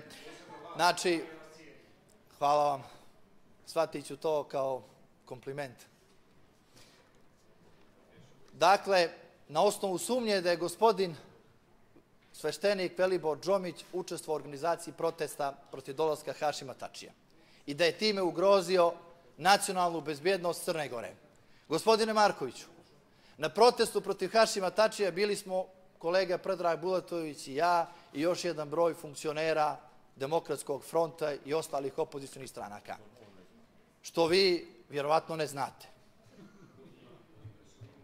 Dakle, ako je gospodin Džomić optužen da je organizovao proteste protiv dolaska Hašima Tačija, osumničenog za najstrašnije ratne zločine protiv albansko, usmjerene prema albanskom i nealbanskom stanovništvu na Kosovu, a mi smo bili da podržimo taj protest, onda i mi predstavljamo legitimnu, po vama legitimnu opasnost po nacionalnu bezbjednost za Crnu Goru. I sad vam kažem, gospodine Markoviću, nemam razloga da, iz, da izdvajam neke elemente iz svoje političke biografije, niti da se hvalim time. Ali ako sam našto ponosan, ponosan sam na to što sam toga dana bio sa slobodoumnim građanima Crne Gore da izrazim protest protiv jedne od najstramnijih odluka i događaja koje ste priredili svim slobodoljubivim građanima Crne Gore. I zbog toga smatram da nisam ugrozio nacionalnu bezbjednost, nego da smo svi zajedno branili čast i obraz prave, istinske, tradicionalne Crne Gore. A dobro bi bilo da pokušate, da pokažete napor, da svu onu bjelosvetsku ološ koja je po kratkom postupku dobila crnogorsko državljanstvo, a optužena u svojim zemljama za najstrašnije zločine, protjerati iz Crne Gore. Počeo od ovog Dahlana, Keljmendija, Šinavatre i mnogi drugih. Do duše, Keljmendi je trenutno u zatvoru, ali to je čovjek koji, je, koji se hvalio time da je podržao crnogorsku nezavisnost. Ovom Dahlanu se ispredaju najstrašnije priče da je učestvao u najstrašnijim terorističkim aktima od Jerusalima do Tel Aviva na Bliskom istoku, a o Šinavatri već su se raspredale i bajke i sve su to prijatelji, gospodine Markoviću, vašeg predsjednika partije, gospodina Đukanovića. E pa, o kakvim mi više sudovima, o kakvim univerzalnim ljudskim konvencijama, pravima i slobodama možemo da govorimo kada na svakom koraku gazite Ustav Crne Gore taman kao da je nekakav tepih u gradskom autobusu. Zahvaljujem. Hvala i vama, kolega Knežević. Idemo dalje na prvi krug e, diskusija. E, riječ ima koleginica Vuksanović, neka se pripremi koleginica Jasević. Izvolite, koleginica. Zahvaljujem. Uvaženi predsjedavajući, uvaženi građani Crne Gore, kolege poslanici, poštovani predstavnici vlade, pred nama su na e, dnevnom redu predlozi zakona o sudovima i sudskom savjetu e, i naravno sudijama. Ja ću početi e, uvodno svoje izlaganje vezano za zakon o sudovima. Ono što posebno cijenim kao neko ko je bio u radnoj grupi jeste činjenica da je sam predlagač prihvatio E, ono što smo se mi dogovorili, a to je da se izbriše iz zakona e, ona norma koja se odnosi na po dvije područne jedinice vezano za tri suda za prekršaje, odnosno jedna koja je vezana za sud za prekršaj u Podgorici. Naime, sada se brišu područne jedinice i uvode se naravno određena odjeljenja. Pa bih ja, naravno zbog građana Crne Gore, za koje vjerujem da ih ovo posebno interesuje, citirala sledeće. Prema onome što predstavlja amandman Odbora za politički sistem pravosuđe upravu, Crna Gora u buduće imaće tri suda za prekršaje. Sud za prekršaje u Bijelom polju, sud za prekršaje u Budvi i sud za prekršaje u Podgorici. Ono što je predviđeno ovim amandmanom jeste sledeće, da će sud za prekršaje u Bijelom polju imati ne područna jedinica, već odjeljenja. Odjeljenja u Beranama, Žabljaku, Plavu i Pljevljima za tačno određene teritorije, Rožejama, Kolašinu i Mojkovcu. Sud za prekršaj u Budvi imaće svoje odjeljenja u Baru, Kotoru, Herceg Novom i Ulcinju. A što se tiče za prekršaje u Podgorici, on će imati, e, to će biti sud za prekršaj u Podgorici za teritoriju glavnog grada Podgorica, prestonica Cetinje i opština Danilograd, Nikšić, Plužin i Šamnik sa odjeljenjima u prestonici Cetinje, Danilogradu i Nikšiću.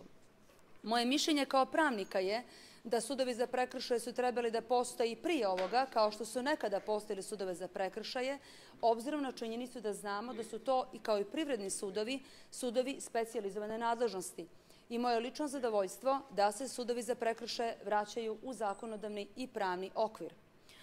Ono što je bila velika dilema i rasprava e, pred samim predlagačima i naše e, neslaganje, to je e, da li one sudije koje su nekada bili izabrane za sudije za prekršaje, a umeđu vremenu kad sudovi za prekršaje nisu bili sudovi, nego područne jedinice, da li te, ta, ta lica, te kolegije, znači, treba da polažu testove, inicijalna testiranja kao da znači ulaze prvi put u sistem sudova, a znamo da su nekada birani u Skupštini Crne Gore kao sudije.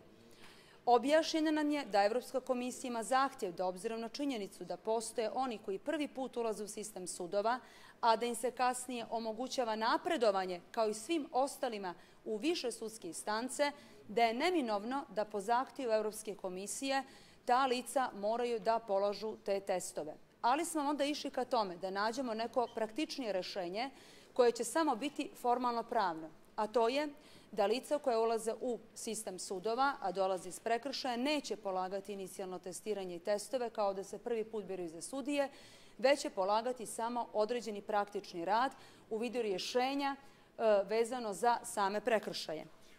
Ono što želim da naglasim, a što sam obavještena upravo od predlagača, vjerujem da će to i predlagač pojasniti, jeste da se e, bodovanje tih kandidata može stvariti na način da ta lica ukupno ostvare 100 bodova i to na osnovu stečenog znanja do 20 bodova, sposobnosti za obavljanje sudijske funkcije 30 bodova, dostojnosti za obavljanje sudijske funkcije 20 bodova i po osnovu praktičnog rada 30 bodova.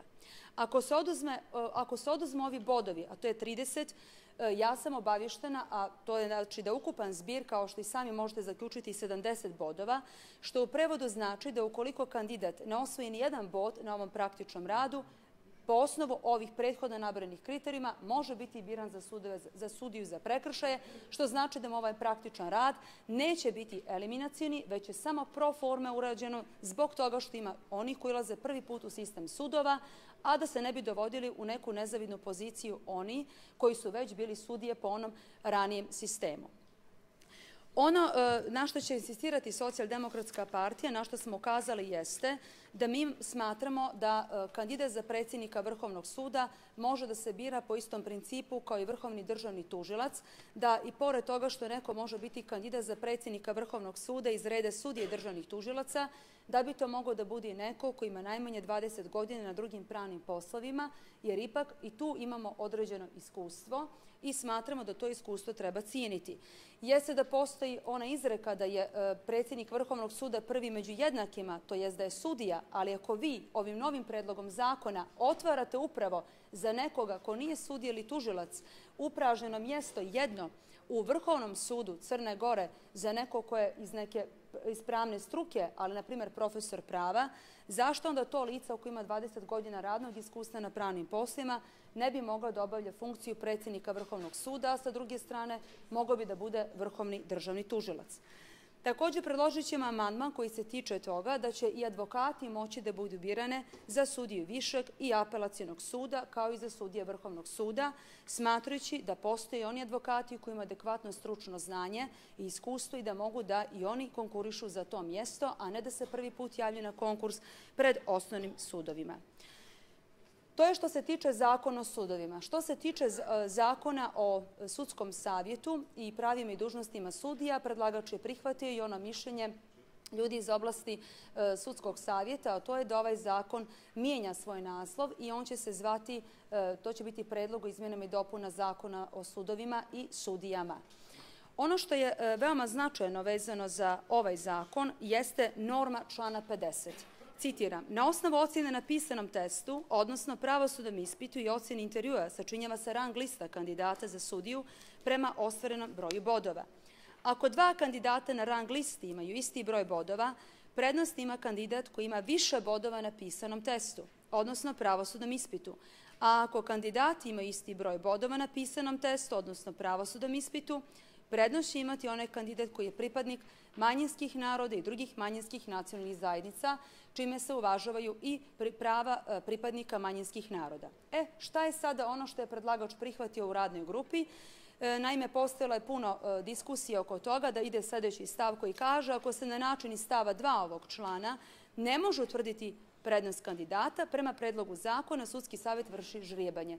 Mi smo bili mišljenja da zaista u ovom dijelu ne treba da se vrši žrijebanje kao neka vrsta igara na sreću i došli smo e, do ideje koju je ovaj, predlagač prihvatio, tada je da će sudski savjet vršiti izbor tajni glasanje.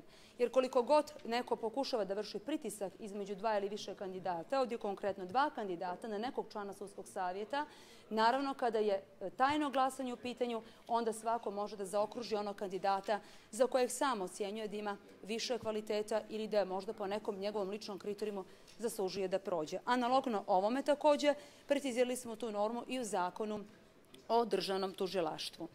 E, što se tiče e, drugih, e, drugih sugestija, ono što je veoma značajno jeste da će Socijaldemokratska partija, ukoliko se, kao što je rekao uvaženi predsjednik odbora za politički sistem pravosuđe uprave, znači pokušamo usaglasiti oko svih stvari, podržati ovaj zakon.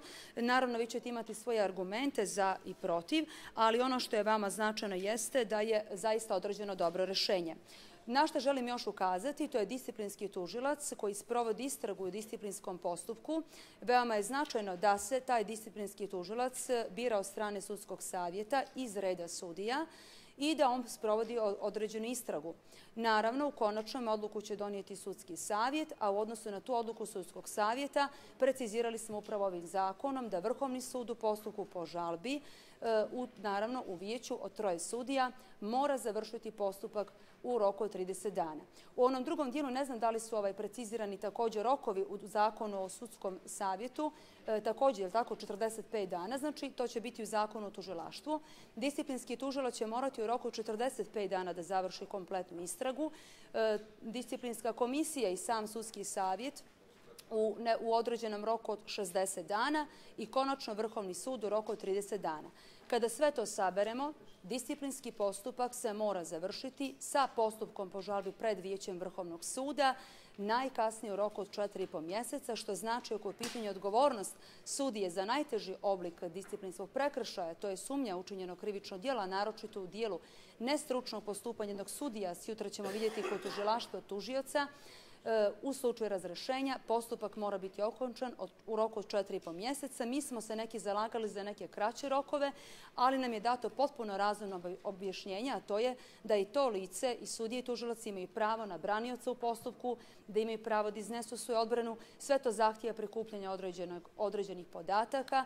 Takođe zahtjeva da se zakažu sjednice što pred samim e, sudskim savjetom, tako i pred samom sjednicom Vrhovnog suda i onda smo ostavili taj krajnji rok da kada sve sve saberi i oduzme, taj postupak mora biti okončan u roku od 4,5 mjeseca. Naravno, niko ne sputava nikoga da se nakon toga obrati ustanom žalbom prema Ustanom sudu, koji će u konačnom i donijeti tu odluku. Zahvaljujem. Hvala vama, uvažena koleginice Vuksanović. Riječ ima koleginice Jasović, neka se pripremi kolega Niman Begu. Izvolite, koleginice. Zahvaljujem. E, poštovani potpredsjedniče, poštovane koleginice, poštovani kolege, poštovani gospodine Markoviću, gospođo Lakočević, poštovani građani. E, prije svega želim da e, izrazim svoj stav povodom današnje rasprave vezano za odsustvo predsjednice Vrhovnog suda i predsjednika Sudskog savjeta.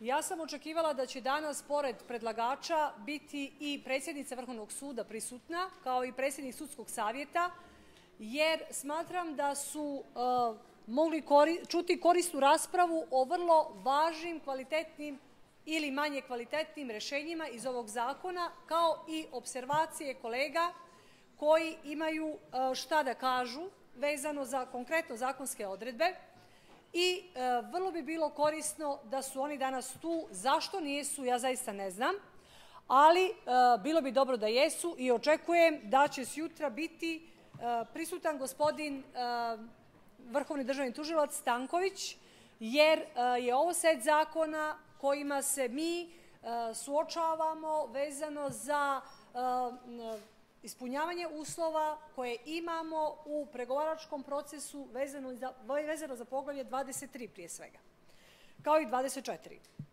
Želim da kažem da je tu gospođa Marković, gospođa Medenica, mogla bi da potvrdi da sam kao volonter u nevladinom sektoru, jer ja to nisam unovčavala, još kao koordinator Foruma 2010 pokrenula pitanje nezavisnosti finansiranja sudstva na način što će oni imati mogućnost da se mnogo jednostavnije finansiraju, što bi podrazumivalo mnogo veći stepen njihove nezavisnosti još 2010. godine na jednom okruglom stolu kog smo organizovali i mislim da su to bili prvi negdje nagoveštaji javni kako bi to trebalo da izgleda i nakon toga je to podržala u parlamentu koliko sam pratila Socijalistička narodna partija sa e, izlaganjima javnim gospodina Nevena Gošovića koliko sam ja pratila kroz medije.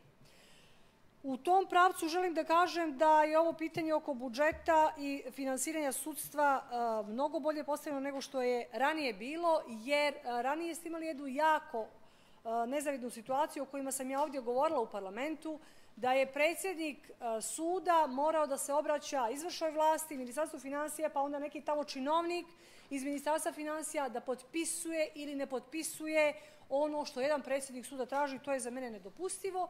I ja sam tu prepoznavala, gospodine Markoviću, uticaj izvršne vlasti na sudsku vlast. I o tome sam javno govorila već evo tri godine i dobro je što se to promijenilo. Što se tiče racionalizacije broja sudija, mislim da je to dugo čekalo. Mislim da se mnogo, mnogo bolje, brže odraditi ovaj posao. Znam ja složenost tog posla, ali bez obzira tu ste negdje puno kaskali. Išli ste na racionalizaciju vezano za, vezano za prekršaje i dobro je što je radna grupa napravila amandmane koje ste vi prihvatili gdje će u svakom gradu malte ne postojati odjeljenje za prekršaje jer pravo na dostupnost pravdi garantuje i Evropska konvencija o ljudskim pravima i naš ustav. I bilo bi vrlo nezgodno za građane Crne Gore koje ste vi osiromašili da sada zbog prekršaja putuju i plaćaju još karte, autobuske, advokate u drugim gradovima, nema potrebe za tim. Evo imali smo odbor za politički sistem koji je našao rešenje i to je dobro rešenje i dobro je što ste imali sluha za to rešenje. Ja bi se ovdje u svojoj diskusiji osvrnula na par stvari zbog kojih mi je žao što nije gospođa Medenica tu kao i gospodin Mladen Vukčević kao predsjednik Sudskog savjeta, jer se bojim kako će to se u praksi sprovoditi. Normativno je ovo dobro postavljeno, ali kako će to ići, to je veliki znak pitanja vezano za inicijalnu obuku i za kandidate za sudije. Imamo ovdje jednu borbu permanentnu od kako ste vi došli na vlast da postupak izbora sudija bude transparentan. Vi ste se otimali tom procesu vrlo dugo i negdje upravo izvještaj o napretku su nas doveli u poziciju da ste vi shvatili da konačno morate postupak sudija učiniti što transparentnijim.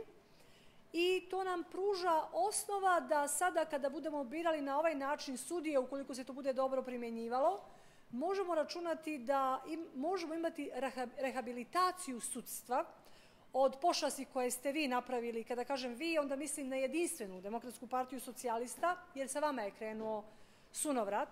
I juče bilo govora o udaru službe državne bezbjednosti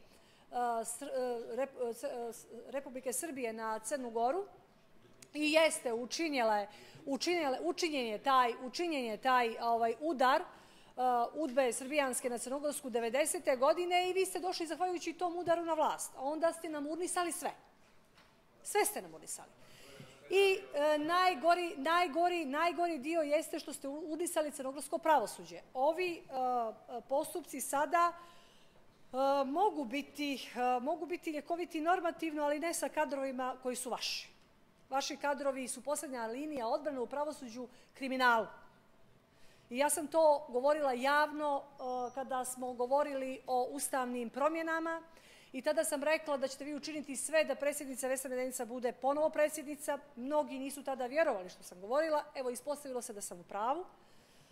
I žao mi je što uh, sam u pravu, ali uh, vi se grčevito borite protiv svega onoga što uh, pokušava da odradi Vrhovni državni tužilac, jer znate da imate na, u njegovom liku kompetentnog čovjeka koji nije ukaljan, koliko mi iz javne bezbjednosti smo informisani, a to što vi znate iz tajne bezbjednosti, dajte dokaze. Dajte dokaze za svakoga od nas i mi ćemo onda po tim dokazima, kao i za Velibora Džomića, da, da dođemo i do gospodina Džomića.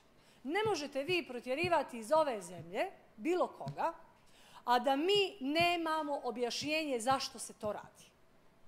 Jer danas Džomića, sutra mene. Znate, hoćemo objašnjenje, hoćemo jasne razloge zašto. Jer vi ne možete određivati e, pravoslavnom stanovništvu koji im pop odgovara. Ne možete određivati ono što sad radite. Muslimanskom, islamskom stanovništvu koji, koji ima mi je za njih podoban koji nije. Jer to određuju naša srca i naše duše. A ne vi. I nikada to nećete određivati. I nikada to nećete određivati. I nikada. Ni, ni ljudima pravoslavne veroispovesti, ni ljudima islamske veroispovesti. Vi i vaše službe i vaši planovi za, za dijeljenje Crne Gore Mi smo to pročitali i nećemo nasjedati na to. E, zanima me ovo oko inicijalne obuke, da se vratimo na zakone. Oko inicijalne obuke, dobro je ovo što ste predvidjeli konačno mentore, nego ne znam ko će učiti ovu djecu, e, to je vrlo važno, e, jer znate kako, kada se programirate po lošem uzoru, ne, ne može ići, ne može ići na, na bolje. Srećom, srećom da ima u crnogorskim sudovima, ali oni se nisu istureni. Ljudi koji imaju kredibilitet. Ima ih i u tužilaštvu, oni se ne pitaju. Pitaju se, pitali su se do skoro oni koji su krili, koji su krili sva vaša nepočinstva. E, nadam se da će e, sve ovo što su transparentne procedure oko ocjenjivanja, oko komisije za ocjenjivanje, oko vijeća za ocjenjivanje, omogućiti ovo trogodišnje gdje će javnost imati uvid, vidim kroz zakon, da ćemo imati i mi prilike da se sa tim malo bliže upoznamo, e, da će to imati, uroditi plodom da se rehabilitujemo kao društvo od pošasti koje ste vi kao vlast napravili. Što se tiče disciplinskog tužioca, e, želim da kažem da e, je to nešto što je dobro, jer će taj tužilac moći da odbaci sam predlog, da ga odbije kao neosnovan ili da podigne optužni akt, E, bitno je ko će biti izabran za tog e, tužioca, opet da ne bude neko ko je blizak vama, gospodine Markoviću i gospođi Medenici, jer to neće biti dobro, jel? To znači opet još jedan vid kontrole i pritiska na one koji e, misle svojom glavom, a ne vašom. Što se tiče ove inicijalne obuke, što se tiče inicijalne obuke i ovog dijela, kako ste ga zamislili teoretski, to podržavam. Bitno je ko su mentori, bitno je ko su mentori, jer od mentora sve zavisi, znate. Uh, jer onakav kakav je mentor, takav je i, uglavnom i džak. Da, da, sudski savjet koji ste vi učinili sve da se uh, izabere na način uh, kako ste vi, samo malo, samo malo, polako. Birali ste u sudski savjet ljude koji su uh, vama podobni. Da, da, da, da upravo u Skupštini, onako, e, vi se dobro osjećate da je moj predlog i predlog i pozitivne Crne Gore i SMP-a bio da se predsjednik suda e, ne bira e, nikako drugačije nego u, vrh, u Skupštini sa dvije trećine i tri petine. Vi ste normalno ovaj, imali drugačiji plan. Prilikom tog plana ja sam rekla da ćete vi realizovati ono što ste zamislili, a to je da vam gospođa Mlenica bude ponovo predsjednica Vrhovnog suda kao neko ko je garant svega što se neće razrešavati u crnogorskim sudovima. Mnogi su moje, od mojih kolega smatrali da nisam u pravu. Ispostavilo se i vrijeme je reklo da sam bila u pravu i meni je žao zbog toga. Hvala. Hvala i vama, koleginice Jasević. Najavio sam kolegu Nimambegu, a zatim kolega Gošević uz e, jednu molbu da se predržajemo vremena, jer do sada imamo prijavljenih 22 za diskusiju, tako da je to dosta veliki broj. Izvolite, kolega Nemambegu, izvinjam se za... A ne znam, e, poštovani, šta znači ovo pridržemo vremena? Da se Poštujemo, jest. Da, hvala. Ja neki put žargonski, starovaroški, pa onda možda se ne razumijem, ali što ću, E, ne mogu. Poštovani potpredsjedniče, hvala vam. Poštovane koleginice poslanice, kolege poslanici, poštovani predsjedniče Markoviću. E, Pa na spojenu diskusiju na dva izuzetno e, važna zakona, zakona o što se tiču pravosuđa, zakona o sudovima i sudskom savjetu. E, Moram reći i zbog javnosti ponoviti da su tri osnovna razloga koje su dovode do ovoga. Kao prvi razlog je usvajanje ustavnih amandmana tokom 2013. godine. Drugi razlog, razlog koji mi poslanici e, svjesno koristimo u puno diskusija, a to je razlog e, implementacije e, odredba potreba za usaglašavanjem člana 23 i 20, poglavlja 23 i 24 u pregovaranju sa Evropskom unijom i kao treći razlog, jedan razlog koji ću truditi se analizirati malo detaljnije, to je analiza i potreba racionalizacije pravosudne mreže u Crnoj Gori. Zašto želim taj analizirati ono što je osvojila vlada?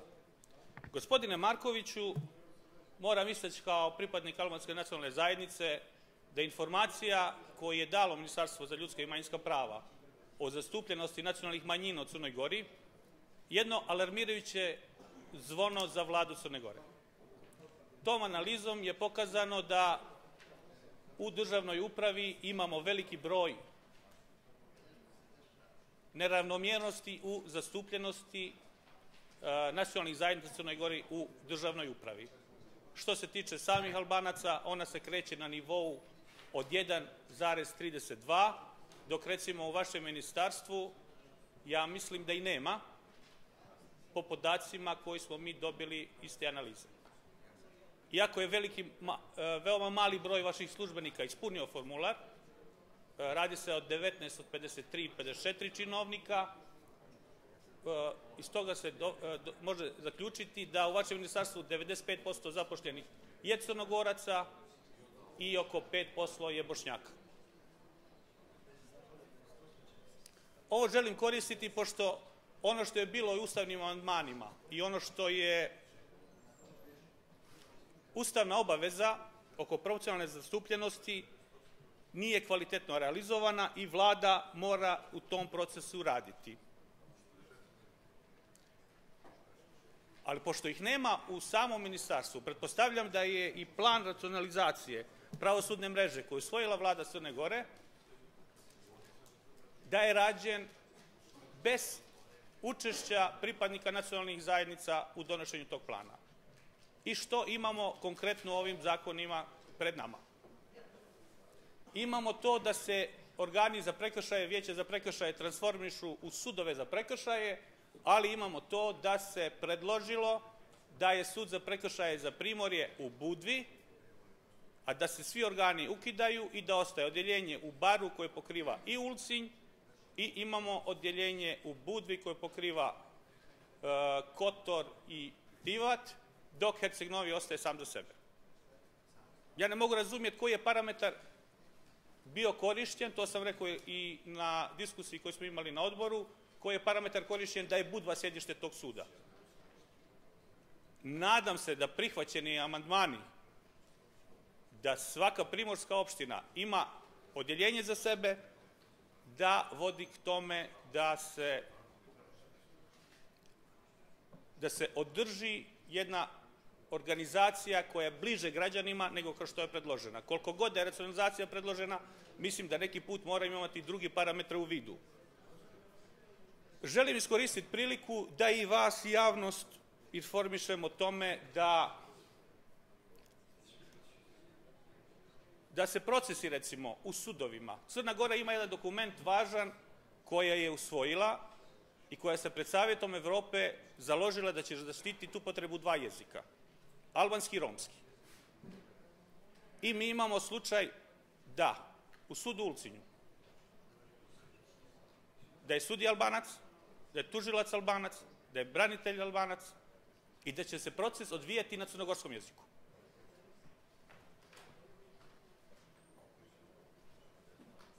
Ja ne vidim ni jedan pravni argument koji će to zabraniti da se odvija, ali država mora da učini veće napore zbog očuvanja jezika, zbog građanskog odnosa prema pravima manjina, da se i u sudskoj vlasti da se koristi jezik manjina, u ovom slučaju albanski jezik.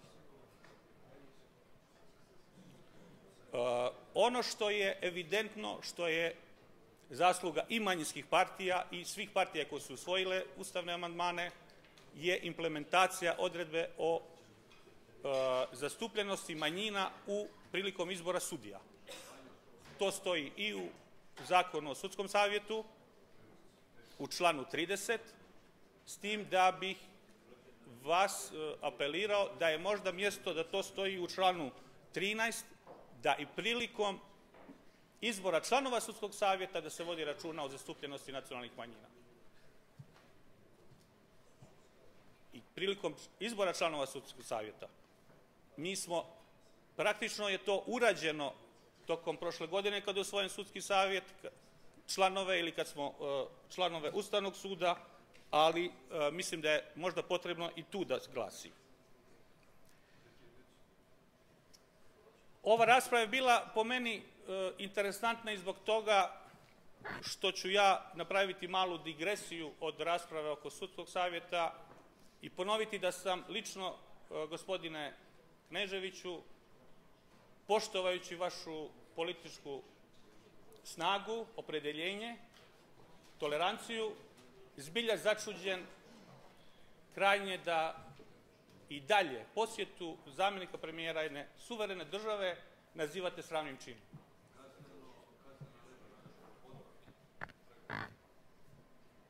To ja, vi ste govorili u ime kluba i to ja razumijem, ne želići implicirati svim kolegama da morate biti, biti pažljivi, posebno kad se ispred vaše organizacije poziva na vladu koja bi se zvala ili narodnog jedinstva, ili prelazna vlada, takav odnos, onda bi se trebali organizovati proteste i u Briselu, i kod Drobniča, i kod ove uh, Mogherinije, vjerovatno proteste bili, prilikom bilo koje susreta legitimne vlade, susjedne nam države sa činovnicima Evropske unije, Crne Gore i to je ono što je naš glavni razlog za koji mislimo da ti razgovori oko prelazne vlade u ovom momentu nisu prioritet. Prioritet je bila i stabilnost i realizacija uslova za ispunjavanje NATO poziva. Zahvaljujem. Hvala kolega Nimambegu. Sad ne znam, u jednoj se situaciji, a to nisam takvu kvalifikaciju čuo, ako sam je čuo, ja se... E, Izvinjavam, molim vas. Ne može nikad. A, a i vi pritiskate sad, s druge strane. Ja ću, ja ću vam dati po jedan minut. Kolega Bulatović, molim vas. Znači, izvolite, kolega Kneževiću. Gospodine Begu, da ne bude nikakve zabune. Kao lider Demokratske narodne partije smatram da je odluka o priznanju takozvane države Kosovo i Metohija od strane vlade Crne Gore jedna od najsravnijih odluka u njenoj dugovjekovnoj istoriji, kao što je rekao gospodin Lujić Krelja, 11. vjekovnoj istoriji.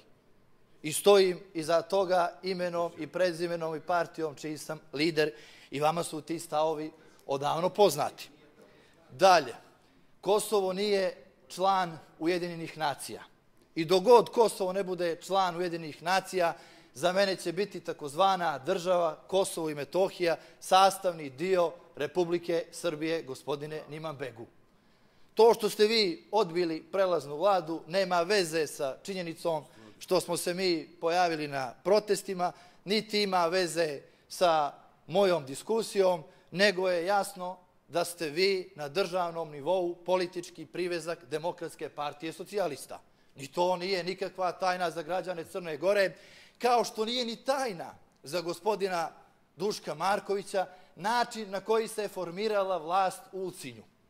I zato bolje vi kažete ovdje građanima Crne Gore kako je i pod čijim protektoratom, možda istog tog Hašima Tačija i albanske vlade, formirana vlast albanskih nacionalnih stranaka u Ulcinju, iako je tamo Demokratska partija socijalista bila ubjedljivo najjača stranka. Vidim gospodin Škrelja mi klima glavom što potvrđuje ove moje navode, ja mu zahvaljujem na tome.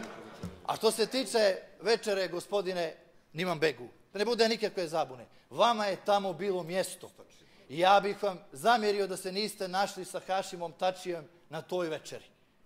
Ali nemojte da očekujete da nama ne bude mjesto na protestima kad on dolazi tamo, kao osumnjičeni za najstrašnije ratne zločine prema crnogorcima, srbima, albancima i ostalom nealbanskom življu. Ne očekujete valjda, gospodine Nimanbegu, da vam kažemo dobro vam učinjelo još dok ste došli tamo i onda smatrate i vi i gospodin Marković da smo mi prijetnja za nacionalnu bezbjednost zato što učestvujemo na protestima protiv dolaska Hašima Tačija i da nas sve treba protirati iz Crne Gore jer ne slijedimo zvaničnu i državnu politiku Crne Gore, a kako ste ga dobro dočekali, najbolji je pokazatelj i to što se posle pet dana zapalila Crnogorska ambasada u Prištini i niko od vas riječi nije pisnuo da zaštiti državni integritet i teritorijalni suverenitet Crne Gore u Prištini, države koju ste vi priznali. Hvala.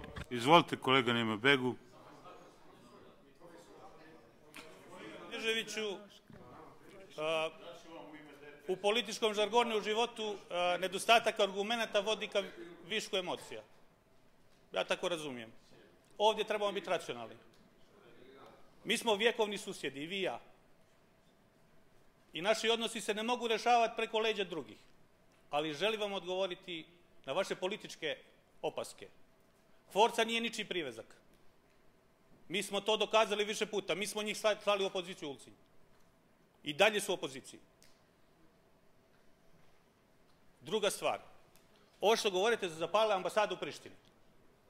Apsolutno znam da volite hiperbolizirati, ali nije. Kamenica je gađana, slomljena i njihovo ministarstvo zaputilo izvinjenje odmah. I to si pravi odnosi. Ono što govorimo, u Crna Gora mora biti mjesto gdje je svima prijatno i ako je iskren poziv za vladu nacionalnog jedinstva, neke stvari se moraju sjesti i razgovarati i priznati. Kosovo je priznalo 25 država od 28 Europske unije. Pa ako mislite da je to mali broj, znajte da su glavni partneri i Njemačka, i Francuska, i Velika Britanija, i susjed Hrvatska, i Albanija, apsolutno. I, I mi, vi morate biti svjesni te. Mi ne želimo nad vama vršiti pritisak da mijenjate političke programe. Ali trebamo dobro razmisliti da ako se kaže da je osumnjičen, ne znači da on je legitimni predstavnik legitimne vlade.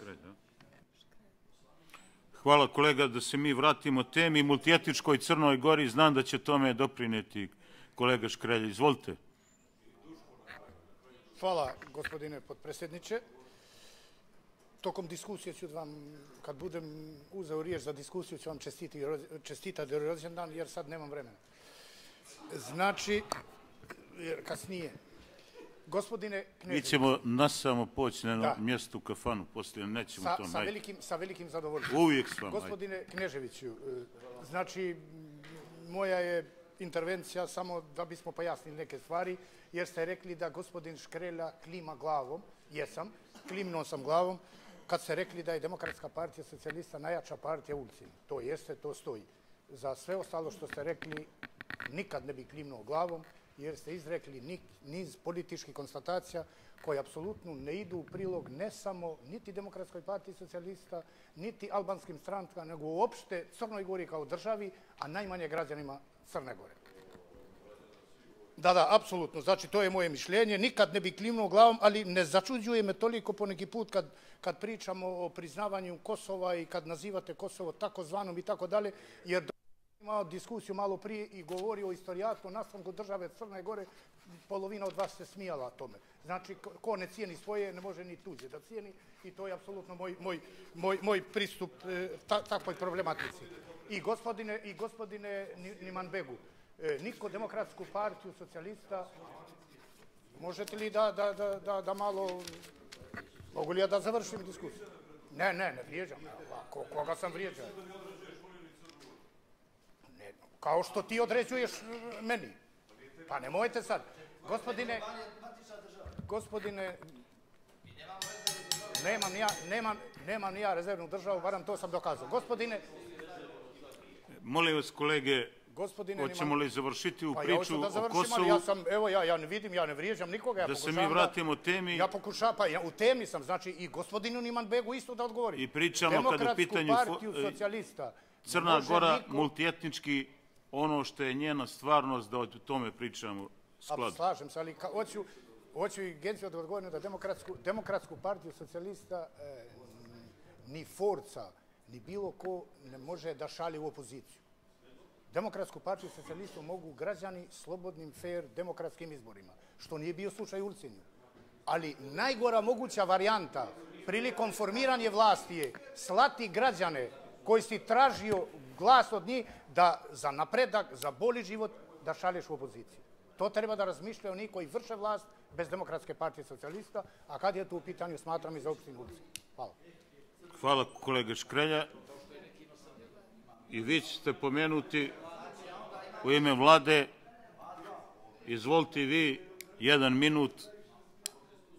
A,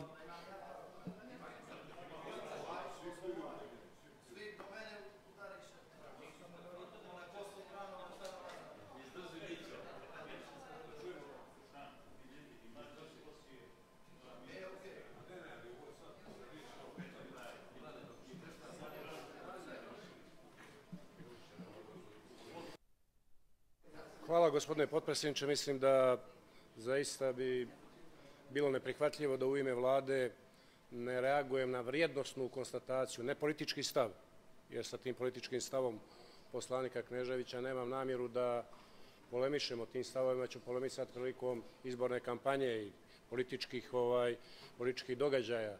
Ali on je u vrednostnom smislu saopštio da je najsramnija odluka o priznanju Kosova crnogorske vlade u njenoj istoriji.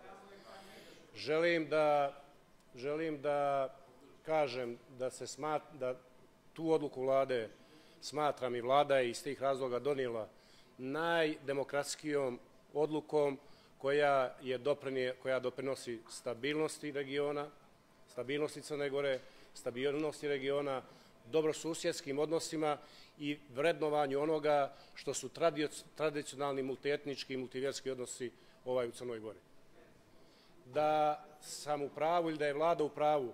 Vidimo ovih dana da danas u Briselu i na drugim mjestima sjede legitimni predstavnici srpske vlade i kosovske, kosovske vlade, a do odluke vlade o priznavanju Kosova nisu, nijesu govorili i nisu željeli da se, da se ovaj sretaju. To je doprinos kvalitetu života u regionu i to je doprinos odluka crnogorske vlade je doprinos da se razumijemo iako se ne slažemo jer živimo jedni pored drugih. I zbog toga zaista odbacujem a, konstataciju poslanika, vrednostnu konstataciju poslanika Kneževića da se radi o najsramnijoj odluci vlade. Ja mislim i u kratkoročnom i u istorijskom smislu da se radi o veoma hrabroj i politički, e, politički mudroj odluci vlade.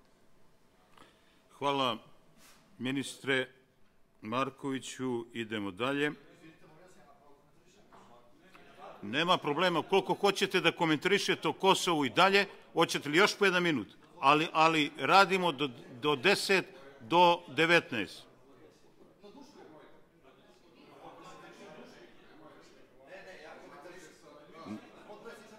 Vam, vama se obraćam. Znači, ja tražim pravo na komentar na izlaganje potpredsjednika Markovića, ne na klimanje glavom gospodina Škrelje ili bilo kako drugo dobro. Ja mislim da imam pravo. Znači, Nisam. Ja potpredsjednika. Markovića nisam spomenuo. Ko- kolege. Dozvolite mi. Čemu nervoza? Ja imam Kolega dovoljno kondicije samo da- za čitavu samo da se vladu, dogovorim. DPS, SDP i albanske stranke. Samo da se. Bulj, Izvolite. Znači ovako, e, ovo je bio presedan s moje strane, nisam trebao da uopšte dadem nikome riječ. I dao sam svima riječ. I ako želite još jedan krug, da ću svima riječ, nema šanse da ne, da, da ne dobije svako, pa se čašćavajte između sebe kako mislite, da, da je to najpametnije, najbolje. Znači, ukoliko želite još po minut, dva, izvolite, ali radimo do 10 do 19. I danas završavamo sa ove dvije tačke dnevnog reda. Izvolite, minut, kolega Knežević. Gospodine potpredsjedniče, ja ovdje ne čašćavam nikoga ničim. Ja ovdje iznosim argumente i političke stavove i ovo nemojte da doživljavate kao bilo kakvo čašćavanje. Meni je žao što su malo danas zaiskrile tenzije baš na vaš rođendan, ali očigledno da ne biramo datume kad su neke istorijske teme. Ne, nego čito da se približava vruća jesen, nagovješteni su varedni izbori. Vruća jesen. Da. Izvolite. Vruća jesen, vruća jesen u hladno, vruća jesen u hladnom februaru. Zahvaljujem. A, gospodine Markoviću, evo da ne bude nikakve dileme. Vi ste bili član vlade koja je priznala nezavisnost takozvane države Kosovo i Metohije. Bili ste direktor agencije, to dođe na jedno te isto, vi ste dali bezbedonosnu procenu, se to može uraditi. Tako da ste vi u stvari bili inicijator, bili ste inicijator da se donese ta odluka. Ja sad ponovo saopštavam da se radi o najsramnijoj odluci u istoriji Crnogorske države. Počeje od Vojslavljevića do današnjeg dana. I o učbenicima će se pisati o toj odluci. U istorijskim učbenicima učite djeca u školama šta je uradila vlada Crne Gore, zabivši nož u leđa bratskom srpskom narodu i zaboravivši da je Metohija bila sastavni dio Crne Gore, zaboravivši da je sa Kosova i Metohije protjerano, da idem na Srbe, 40.000 crnogoraca, gospodine Duško Markoviću. To bi trebalo da znate i zato ja tvrdim da se radi o najsramnijoj odluci, a ako ste bili uvjereni da se radi o najboljoj mogućoj odluci, zašto niste konsultovali građane Crne Gore? Znate zašto, gospodine Markoviću? Zato što je preko 90% građana Crne Gore bilo protiv priznanja takozvane države Kosovo i Metohija. I vi to znate, gospodine Markoviću, i nemojte da mislite da ćete sa tako nadobudnim stavom, u koji vjerujem ni sami niste ubijeđeni, saopštavajući stvari da ste donijeli pravu odluku, bilo koga razuvjeriti u Crnoj Gori. Kad ta će doći vrijeme za poravnavanje računa i za poravnavanje odluka koje ste donosili na štetu crnogorskog naroda. I ne mijenjajte teze pominjući Republiku Srbiju. Crna Gora je moja matična država, u Crnoj Gori su utemeljeni svi moji preci. I ne može neko ko ima rezervne države, ni meni, niti bilo kome iz Demokratske narodne partije držati ovdje lekciju o patriotizmu, tim prije što je privatizovao Crnu Goru od 2006. do novamo. Hvala kolega Knežević, izvolite kolega Marković, go- gospodine Marković, ministar. Nećete, jel? E, Izvolite kolega Nimambegu. Evo, uz dužno poštovanje, ja sam želio komentarisati gospodina Škrelju i to ću učiniti većim dijom svog izlaganja, ali zbilja, kao što se gospodin Knežević čudio što je albanski poslanik albanske nacionalnosti bio na večeri sa Tačijem, ja se čudim da u ovom parlamentu niko ne reaguje po meni na teritorijalne pretenzije. Pa teritorijalne pretenzije da je Metohija dio Crne Gore bila. Mislim, to su... To, u osvojačkom ratu je bila. Kolega Nimambegu, ni- to je već nešto... Izvinite, Crna Gora je da- sveta, ja moram vam Nemojte, kažem. i sad ću, sad ću da završim. Crna ću Gora da je sveta i njene su granice svete. Pa nemojte, nemojte, To da znate. Nemojte Za sve poslanike, Kako nadam poslanike? se. Slušajte, morate biti pažljivi i demokrate. Mi ovdje govorimo razumno i sa pravdom. I istorija i pravda na našoj strani. Dok ste 90. godina, većina od vas htjeli ići na Dubrovnik, mi smo bili za mir. Ispostavilo se da je mir glavni cilj. Dok smo mi, govorim, govorim o Crnoj Gori, vi predsedavajte pa me tu. Dok, ste, dok su Albanci manjine bile za samostalnu Crnu Goru, ispostavilo se da je to najbolje rešenje. Mi smo za NATO i Crna Gora će u NATO. I morate prihvatiti tu realnost. Ali da govorimo nešto drugo. Gospodina Škrelja, kad govorite, da, vi ste krenuli, kad govorite o tome da ne može niko DPS da pošalju opoziciju, jer u Ulciju nisu bili regularni izbori, nemojte molim vas. U Ulcinju smo lijepo glasovima više puta non stop pobjeđivali i nismo mogli biti vlast. Izbori dvije, sada u januaru, za nisu bili demokratski? Pa jesu, pa u opoziciji ste. Pa mi smo... Hvala kolega Nemabegu. Ako ste ono za Dubrovnik uputili mene, pročitajte moj CV bar. Najekstremniji liberal sam ja bio. Za najekstremniji, protiv rata, protiv sramnog napada na Dubrovnik, protiv oni koji multietnički sklad Crne Gore narušavaju. I nemojte, nemojte nešto što je sve to za mene da jeste, ali nećemo o tome, neću da uzurpiram moje mjesto. Da li kolega Škrelja hoćete da završite s tim? Vrlo, vrlo, ne, vrlo, kratko, vrlo kratko. Ja, ja nemam, e, profesore, profesore, ne slažem se sa gospodinom Kneževićem. Ne, ne sla...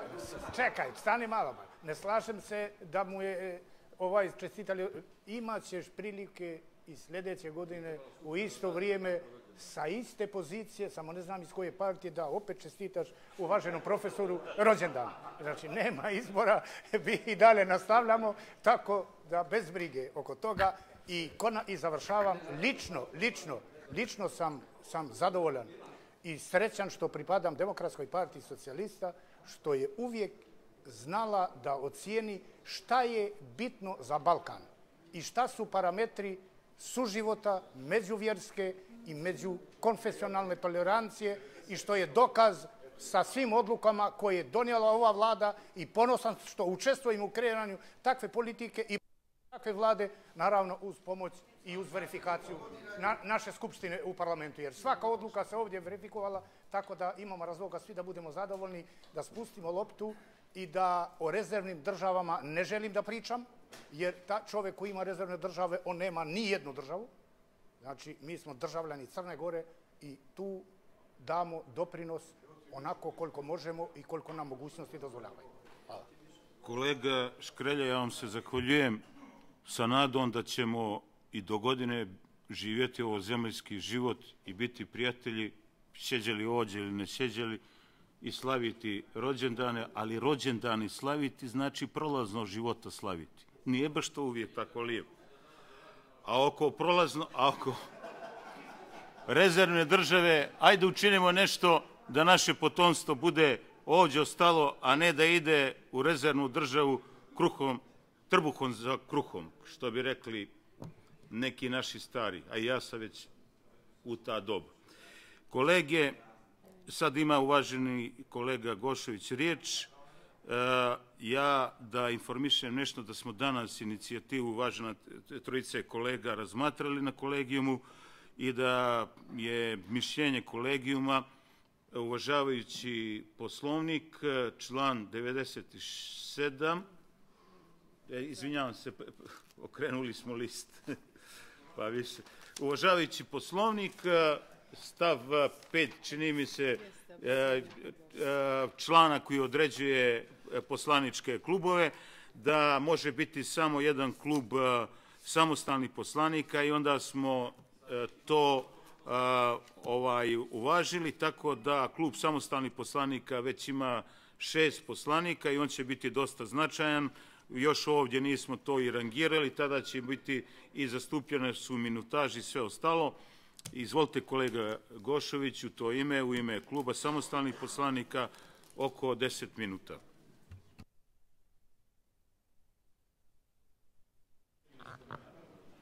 Zahvaljujem, potpredsjedniče. upoznati smo strane generalnog sekretara sa, sa stavovima i mišljenjem e, kolegijuma predsjednika, predsjednika Skupštine. Ono što ćemo zahtijevati jeste da nam se obezbijede oni ravnopravni uslovi u radu kao svim ostalim klubovima poslanika. Nadam se da ćemo bar, bar to pravo moći, moći ostvariti. Vezano za zakone koji su na dnevnom redu, nastojaću da, evo sad vašu pažnju usmjerim na prijedlog zakona, zakona o sudovima. Na putu u zajednicu evropskih država Crna Gora je u obavezi da prilagodi svoj pravosudni sistem standardima Evropske unije u pogledu nezavisnosti, nepristrasnosti, efikasnosti pravosuđa, efikasne borbe protiv korupcije i organizovanog kriminala i zaštite temeljnih ljudskih prava. Reforma pravosuđa mora biti komplementarna kroz jačanje nezavisnosti sudstva i tužilaštva u praksi, njihove odgovornosti i efikasnosti. Strateške smjernice reforme pravosuđa sadržane u strategiji reforme pravosuđa od 2014. do 2018. godine, koju je donijela vlada Crne Gore, jesu jačanje nezavisnosti pravosuđa, jačanje nepristrasnosti pravosuđa, jačanje odgovornosti pravosuđa. A kada je u pitanju jačanje efikasnosti pravosuđa, strateške smjernice su realizovanje procesa racionalizacije pravosudne mreže i prekršajnog sistema, unapređenje krivičnog i građanskog zakonodavstva, smanjenje broja zaostalih predmeta, unapređenje sistema pravosudnog menadžmenta i administracije i unapređenje alternativnih načina rješavanja sporova. S tim u vezi vlada Crne Gore u mjesecu junu 2013. godine usvojila plan racionalizacije pravosudne mreže u periodu od 2013. do 2015. godine. Jedan segment tog plana realizuje se i predlogom zakona o sudovima kojega danas razmatramo. U pogledu osnivanja organizacije i nadležnosti sudova, najznačajnije novine ovog zakona su izmjene u pogledu nadležnosti sudova, uvođenje prekršajnog postupka kao i reorganizacija privrednih sudova, tako da se osniva jedan privredni sud u Podgorici za teritoriju Crne Gore, a prestaje sa radom privredni sud u Bijelom polju. Posebno značajna organizacijona novina je centralizacija nadležnosti za krivična djela organizovanog kriminala, korupcije, ratnih zločina i terorizma u jedno specijalno odeljenje u Višem sudu u Podgorici. Ta izmjena ima za cilj efikasnije vođenje krivičnih postupka za najteža krivična djela i specializaciju sudija, što je svakako prihvatljivo rešenje. Nesporno je da iz izvještaja Evropske komisije za efikasnost pravosuđa proizlazi da je Crna Gora u odnosu na evropski prosjek visoko iznad uporedivo prihvaćenih standarda osnovnih indikatora za određivanje mreže sudova, a to su broj sudova, geografska raspoređenost sudova na stotinu hiljada stanovnika, kao i broj sudija i broj drugih zaposlenih u sudovima i državnim tužiljastvom. Ali šta je sa negativnim posljedicama ako dođe do ukidanja nekog suda za građane određenog područja? Kada je u pitanju prestanak rada Privrednog suda u Bijelom polju, na te negativne posljedice na najbolji način ukazala je nevladina organizacija Bjelopoljski demokratski centar u svojoj inicijativi za povlačenje odredbi predloga zakona o sudovima koje se odnose na ukidanje Privrednog suda u Bijelom polju, a koje su dostavili najvišim državnim, nosiocima najviših državnih funkcija u Crnoj Gori. U toj inicijativi, između ostalog, navode Imajući u vidu da Privredni sud u Bijelom polju svoju nadležnost ostvaruje na području 11 opština na sjeveru Crne Gore, u kojima živi oko 200.000 stanovnika, ukidanje ovog suda za građane i privredne subjekte nije racionalno iz razloga povećanja troškova i dostupnosti suda građanima, privrednim subjektima, advokatskim kancelarijama, sudskim vještacima i drugim, a sve na teret građana. Jedno od osnovnih ljudskih prava jeste dostupnost javnih službi, odnosno dostupnost sudova i ravnopravnost stranaka u ostvarivanju njihovih prava i obaveza pred sudom. Smatraju da se ukidanje privrednog suda ruši koncepcija regionalnog razvoja sjevera države i Crne Gore, a što će negativno uticati na dalji ekonomski razvoj ovog područja. Navode da je neophodno pronaći najbolje rešenje koje ide u korist stanovnicima sjevera Crne Gore. To rešenje, iako bi značilo smanjenje broja zaposlenih, ne bi smjelo dovesti do ukidanja privrednog suda u Bijelom polju. Ističu da bi ukidanje privrednog suda nedvosmisleno ukazivalo da se smanjuje perspektiva, odnosno izgledi da, se, da, će, da će se promijeniti na bolje trenutno stanje opšte nerazvijenosti i nada sve konstantne i besperspektivnosti građana koji žive na ovom prostoru. Ako tri suda za prekršaje, shodno predlogu ovoga zakona, imaju 14 odeljenja u 14 gradova u Crnoj Gori, svakako će im teško biti odgovor, dati odgovor na pitanje zašto i Privredni sud u Podgorici ne bi imao odeljenje u Bilom polju. i predlažu da se zadrži funkcionisanje ovog suda kroz uspostavljanje odeljenja baš privrednog suda u Bijelom polju. Mislim da im je odgovor ipak imajući u vidu predlog ovog zakona apsolutno jasan.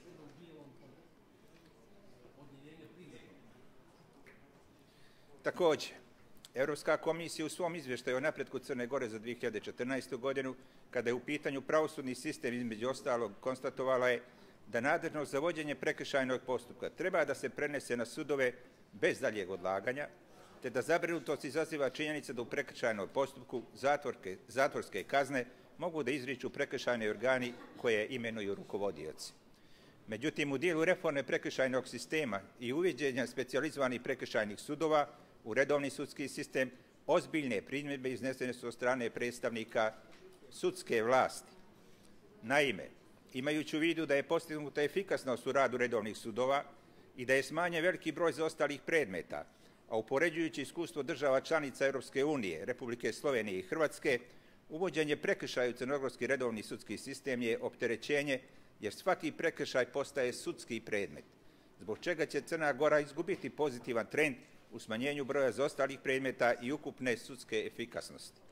Napomenju da je glavni pregovarač Crne Gore sa Evropskom unijom, ambasador Aleksandar Pejović, na osnovu sastanaka i kontakata iz Brisela ukazao da će Evropska komisija prvi sledeći izveštaj o napretku Crne Gore učiniti negativni zbog uvođenja prekršaja u redovni sudski sistem, jer će isto urušiti efikasnost rada sudova i celokupnu sliku sudskog sistema u poglavlju 23. Na tu okolnost najbolje okazuju činjenice da se na dan 31.12.2014. godine kod područnih organa za prekršaj u Crnoj Gori nalazilo oko 20.000 neriješenih predmeta. Dakle, 20.000 neriješenih predmeta ući će u neriješene predmete sudskom sistemu. Venecijanska komisija takođe je predočila nužnim da se ispita mogućnost koju je predložila sudska vlast u Crnoj Gori, to je da ako sudski predmeti budu prekršaj za koje je u osam zakona propisana kazna zatvora. Na taj način bi se u okviru redovnih sudova formirala prekršajna krivična odeljenja kao posebna odeljenja za koje bi kao drugostepena nadzorna sudska instanca bio viši sud. Zbog istog, gospodine ministre, trebalo je prihvatiti iskustvo u okruženju i uvažiti mišljenje sudske vlasti, a ne po svaku cijenu postupati po ocjeni Evropske komisije. Sa posljedicama takvog rešenja susrećemo se u prvom narednom izveštaju radu Sudskog savjeta i sudova u Crnoj Gori. A da je racionalizacija pravosudne mreže pitanje koje je teško sprovodljivo u Crnoj Gori, pokazuje činjenica da je za sprovođenje prekršajnog postupka predlogo zakona se organizuju tri suda za prekršaje sa 14 odeljenja u 14 gradova i jedan viši sud za prekršaje, što je e, neminovno rješenje i gdje princip onda ekonomičnosti je u posve drugom planu. A istovremeno vladinim predlogom racionalizacije pravosudne mreže u narednom periodu predviđa se ukidanje sudova sa šest i manje sudija. Pored privrednog suda u Bilom polju to su osnovni sud u Cetinju, Danilovgradu, Ulcinju, Kolašinu, Plavu, Rožajem i Žabljaku, čime bi kod kojih se nalazi u radu ukupno 30, 20, 34 sudije. I na kraju, još jedno pitanje, gospodine ministre, tiče se do sadašnje odredbe zakona o sudovima, člana 117, koji je predviđao mogućnost e, volontiranja u, u, u sudovima. Za lica koje je završilo pravni fakultet, dakle visoko obrazovanje, ispunjava one opšte uslove za rad u državnim organima, može radi sticanja posebnog znanja i uslova za polaganje pravosudnog ispita biti primljeno na obuku u, u sud kao, kao volonter. Sada predlog zakona o sudovima ne predviđa takvu, takvu mogućnost, eto, pa bi bilo poželjno dobiti odgovor zbog čega je sada se pristupilo jednom takvom rešenju, imajući u vidu da je značajan broj e, pravnika e, koji nisu bili u mogućnosti da zasnuju radni odnos putem volontiranja, želio da stiče iskustvo i sada stiče iskustvo u sudovima i na taj način se priprema za polaganje pravosudnog ispita i dalje konkurisanje u tom postupku sticanja, sticanja zvanja stručnog saradnika ili sudije. Zahvaljujem predsjedniče. Hvala i vama, kolega Gošoviću. Riječ ima kolega Sjerić. Neka se pripremi koleginica Jonica. Zahvaljujem. Uvaženi predsedojući, poslanici i poslanici, ministre, sa saradnicom, uvaženi građani.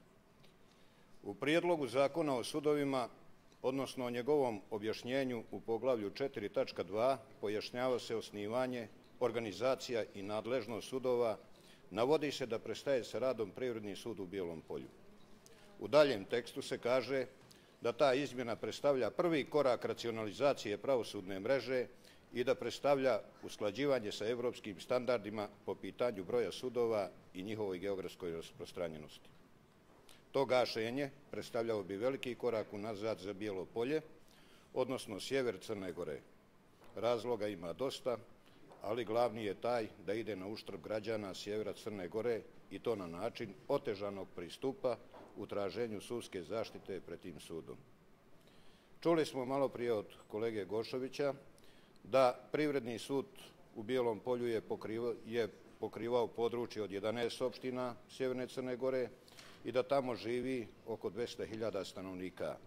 Ukidanje ovog suda za građane i privredne subjekte, rekli smo, nije racionalno. Prije svega iz razloga povećanja troškova te dostupnosti suda. Ali pitanje koje se nameće je da li mi imamo mogućnosti da princip racionalizacije sudske mreže koji nam se sada nameće sprovedemo u dijelo, a da se ne umanji efikasnost privrednog suda, odnosno da samo traženje zaštite pred tim sudom sada ne bude otežano kao i to da li su građani opština na sjeveru u finansijskoj mogućnosti da obezbijede mnogo veće troškove koji bi ukidanjem privrednog suda u Bijelom polju nastali. Ako malo analiziramo advokatsku tarifu, vidimo da minimalni iznos samo za tužbu iznosi 75 eura, odnosno to je osnovica u konkretnom slučaju za dalji obračun troškova. Ukoliko se Privredni sud iz Bijelog polja izmjesti u Podgoricu, naravno sva ročišta i rasprave će se održavati tamo i na taj iznos 85 eura, odnosno na tu osnovicu, Dodaju se troškovi prevoza advokata do Podgorice, koji su jasno precizirani članom 6 stav 2 tačka 2, gdje se kaže da advokatu pripada nadoknada za upotrebu sobstvenog automobila u visini 30% cijene litra najkvalitetnijeg benzina po pređenom kilometru. Uz ovo ide i odredba tarifni broj 16 advokatske tarife koji kaže da ako advokat uslugu pruža u mjestu udaljenom od kancelarije više od 10 km, pripada mu i nagrada u visini od 10 eura za svaki započeti sat osustva iz kancelarije, a najviše za 8 sati dnevno, što bi u konkretno bio minimum 5 sati za pojavljivanje advokata pred sudom u slučaju da se radi o strankama iz Bijelog polja, na trajanje ročišta rasprave od jednoga sata. U slučaju da ročište rasprava traje preko jednoga sata, onda ide primjena i tarifnog broja 14D ako procesna ili druga radnja traje više od jednoga sata, za svaki naredni započeti sat advokatu pripada još 25% od propisane nagrade, odnosno osnovice. Dakle, prosto matematički gledano, ostatni 75 eura znači najmanja osnovica, nastaje mnogo veći iznos za stranke koje traže zaštitu pred privrednim sudom u Bijelom polju, a kada se radi o strankama iz Berana, Rožaja, Plava, Andrijevice, onda nastaju još znatno veći troškovi zbog prevoza, zatvaranja kancelarije i sl. I ne znam koliko je vjerovatno da će se konkretna stvar pred sudom riješiti samo sa jednim održanim ročištem, odnosno raspravom, a svi znamo da pojedini sudski procesi traju i godinama. Trenutno se u Privrednom sudu u Bijelom polju vode stečajni postupci za značajan broj privrednih društava, gdje veliki broj bivših radnika, kao i njihovi porodica, očekuje ispunjenje svojih stečenih prava. Ukoliko predlagač zakona smatra da je neophodno uraditi racionalizaciju za poslednji u ovom sektoru, to ne bi smelo nikako da se uradi kroz ukidanje ovoga suda, koji u ovom momentu broji 17 zaposlenih. Zapravo, neophodno je izvršiti analizu postojećeg stanja, te pronaći najbolje rješenje koje ide u korist stanovnicima sjevera Crne Gore. To rješenje, iako bi značilo smanjenje broja radnika, ne bi smjelo dovesti do definitivnog ukidanja Privrednog suda. Takvo rješenje bi bilo suprotno onome čemu težimo, a to je decentralizacija. To bi dodatno potvrdilo da se ne slijedi politika ravnomjernog regionalnog razvoja. Naprotiv, ono bi dovelo do dalje deregionalizacije, pospješujući dalju nerazvijenost sjevera Crne Gore. Nadalje, pojačala bi se centralizacija, što ni u kom pogledu ne slijedi strateški cilj Crne Gore da postane punopravan član zajednice evropskih naroda, što između ostalog podrazumijeva demokratizaciju i decentralizaciju države. Radi javnosti da posjetim da je sjever Crne Gore i Bijelo polje kao njegov regionalni centar prema podacima Mostata 2013. godine bio najnerazvijeniji dio države, iako sjever Crne Gore predstavlja resursima znatno bogatiji dio države. Prema podacima UNDP-a, u sjevernom dijelu Crne Gore nalazi se 100% hidropotencijala Crne Gore, 67% obradivog zemljišta, 71% šuma i drugih bogastava, te značajni potencijali za održivi turizam tokom čitave godine. Olovo, cink i ugalj su također rasprostranjeni u sjevernom regionu. Ipak, 60% ljudi iz te regije su lošeg imovnog stanja, a nezaposlenost je duplo veća nego u centralnoj i južnoj regiji. Ilustracije radi, u 2013. godini najviše građana se iselilo iz Bijelog polja 352, Berana 272, Pljevalja 168, Rožaja 112 i Plava 104. Ukupno iselilo se u 2013. godini 1251 stanovnik sa sjevera. S obzirom na sve navedeno, logično je pitanje da ako se već kreće sa racionalizacijom, ako hoćemo da uskladimo pravosudni sistem što više odredbama koje nam Evropa propisuje, da li je ovo povoljan trenutak za to? I dalje smo u tranziciji. Iako se gledamo prosjek plata kod nas ili negdje drugo u Evropi, mnogo smo ispod, pa da li se ta racionalizacija može odgoditi? To jest, da li se može početi od nečeg drugog, a ne baš od privrednog suda koji je od velikog značaja za građane Bijelog polja i čitavog sjevera Crne Gore. Smatram da privredni sud treba da ostane u Bijelom polju, u najgorem slučaju da se transformiše u područnu jedinicu, odnosno odjeljenje, u kojoj bi građani sa sjevera Crne Gore ostvarivali sudsku zaštitu. Prilog ovoj tezi predstavljaju pomenuta prirodna bogatstva sjevera, koja predstavljaju osnovni preduslov razvoja privrede. Nadam se da će u buduće doći do valorizacije prirodnih resursa, odnosno značajnijeg privrednog oporavka kompletnog regiona, a građani sve manje tražiti zaštitu svojih prava iz radnog odnosa. Vjerujem da će poslanici i poslanici ovog doma imati dovoljno sluha da ne izglasaju da se ukine vrlo bitna institucija koja koliko toliko doprinosi da se živi i na sjeveru Crne Gore. U prilogu mi smo i amandmane uputili. Znači, radi se o tri amandmana koji će biti u proceduri. Jedan amandman odnosi se na sudove za prekršaje, gdje u okviru racionalizacije sudova za prekršaja predviđeno je da amandmanom smo predvidjeli da treba da ostane sud za prekršaj u Rožaje, dali smo svoje obrazloženje koje će u amandmanu biti e, detaljnije obrazloženo. Zatim, u članu 17 e, prijedloga zakona o sudovima, znači, predložili smo da se tačka, da se doda i odjeljenje u Bijelom polju, znači, Privredni sud u Podgorici i odjeljenje u Bijelom polju, što vjerujem da će naići na podršku većine e, poslanika u ovom domu. Zahvaljujem se. Hvala i vama, kolega Sjerić. Riječ ima koleginica Janica. Izvolite. Hvala potpredsjedniče, dame i gospodo poslanici, poštovani građani, gospodine Markoviću, gospođo Lakočević. Cilj e, ova dva predloga zakona je da naravno budu nastavak pravosudne reforme. A pravosudna reforma koju smo započeli izmjenama Ustava za cilj bi prije svega trebala ili morala da ima vraćanje povjerenja u rad sudova, e, poboljšanje dostupnosti pravde našim građanima, ali i konačno pokušaj da i u Crnoj Gori zakon bude jednak za sve.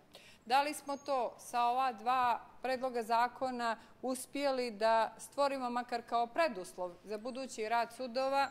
Pitanje. Iskreno, iako smo možda oko ova dva predloga u onom radu radne grupe imali najmanje sporenja u konkretnim normama, plašim se da u konačnom, gledajući šta ćemo dobiti iz svega ovoga, upravo kod ova dva zakona moram ili mogu da kažem da to sa njima nećemo dobiti.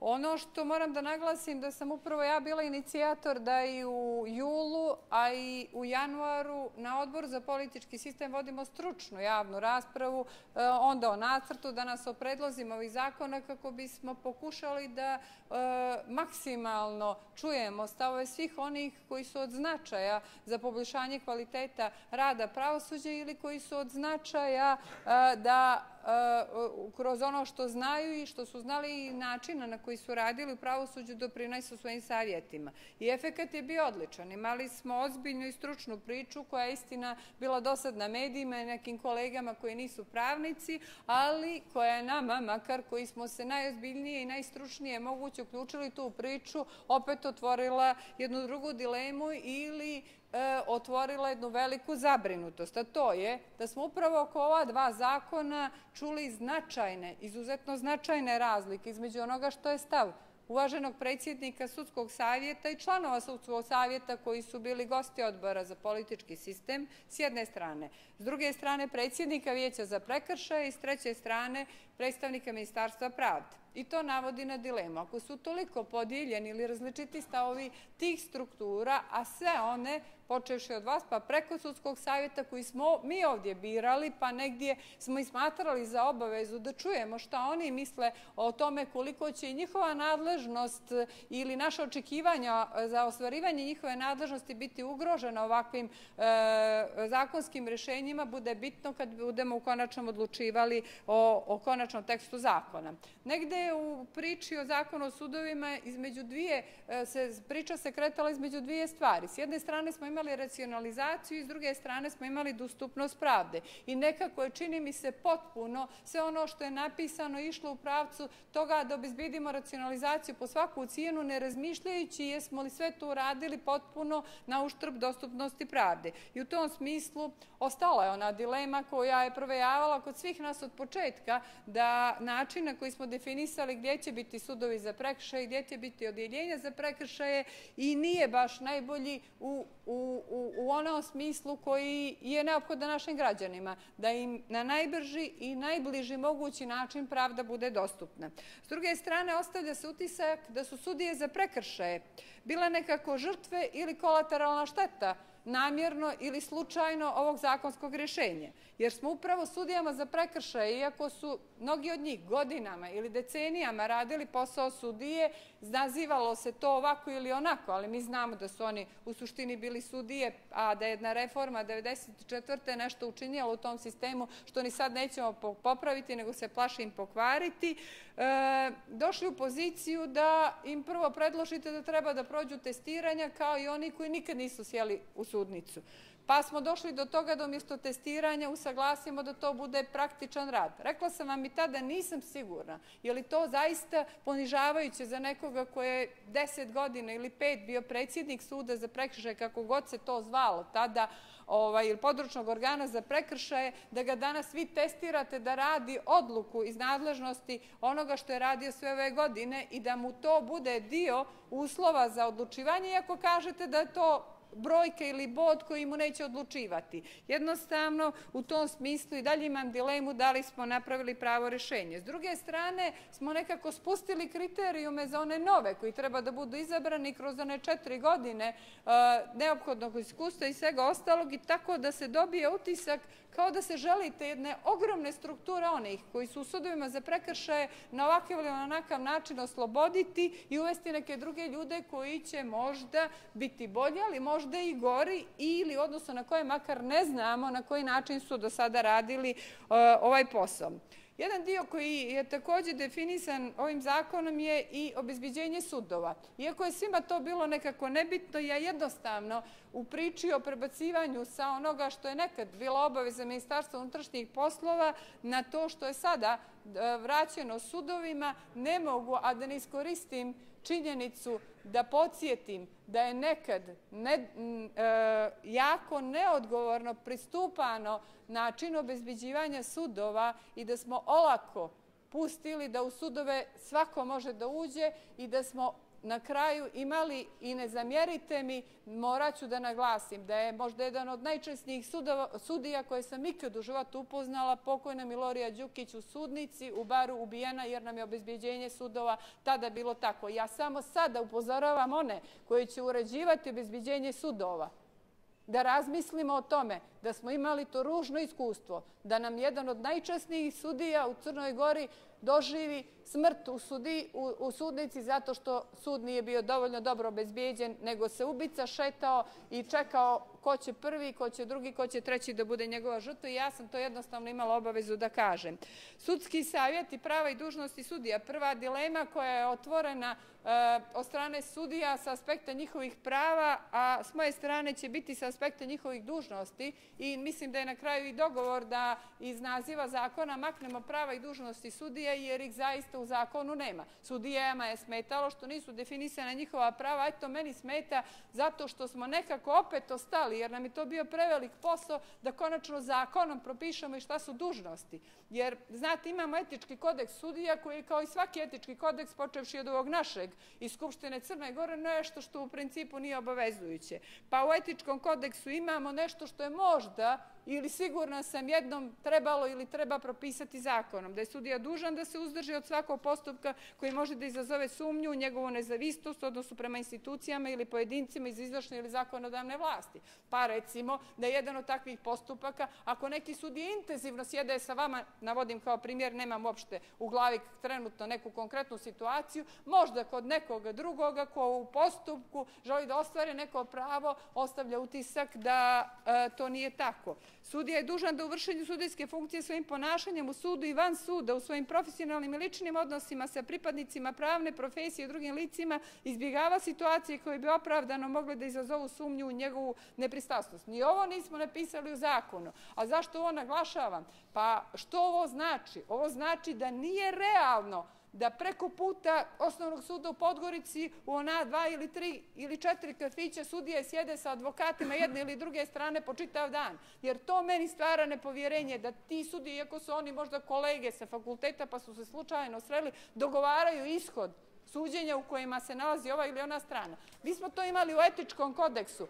To posledica nije imalo, ako smo ga propisali u etičkom kodeksu, ako nikad nismo imali posledice tog djelovanja etičkog kodeksa vrijeme da se zapitamo da li jednim posebnim zakonom gdje ćemo jasno definisati što su prava i što su dužnosti, moramo to rašistiti. Ili recimo, sudija je dužan da se u obhođenju sa strankama oponaša tako i tako. Imali smo neke sudije koji su nekim šarićima tepali na suđenju. Pa i to nije bilo predmet e, ničijeg obraćanja pažnje na ovaj ili onaj način, jer je predmet etičkog kodeksa koji ne obavezuje. I ja samo navodim na obavezu da nas prije ili kasnije čeka poseban zakon ako nismo htjeli to ovako da uredimo o pravima i dužnostima sudije. I da se vratim još na dvije ili tri stvari koje mi jesu sporne. Jedinstven izbor sudija, na to je ukazao i predsjednik sudskog savjeta, gospodin Vukčević, i ja ne mogu da ne ponovim sigurna sam, ubijeđena sam, voljela bi da me demantujete, da je to priča koja nije primjenljiva i koja neće proizvesti cilj koji vi mislite. Da neko ko se kandiduje za sudiju ne zna u kojem će gradu, u kojem će sudu osvanuti kao sudija posle, posle toga, mislim da to nije realno u Crnoj Gori, niti da je ono kako ste zamislili da taj problem riješite realno, jer vi prvo nećete dobiti kapaciteta i u crnogorskom budžetu da ostvarite to što ste zamislili da biste tim ljudima obezbijedili da rade tamo gdje ih vi odredite da treba da rade, odnosno sudski savjet koji ih bude birao. I još dvije stvari. Kriterijum za izbor sudije koji se prvi put bira, pa jedan od njih je testiranje, a drugi je e, razgovor. I za ovim zaista završavam potpredsjedniče, ali smatram jako bitnim za ovu priču. Dakle, testiranje i rekla sam vam to na odboru, za mene izgubilo svaki smisao onog dana kada se čula priča da su ljudi koji su se kandidovali za sudije imali bubice na tom testiranju i da su na osnovu bubica polagali testove da postanu sudije. Kome će da presuđuje ili koliko ih je već izabrano za sudije da sude građanima Crne Gore onaj ko je pomoću bubice ušao u to da se kandiduje za sudiju i da mu neko na bubicu izdiktira osnovne stvari iz e, onoga što je znanje pravosuđa. Nije stvar u znanju, to će se naučiti. Stvari u sistemu vrijednosti. Kome može da dijeli pravdu onaj ko je ocijenio da može da bude sudija, a da može da vara na e, ispitu na osnovu kojeg treba da postane sudija. I to je dosta prečutano i o tome se dosta nije ispričalo u Crnoj Gori i to je pitanje kako se doživljava crnogorsko pravosuđe i ovo je sistem kojim se urušava povjerenje u crnogorsko pravosuđe jer smo došli do nivoa da se za sudije kandiduju oni koji treba da polažu tako što su im bubice u ušima. E, to smo napravili ovim reformama i ja zato nemam povjerenja da će ova dva zakona ostvariti cilj i zato mislim da su ovo dva rešenja za koja u sve moguće amandmane koje ćemo podnijeti i uz dio koji je usaglašen nećemo dobiti ono što SMP smatra da je neophodno i u odnosu ova dva zakonska rešenja izražavam rezervu našeg kluba. Hvala. Zahvaljujem se ja vama, koleginica Jonica, sa zaprepašćenje da neko koristi bubice a da se kandiduje za sudiju. E, ministre Markoviću, da li hoćete da komentarišete uvodno izlaganje? Izvolite. Samo da vas informišem, kolegi i vas, ministre, da smo mi još u direktnom prenosu samo sat vremena, da imamo 12 kolega u ovom drugom krugu, da ćemo probiti vrijeme i da ćemo danas završiti sa ovom tačkom zahvaljujući e, određenim e, razvoju događaja tokom ovog razmatranja, nismo bili usresređeni na tematiku, niti poštovali vrijeme. Izvolite, ministre, koliko može što sažetije, a konkretnije. Izvolite. Hvala, hvala gospodine potpredsjedniče. Izvinjavam se, mislio sam da nije došlo vrijeme za, ovaj, da nije iscrpljen ovaj krug i da nije došlo vrijeme za komentare predlagača. Eh, ja ću poći u eh, mojim komentarima od jedne osnovne sumnje koja je iskazana u većini eh, pristupa, posebno opozicijnih poslanika, sada i u komentaru poslanice Jonice, da li smo sa ovim zakonima obezbijedili ono što smo htjeli. Reformu pravosuđa koja podrazumijeva efikasno, pouzdano i odgovorno pravosuđe. I da predlagač ne bi hvalio sam sebe, evo ja ću reći, pročitati šta je ocjena Venecijanske komisije ovim zakonima. Ovako se kaže, uopšteno govoreći, oba nacrta zakona su visoko kvaliteta i imaju za cilj praćenje važećih standarda u skladu sa preporukama sadržanim u mišljenju Venecijanske komisije kao i sprovođenje ustavnih amandmana iz 2013. godine.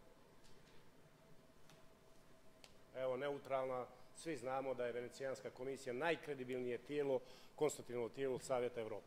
Nikoga ne dovodi u pitanje. Evropska komisija neće da se saglasi ni sa jednim našim predlogom ako ne dobije mišljenje Venecijanske komisije.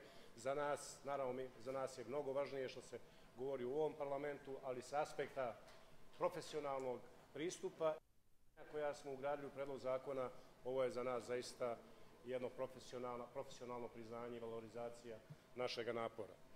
Uradili smo sve što smo mogli ovaj, vezano za nedostatke u postojećem sistemu. Obezbijedili smo ovim zakonom nezavisnost, finansijsku nezavisnost i samostalnost pravosuđa. Što je najbitnije i što je bio jedan od ključnih zahtjeva, jer ustavnost nezavisnost se ne može definisati samo normom, ustavnom i zakonskom normom, ako nemate finansijsku nezavisnost i ako vam o tome odlučuje neko drugi. To smo uradili u slučaju Ustavnog suda, evo sada radimo i u slučaju redovnog, redovnog sustva. Dakle, poslanice Jasavić, optužili ste da za sve što ne valja u sistemu pravosuđa u Crnoj Gori je odgovoran prije svega jedinstveni DPS. I evo moram, ne, ne, rekli ste tako i zaista moram da se složim sa vama. Tačno, taj jedinstveni DPS je zaista bio izvor mnogih problema u državi Crnoj Gori. Postojale su ozbiljne razlike kod nas oko toga kako dalje i kojim putem ići u Crnoj Gori. Nismo mogli da dobijemo saglasno oko toga gospodina Bulatovića, gospodina Labudovića, gospodina Gošovića i mi smo se odvojili i sada je ovaj ovaj dio DPS-a jedna reformska snaga koja vuče naprijed. Tako da se tu slaže sa vama, ovaj, poslanice. Ovaj, da.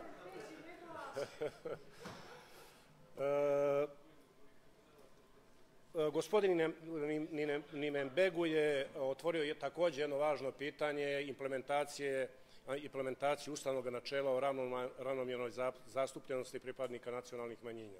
Slažem se da tom tom načelu, ustavnom načelu i, i, veoma, i suštinskoj potrebi našeg društva nismo odgovorili na kvalitetan način.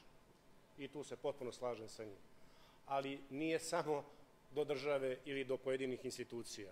Pomenuo je gospodin Imenbegu primjer Ministarstva pravde. Ne prođe mnogo vremena kada u Ministarstvu pravde nemamo javni oglas. Ali vjerujte da još do sada nismo imali ni jedan slučaj da se neko iz Albanske iz albanskog naroda javio na taj oglas. Mi ne možemo birati Albanca ako se ne prijave na oglas. Kao što ovaj, u Ministarstvu pravde imamo drugih, drugih ovaj, pripadnika nacionalnih, barem oni koji se izjašnjavaju pripadnike nacionalnih manjina. Imamo bošnjake, na primjer. Ovaj, I tako dalje. Tako da je to negdje posao koji nas tek čeka. I to nije samo uh, uh, izazov za vladu, nego za sve nas, za sve nas zajedno, a to zaista smatram važnim ukupno za, za Crnu Goru. E, gospodin, gospodin e, Sijarić je otvorio niz pitanja ovdje koja e, su zaista, zaista zaslužuju, zaslužuju komentar. Želim samo, gospodine Sijariću, da vam kažem da je naše opredeljenje da se ukida Privredni sud u Bilom polju nije, nije opredeljenje ministarstva na osnovu nekih, da kažemo, ad hoc argumentacije i potreba. Ova odluka proizilazi iz analize o racionalizaciji sudske mreže koju je vlada uh, uh, usvojila u 2013. godini na osnovu jedne sveobuhvatne ekspertske ekspertskog razmatranja i podjele argumentacije sa sudskom vlašću. Sudska vlast nema prigovore na ovo, na ovo rešenje. Želim takođe da vam kažem da su privredni sudovi zaista u pravosudnom sistemu, u sudskom sistemu u cijelini, naša najslabija karika. Evo neka me čuju sudije Privrednog suda, ali jesu naša najslabija karika. Mi danas u privrednim sudovi imamo duge sporove, stečajne postupke, kao što znate, imovinski, imovinski sporovi domaćih preduzeća, stranih preduzeća ja, i, mnoge druge, i mnoge druge probleme i mi to moramo da riješimo. Ja imam običaj da kažem da su nam problemi koji imamo u privrednom sudu u nekim situacijama najboj, najveće biznis ograničenje. I mi nećemo kompromis, praviti kompromis ovaj sa tim. Ovdje ne ugrožavamo prava građana kao fizičkih lica. Pred privrednim sudovima, kao što znate, pojavljuju se pravna lica. I mi ovdje ne zadiremo i ne udaramo u džep građana kao fizičko lice njegove troškove, a inače u privrednom sudu na osnovu te statistike imamo veoma mali broj, veoma mali broj predmeta. Niko neće ostati ovaj bez uh, da kažem, uslovno narodski, uh, iako E, e, parlament prihvatio ovo naše opredeljenje. Ali želim da vas uvjerim da smo se ovom pitanju zaista posvetili veoma odgovorno i na osnovu činjenica i ovaj, e, ozbiljnih, ozbiljnih analiza i želim da vam ponovim da vlada ostaje pri ovom svom opredeljenju, pa čak ne prihvatamo, čak ne možemo se složiti ni sa ovim vašim pristupom, da kažemo, srednjim rešenjem vezano za odjeljenje Privrednog suda ovaj, u Bilom polju. Takođe, kad su u pitanju sudovi za prekršaje, to ste pitanje otvorili stavili u kontekst, da kažemo, e, ravnomjernog regionalnog razvoja i, da kažemo, izbalansiranog odnosa vlade prema onome što su potencijali sjevera. Slažem se, ja sam sjevernjak, ali ne samo zbog toga jer sam sjevernjak, često na vladi govorimo o tome da iz, od strateških opredeljenja o potrebi ravnomjernog regionalnog razvoja treba da pređemo na konkretne akcije. Jer danas su prirodni resursi e, za ekonomiju Crne Gore i za njen razvoj daleko veći na sjeveru nego na jugu, pa čak i u centralnom dijelu. Vrijeme, I kad je u pitanju energetika, i kad je u pitanju poljoprivreda, i kad je u pitanju drvna industrija i tako dalje. Ali to se ne rešava ovim pitanjima. Kad bi znali da će privredni sud doprinijeti to regionalnom razvoju, otvorili bi ga i u Pljevljima, i u Beranama, i u Bijelom polju. Dakle, sud za prekršaje Sud za prekršaj, u Bijelom polju imamo osnovni sud, imamo viši sud i evo sada sud za prekršaj. Ne možemo prihvatiti, e, poštovani poslaniče Siliću, da u Rožajama imamo sud za prekršaj. Postavili smo odalenje. Znate koliko ukupno predmeta u sudu za prekršaj sada ima u Rožajama? Samo nešto više, e, desetak više preko 500. A znate li koliko je to od norme jednog sudije? To je 50% norme od jednog sudije. A sada u Rožajama imamo dvojicu sudija. Mi, na primjer, u, u, u Ulcinju imamo tri puta više predmeta uh, u prekršaja, pa tamo nemamo sud. U Herceg Novom imamo 2000 predmeta iz oblasti prekršaja, pa nemamo osnovni sud. Zaista smo to radili na valjan i ozbiljan način da obezvijedimo ono što je rekla koleginica poslanica Jonica, dostupnost pravdi, ali da naše sudstvo bude efikasno i racionalno, jer iz racionalnosti i efikasnosti imamo rezultat. Ovo je prosipanje državnih para, a niko nije, niko nije zadovoljan. I na kraju, eh, evo samo još ovo, ovo zaslužuje, zaslužuje pažnju, jer je, jer je problemsko. Poslanica Jonica je govorila o tome kako da to sada ponižavamo sudije da polažu test.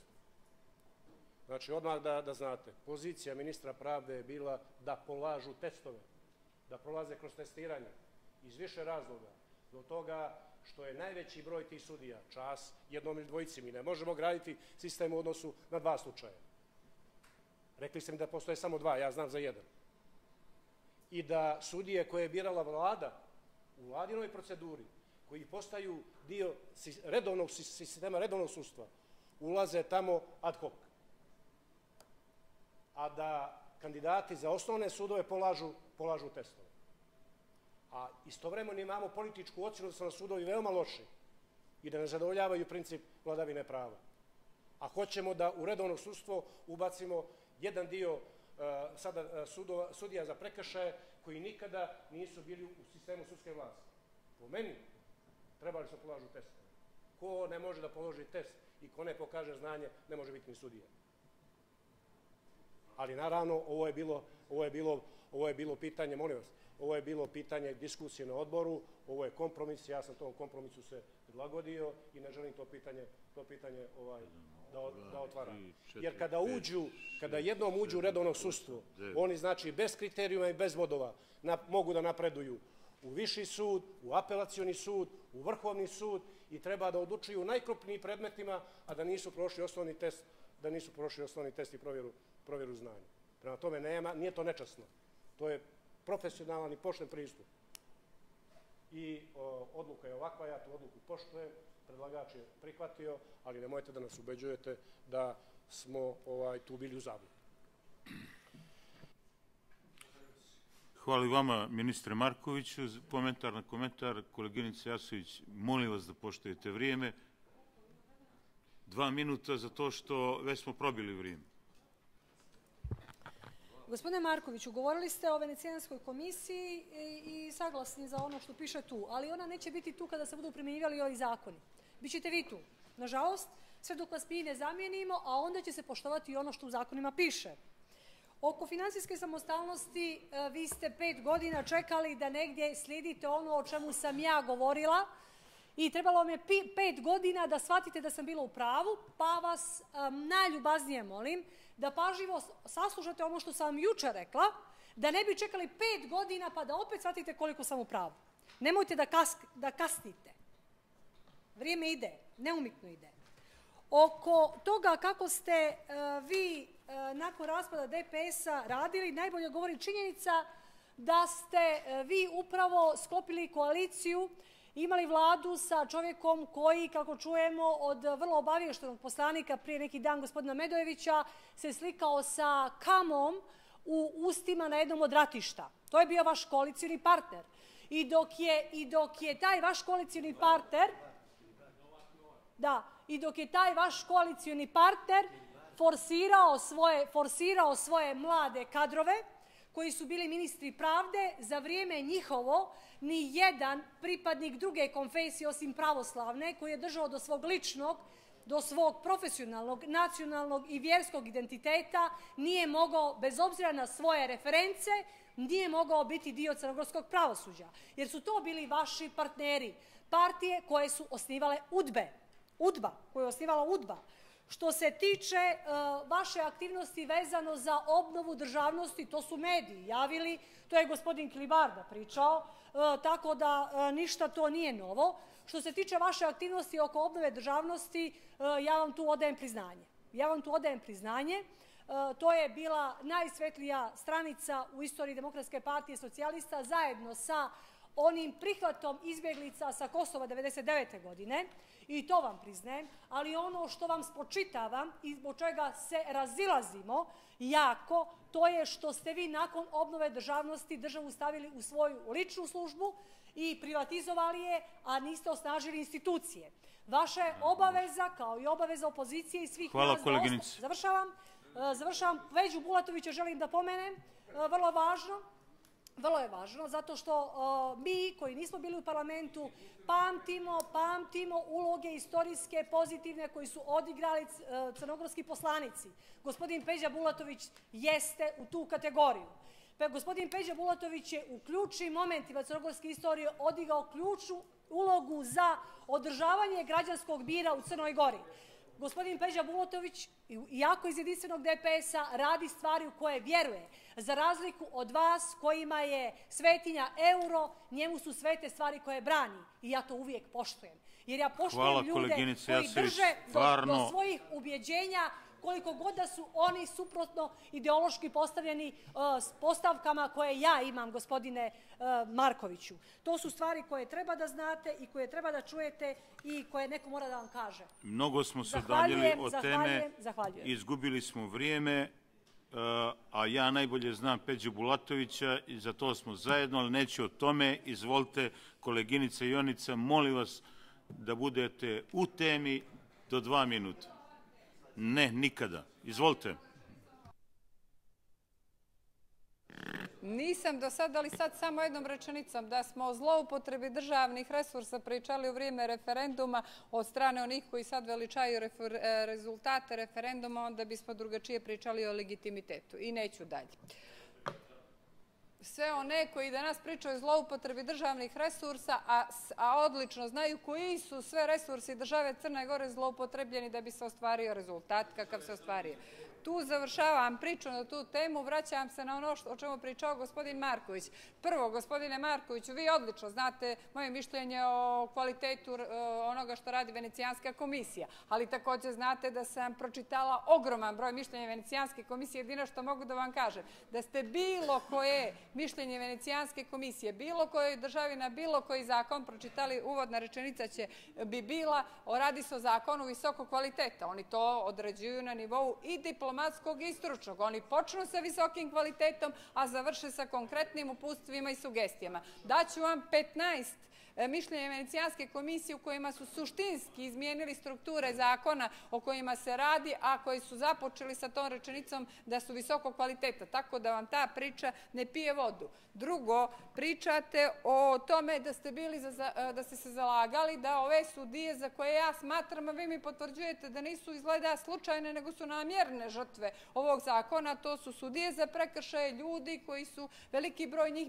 bili i u redovnim sudovima sudije pa zatim prešli sudove za prekršaj, dovodimo u poziciju da se prema njima ponašamo kao da su početnici. Ali, kad već pričate o, testi, o testiranju i o tome da ste se za to zalagali, red bi bio da odgovoriti na ovo o čemu sam ja pričala. Da li testiranje više ima kredibilitet u Crnoj Gori nakon onoga što se stvarno desilo na tim testi, testiranjima? I naravno, niste odgovorili ni na o tome da li da konačno definišemo i dužnosti sudija kroz one norme koje su neobavezujući iz etičkog kodeksa, a koje su ključ vraćanja povjerenja u rad sudova. Šta sudija ne smije da radi, a što gledamo svaki dan da se radi i što i u mojim očima i očima svih drugih koji to gledaju jednostavno stvara nepovjerenje u nepristrasnost sudija. Ajde da se pozabavimo malo tim umjesto demagogijom, da li će nešto doniti ili neće. Ove neke stvari sigurno neće i jedinstven izbor sudija, Ajde pokušajte, pojasnite kako ćete realizovati da jedinstven izbor sudija zaista dovede do onoga što vam je bio cilj. Nemoguće. Niko da reče i reizbor. I izbor i reizbor. Izvolite, kolega Gošević.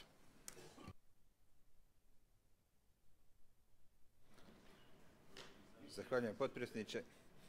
Gospodine ministre, kao što sam rekao uvodnom izlaganju. Venecijanska komisija je predložila nužnim da se ispita mogućnost koju je predložila sudska vlast u Crnoj Gori, to je da se kao sudski predmeti budu prekršaj za koje je u osam zakona propisana kazna zatvora i da se na taj način u okviru redovnih sudova formiraju prekršajna krivična odeljenja kao posebna odeljenja za koje bi kao drugostepena nadležna sudska instanca bio viši sud. Niste komentarisali ovak, vaš odnos prema ovakvom e, mišljenju Venecijanske komisije, a suština svega toga jeste da se obezbijedi da, da svaki prekršaj ne postaje sudski predmet. I takođe, prihvatanjem rešenja koje ste predložili, unijeće se u taj sudski sistem 20.000 neriješenih predmeta u ovom trenutku. Sve će to imati veoma negativne posljedice u onaj, onaj godišnji izvještaj efikasnosti rada suda. I to će biti ona kočnica, odnosno dio negativnog izvještaja koji će neminovno pratiti ukupan rad sudstva. I u tom dijelu, imajući u vidu iskustva e, i susjednih e, država, bilo je zaista za očekivati da uvažite mišljenje sudske vlasti. I drugo pitanje, konstatovali ste da se predlogom zakona obezbeđuje finansijska nezavisnost sudske vlasti. Jeste je donekle unaprijedili, gospodine ministre, ali je nijeste obezbijedili. Obezbijedit ćete onoga trenutka kada predlog sudskog budžeta, predlog koga utvrdi e, sudski savjet za, za rad sudova, bude uvažen kao takav od izvršne vlasti i od ovog parlamenta, što se nikada nije desilo. Do tada nema finansijske samostalnosti sudske vlasti. Zahvaljujem. Hvala i vama, kolega Goševiću. E, prelazimo na drugi krug e, današnjeg razmatranja dva predloga. U ime kluba poslanika DPS-a kolega Aprcović, neka se u ime DF-a pripremi kolega Pavlović. Molim vas, oko pet minuta. Izvolite, kolega Prcović gledajte vi mene, nemojte vi sa strane i ja još vodim ovo. Izvolite vi, imate pet minuta, izvolite.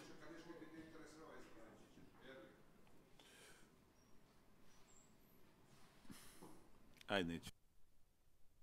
Predsjedniče, znači, čekali smo svi da počne diskusija o izuzetno važnom setu zakona koji se tiču zakona o Ustavnom sudu, zakona o sudovima, zakona o sudskom savjetu i dužnost, pravima i dužnostima sudija. Ja sam isto tako, moram na početku da kažem, želio da pričam iz zakonu Ustavnog suda, ali u cilju racionalizacije i želje da i ostalim kolegama omogućim jedno pristano vrijeme da iznesu svoj ugao gledanja na predložena zakonska rješenja, odustao sam od te diskusije. Međutim, došli smo uh, do rasprave koja, po mom dubokom ubjeđenju, nema elementarnu utemeljenost, osnovu da uh, steknem utisak da pričamo o predlozima zakona koji su na dnevnom redu. Zašto to tako uh, kažem? Evo, sada smo čuli da ne vjerujemo u mišljenje Venecijanske komisije, ali moram vas posjetiti kolege, kad su druga mišljenja naših međunarodnih evropskih partnera u pitanju, isto tako znate dobro da se pozivate na njih, da, da se njima dobro eksploatišete i da ono što su sugestije i dobronamjerne kritike da ispravimo u narednom periodu, da vi kažete da su to packe i da nećemo dobiti ono što svi očekujemo pozivnicu u NATO alijansu. To je ovaj dio što se tiče vaše dobronamjernosti u dijelu koji se odnosi na set predloženih zakona.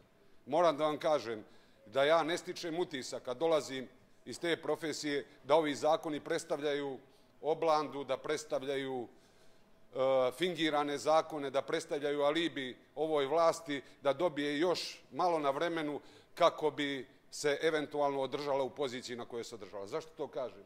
Pa sve ovo što danas, odnosno sutra ili utorak usvojimo, bit će na provjeri, e, provjeri kontroli kod naših evropskih partnera. Mi ćemo vrlo, vrlo brzo imati izvještaj o napretku Crne Gore za 2015. godinu, gdje ćemo znati gdje smo i što smo. Vrlo brzo ćemo znati da li ćemo dobiti pozivnicu u NATO, u što iskreno vjerujem. A ovo, uvaženi građani, vama se obraćam, e, predstavlja jedan dobar iskorak u budućem boljem i jačem, uh, i, i bolje, boljoj i jačoj vladavini prava i bržem dolasku do, uh, do prava i pravde vas samih. Moram da kažem da su ustavne promjene iz 2013. godine bila ta inicijalna kapisla i u tom trenutku negdje duboko u meni kada smo radili na ustavnim promjenama uh, imao sam utisak da iza zatvorenih vrata možemo doći do najkvalitetnijih rješenja. I došli smo do rješenja koje su odgovarali nama kao poslanicima. Došli smo do rješenja da dvotrećinskom većinom u ovom parlamentu, odnosno tropetinskom u drugom krugu, biramo predsjednika Vrhovnog državnog tužioca. Također smo došli do rješenja da sudije Ustavnog suda biramo dvotrećinskom većinom. I mi smo usvojili usvojili te, e, te ustavne amandmane i kasnije izabrali i sudski savjet i sudije Ustavnog suda i Vrhovnog državnog tužioca jednom respektabilnom većinom. Šta ta respektabilna većina u konkretno znači? Da e, svaki od kandidata za sudiju Ustavnog suda i za članove sudskog savjeta i Vrhovnog državnog tužioca da mora da shvati da je pod budnom pažnjom svih nas poslanika pripadali oni opoziciji ili vlasti. Šta je ono dobro u ovim zakonima što moram da istaknem? U dijelu koji se tiče tehničkog zakona, organizacijonog zakona, zakona o sudovima, moram da istaknem da sam svjestan činjenice da racionalizacija prekršajnih sudova je proistekla iz jedne svestrane analize koja je prethodila u 2012. i 2013. godini. Međutim, kao čovjek koji dolaze iz grada koji ima istorijsko utemeljenje što se tiče sudova, ne mogu se složiti da Kotor nema sud za prekršaje, sud za prekršaje sa sjedištem u Kotoru. Jer imamo osnovni sud i sasvim logično je da i sud za prekršaje bude, da mu bude sjedište u Kotoru. S onim što bi, složio bi se sa ministrom u dijelu koji se odnosi na drugačije pozicioniranje, pozicioniranje privrednog suda. I ja sam duboko svjestan činjenice da, da je to jedna od biznis barijera, odnosno e, nemogućnosti e, ulaganja u Crnu Goru zbog toga što izuzetno su spori i komplikovani procesi koji se vode kod privrednog e, suda, a tiču se pravnih odnosa između privrednih subjekata. Morate mi dati produžetak s obzirom na činjenicu da, smo, da su svi dobili po par minuta. Samo još tri, četiri rečenice da kažem. Izvolite, neće govoriti svi, kolega Škrelje. Svi mi, na vaš račun. Hvala kolega Pavloviću. Ja sam očekivao od vas da ćete vi, imati ovaj, razumijevanja prema meni. Svi mi, svi mi želimo i puna su nam usta samostalnosti i nezavisnosti sudova i tužilaštva. Svi mi želimo da ih oslobodimo od bilo kakvog vrsta pritiska.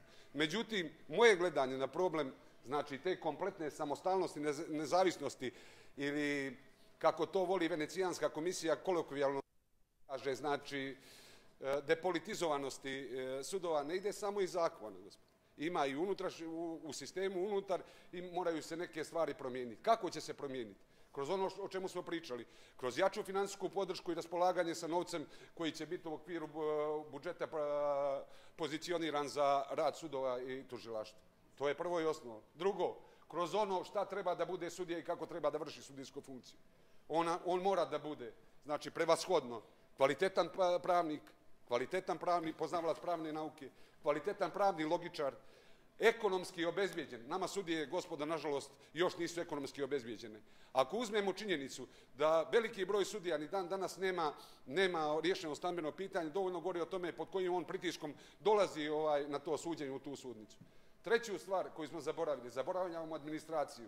Nama je administracija unutar sudova koji radi jedan izuzetno težak i odgovoran posao, ovaj, vrlo, vrlo malo plaćena. Treba i o tome da vodimo računa. Ja se svaki dan suočavam sa tim ljudima koji trebaju da ubace nove podatke u pravosudni informacioni sistem, da slože predmete, da, da proslijede poštu, one rade za izuzetno male pare, izuzetno, uh, izuzetno odgovoran posao. Moram da vam kažem da će inicijalna obuka, zovimo je na ovaj ili onaj način, doprinijeti tome da iz onoga što se zovu kandidati za obavljanje sudijske funkcije da dođemo na nek, do, do najkvalitetnijih ljudi. Sa tim se mijenja sistem, sistem rada u sudstvu. Zašto? Ja se ne slažem samo sa jednom konstatacijom dijelu koje se odnosi na inicijalnu, inicijalnu obuku. Ne slažem se da bude centralizovan. Iz prostog razloga. Nije, znam, svjesna sam činjenica da to treba da radi osnovni sud kao najveći osnovni Vrime. sud u Crnoj Gori. Međutim, imat ćemo kandidate sa sjevera i sa juga koji će dodatno se ekonomski iscrpljivati i to može da e, demo, e, demotivirano, demotivirano e, demotivisanost tih kandidata za obavljanje, odnosno prolazak, prolazak obuke. E, kolega, možete li da poentirate, jer će otpasti koleginica Šćepanović, nažalost. ne... samo... E, pričajte. Na račun kolega vaši. U dijelu koji se, e, dijeli, u dijelu koji, znači, s obzirom na činjenicu... Ja vas pažljivo sad... slušam i vrlo elokventno i struke pričate, ali vrijeme je neumitno. Ja sam slušao svakoga ko- kolegu ovdje od Izvolite, početka do kraja. to ću ja. I dobro sam pratio diskusiju. Samo još tri rečenice da kažem. E, Bez obzira na činjenicu što je ministar rekao, znači da će se plaćati da će se plaćati ovaj troškovi boravka u Podgorici. Smatram svrsishodnim da se nađe modalitet da jedan trenažni centar, da ga tako nazovem, nemojte da mi zamjerite, najgrublje rečeno, da bude i na sjeveru i u južnoj regiji. Imamo mi dobrih mentora sudija, nemoj, nemojte to da zaboravite, i u južnoj i u sjevernoj e, regiji. Imamo poštenih, čestitih kvalitetnih sudija. I oni ne mogu da snose teret odgovornosti u okviru, u okviru ovaj, pravosuđa kao, i svi, kao jedan, jedan manji broj sudija koji suprotno ustavu i zakonu vrši svoju funkciju. I dijelu koji se tiče samo na ocjenjivanje. Dobar je zaključak e, sudskog savjeta u dijelu koji se tiče na ocjenjivanje, na ocjenjivanje ovaj, sudija da je previše sistem komplikovan. Ja ću vam samo reći jednu stvar. To može da bude jedan e, jako, jako ovaj, osjetljiv proces. Iz kojega razloga? Nije svaki predmet isti. U određenim predmetima imate izuzetno teška i komplikovana vješte, vještačenja, tipa vještačenja geodetske struke, građevinsko-arhitektonske, saobraćajne, Molim vas, 11 minuta. još, evo, završavam sa tim. Ajde, izvolite. Stoga, prilikom formiranja komisija i vijeća za ocjenjivanje, molio bi da se dobro vodi računa o složenosti predmeta u kojem postupajući sudija e, odlučuje, odnosno da se tu traže pravi kriterijumi, pravi kriterijumi za ocjenjivanje sudija. I na kraju, gospodo, ne vidim niti jedan razlog da se ova zakonska rješenja ne podrže. Iz prostog razloga što po mom mišljenju i ubjeđenju će samo doprinijeti boljem i jačem povjerenju onih krajnjih korisnika ovih zakona građana Crne Gore u rad sudova. Hvala kolega Aprcoviću. Izvolite kolega Pavlović, molim vas do pet minuta i neka se pripremi kolega Sekulić. Hvala gospodine e, potpredsjedniče parlamenta. Dakle, e, gospođo, gospo, i gospodo građanke i građani Crne Gore, moram da konstatujem sad, baš sa kolegama pričam i konstatujem da je prvi krug rasprava na ovu temu danas trajao tri sata. Više od, jeste, gotovo tri sata je trajao. Znači, samo, samo e, ovaj diskutanti ispred klubova sa ovom novom, da kažem, tehnologijom i procedurom koju je gospodin Krivokapić smislio, ta reforma, ovaj, reformisan je sad način rasprave u parlamentu i samo taj prvi krug je trajao tri sata. Jedina reforma koja je gora od te reforme je ova reforma koju gospodin Marković gura sa, sa ovim crnogorskim sudstvom i koja traje ovoliko koliko traje i ako, ako gospođi i gospodo građanki i građani Crne Gore vrlo brzo ne date nam podršku da ih maknemo, ojadu će nas zabaviti. Kolega Pavlović, moram da kažem da sam ja krivo za to i vodio sam sjednicu. Ne, ne, ne. ne. Popuštajući ja nisam, vama, ja nisam, što gospodine, ste, ja sam kriv, nije... Podpredsjedniče, vođenje je jedna stvar, a druga je stvar ova nova procedura razmatranja zakonodavnog takozvanog čitanja zakona ovdje u plenumu. Ta nova procedura je takva da, konstatujem još jednom, samo po jedan ispred kluba, sa svim ovim odgovaranjima, sa svim komentarima i tako dalje, tri sata je trajalo. Tri sata je trajalo. Znači, to, je, to su reforme, čuvene reforme koje je gospodin Krivokapić, njegov SDP uvedu. Oni kad uvedu reforme, odmah zalutate onim Platonovim pećinama. Odmah ste u Platonovim pećinama i Bog vam pomogao da uopšte izađete iz toga. Ja sam jedino, e, dobro, dobro kaže kolega Knežević, jedino Marović umije da izađe iz tih Platonovih pećina. Ovaj.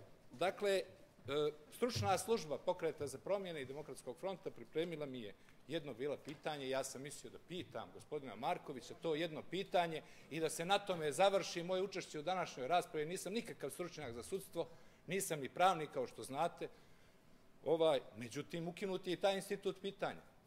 Moje pitanje gospodinu Markoviću je sljedeće. Dakle, gospodine Markoviću, moje pitanje se odnosi na ovaj zakon koji tangira sudski savjet. I ono, da bi ga sažeo ovako ilustrativno, napravit ću jednu hipotetičku figuru. Ne figuru stilsku, nego figuru osobe. Dakle, da li po vašem zakonu, ovome koji sad predlažete, može osoba neka koja je član, recimo, izvršnog odbora DPS-a, predsjednik izvršnog odbora DPS-a, koji je pritom pravosnažno osuđen, recimo, za, znači, hipotetička je ličnost, odmah se razumijem, pravosnažno osuđen za nasilje u porodici i za više nasilničkih dijela pravosnažno osuđen, prepoznat u zajednici, možda čak daje pare pod kamatu, pa i oko toga je, recimo, pravosnažno osuđen. Može li biti član, po vašem zakonu, član sudskog savjeta? Može li biti predsjednik sudskog savjeta? E sad ću vam reći, sad ću vam reći, gospodo, gospođi i gospodo građanki i građani Crne Gore, takva osoba, po ovome zakonu koji predlaže gospodin Marković, kao novi evropski zakon, može da bude i član, čak i predsjednik sudskog savjeta. Može, može, pogledajte gospodine Markoviću zakon. Mi imamo vrlo kvalitetnu stručnu službu i ona je pripremila upravo ovo pitanje. Prema tome, gospodine Markoviću, gospodine Markoviću, gospodine Markoviću, ako možete samo, ovaj, ja znam, evo da sačekam ja, e. Dakle, gospodine Markoviću, ja zaista apelujem na vas da takve, da kažem, potpuno toliki stepen nedosljednosti makar da maknete iz, iz toga ili da nadomjestite to stavljajući nešto novo u ovaj zakonski tekst, jer to je skandalozno. Skandalozno je da nijesu propisane, propisani uslovi da takav neki čovjek ne može da uđe u sudski savjet, da ne može da bude član političke, nekog organa političke neke organizacije i da bude član sudskog savjeta, da ne može da bude osuđivan, recimo, za pomenuto nasilje u porodici i da bude član sudskog savjeta. Kako mislite, kakve će on sudije da bira takav, takav član sudskog savjeta? Pa naravno da će da bira sudije ovaj, u skladu sa, sa, sa svojom biografijom. Znači, ovdje se radi o rezultatima, gospodine Markoviću. Prije jedno pola sata, sad, da bilo ko da se uključi u program ovdje i da, da sluša, ne bi uspio da shvati o čemu mi ovdje pričamo. Ne bi uspio da shvati, gospodine Markoviću zato što ste nas uvukli u ovu Platonovu pećinu ovih vaših takozvanih reformi pravosuđa, jednostavno mi smo počeli da pričamo o potpuno marginalnim stvarima. Gospodine Markoviću, vi odlično znate, a da podsjetim sve vas, prisutne kolege i crnogorsku javnost, prije dvije godine mi i Evropa i Brisel smo imali konsenzus oko toga da nam ne valja ništa sudstvo i da je jedan od glavnih krivaca za to stanje u sudstvu, naravno, osoba koja je upravljala sa tim sudstvom, Vesna Medenica. Pa je onda gospodin Marković izašao sa svojom čuvenom, ja je nazivam Mojkovačkom vrteškom. To su ove vrteške koje organizuju se ovdje da, i ringišpili i onda vas stave na taj ringišpil, vi mislite da idete negdje, u stvari se stalno vrtite upravo oko iste stvari. Kolega, vrijeme. Evo, evo, evo, završavam. Dakle, Onda su krenule te kozmetičke ustavne reforme, pa neki novi zakon, pa neki novi sudski savjet i opet ista Vesna Medenica. Opet ista, ili to neka reformisana možda Vesna Medenica. Izvinite, samo pitam. Naravno, Vesna Medenicu, ja izvinjavam se, nadam se da ovo neće doživjeti kao bilo šta lično. Ona je prosto paradigma.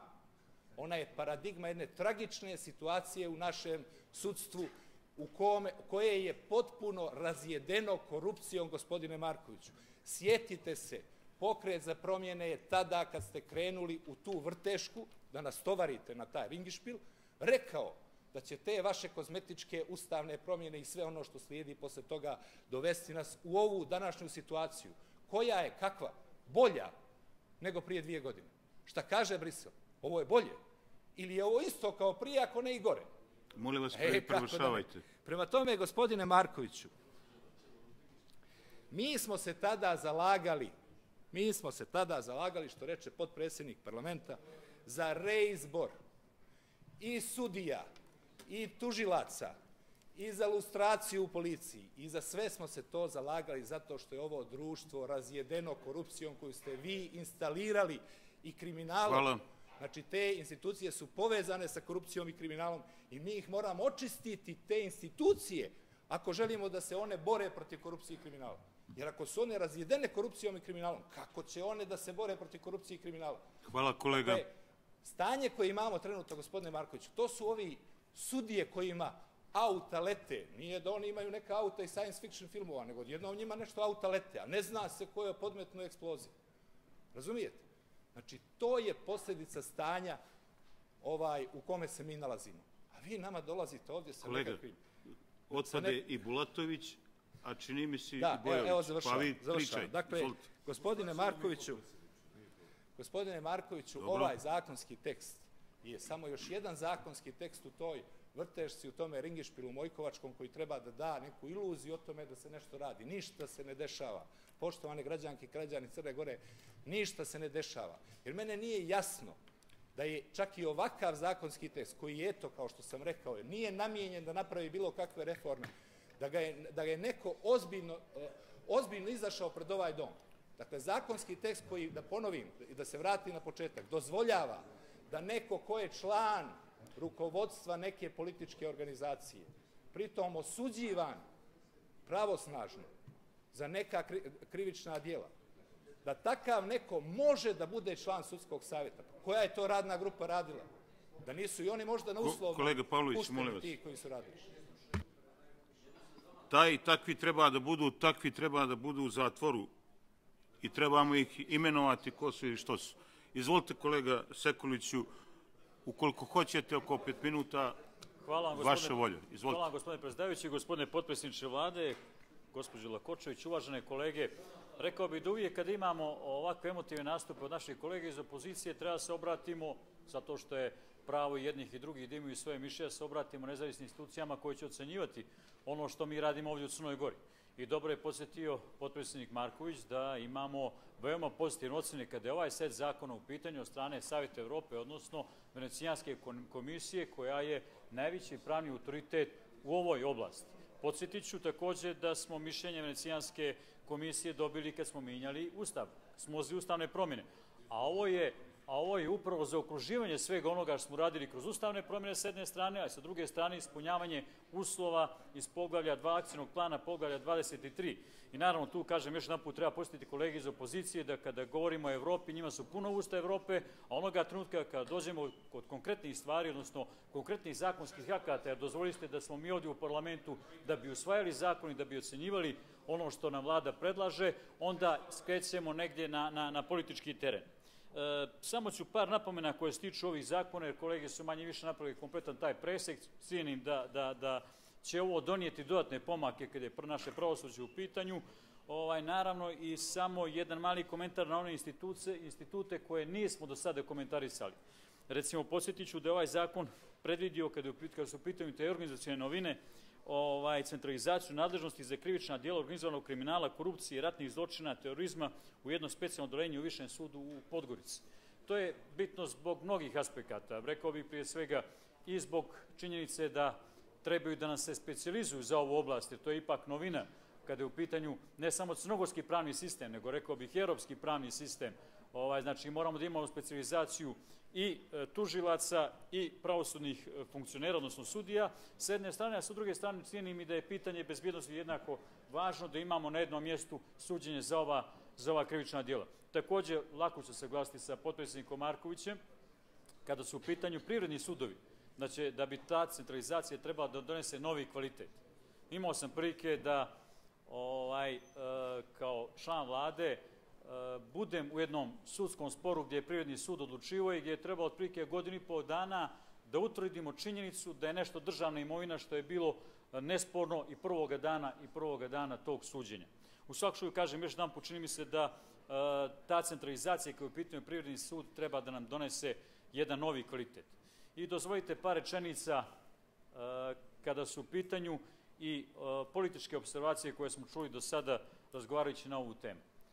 Nije, nema ničega spornog u tome, to je ustavom zagarantovano pravo da neko protestuje, makar i zato što dolazi visoki politički funkcioner susjedne nam države.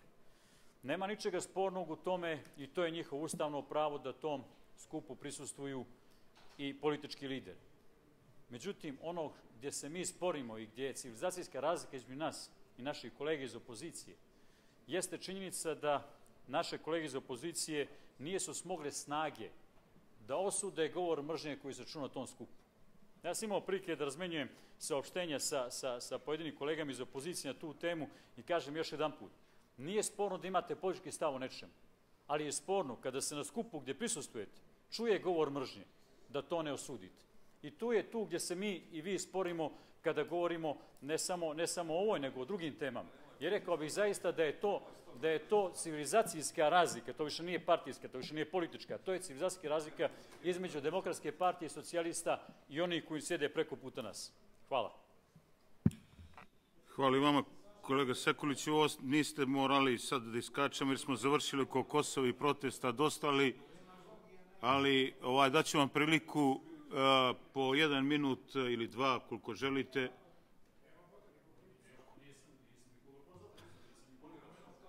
Izvolite kolega Kneževiću i kolega Sekulić. Hoćete li vi procedurom? Izvolite. Izvolite kolega Bulatović. E,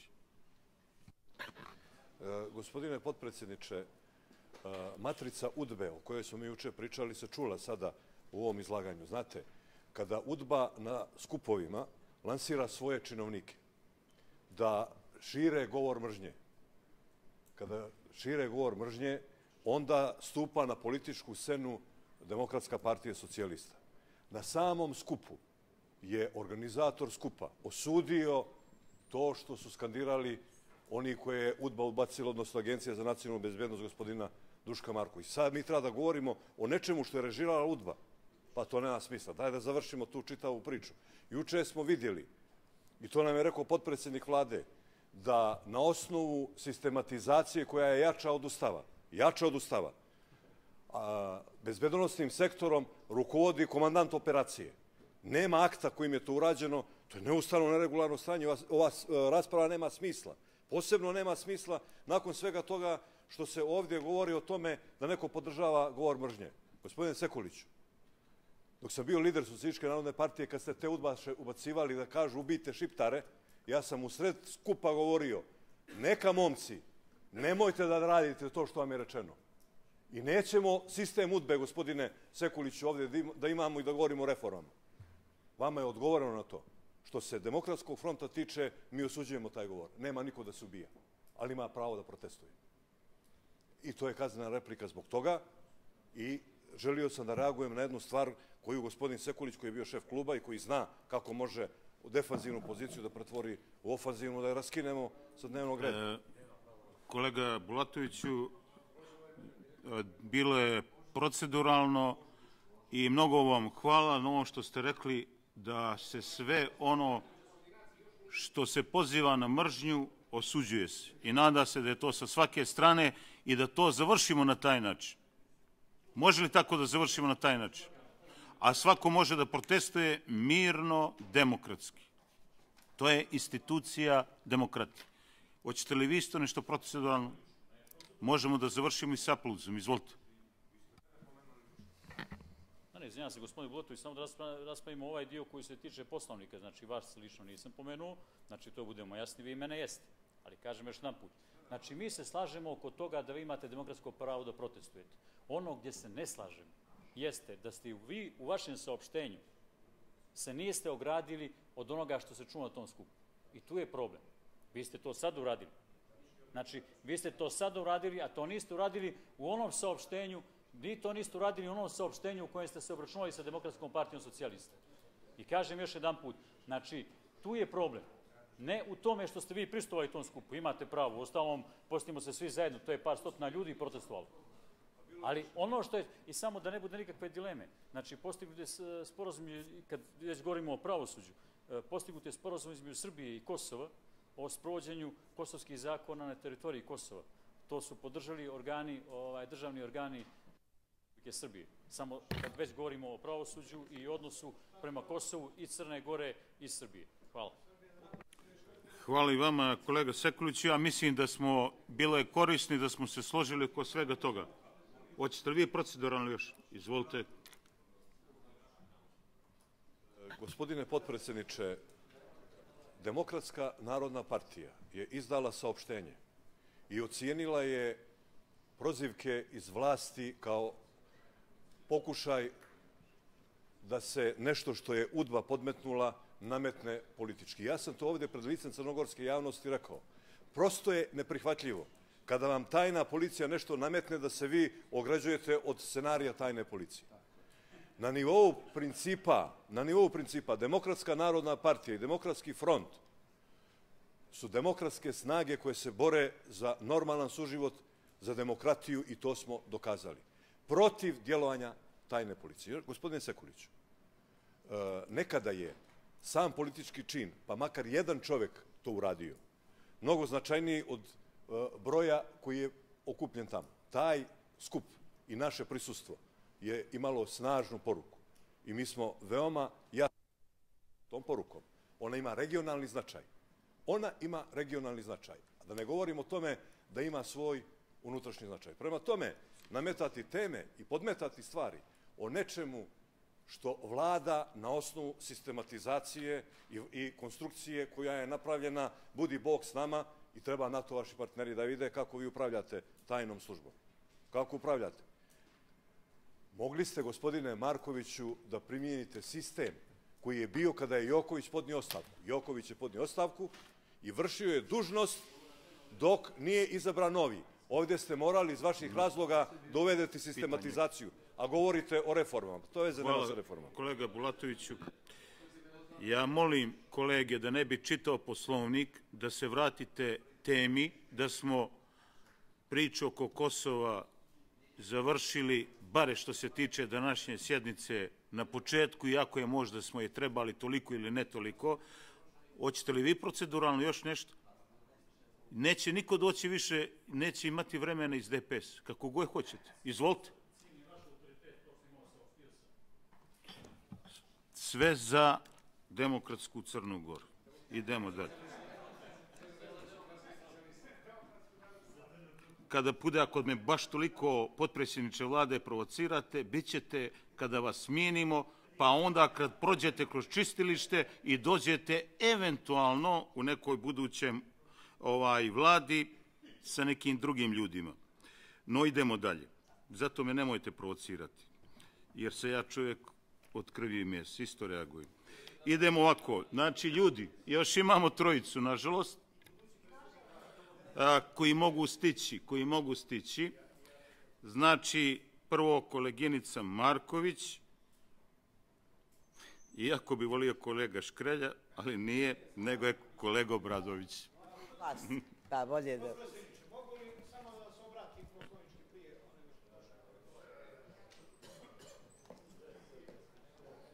Poslovnički kolega Labodović, izvolite. Prvo, poslovnički je vezano je za ovaj način rada i organizaciju rada Skupštine. Nije mi jasno i nikad se neću složiti sa time zašto rad Skupštine prilagođavamo mjerilima i organizacionim potrebama javnog servisa. Oni neka rade svoj posao, neka procijene da li im je i šta im je preče da prenose, a mi možemo da radimo ako treba do ponoći, ovo se danas mora završiti. I nemate pravo da zbog toga što nas javni prenos, ovaj javni servis ne prenosi, uskraćujete kolege koje su javili da govore. Možda je njima potpuno svejedno da li to što ima da kažu prenosi televizija ili ne prenosi, oni to treba da saopšte predlagaču zakona a ne javnom servisu. A ako javni servis nema potrebu da građanima prenese raspravu o jednoj ovakvoj temi i o jednoj ovakvoj stvari, ima način i, i da se i to sankcioniše, ali u svakom slučaju stvarno je neprimjereno, evo to radimo godinama, mi rad Skupštine prilagođavamo programu javnog servisa, što je po mom dubokom uvjerenju neprihvatljivo. Kolega Labudović, da ste me dobro pratili danas, onda bi ovo što ste vi rekli, ja sam rekao prije sat vremena, u tom takozvanom javnom servisu smo u prenosu toliko, a ja bi tamo uveo prinudnu upravu. I stalno to govorim, a ja ću, kad bude prekinut televizijski prenos, vas obavijestiti da li hoćete da nastavite, ali ćemo danas završavati ove dvije tačke.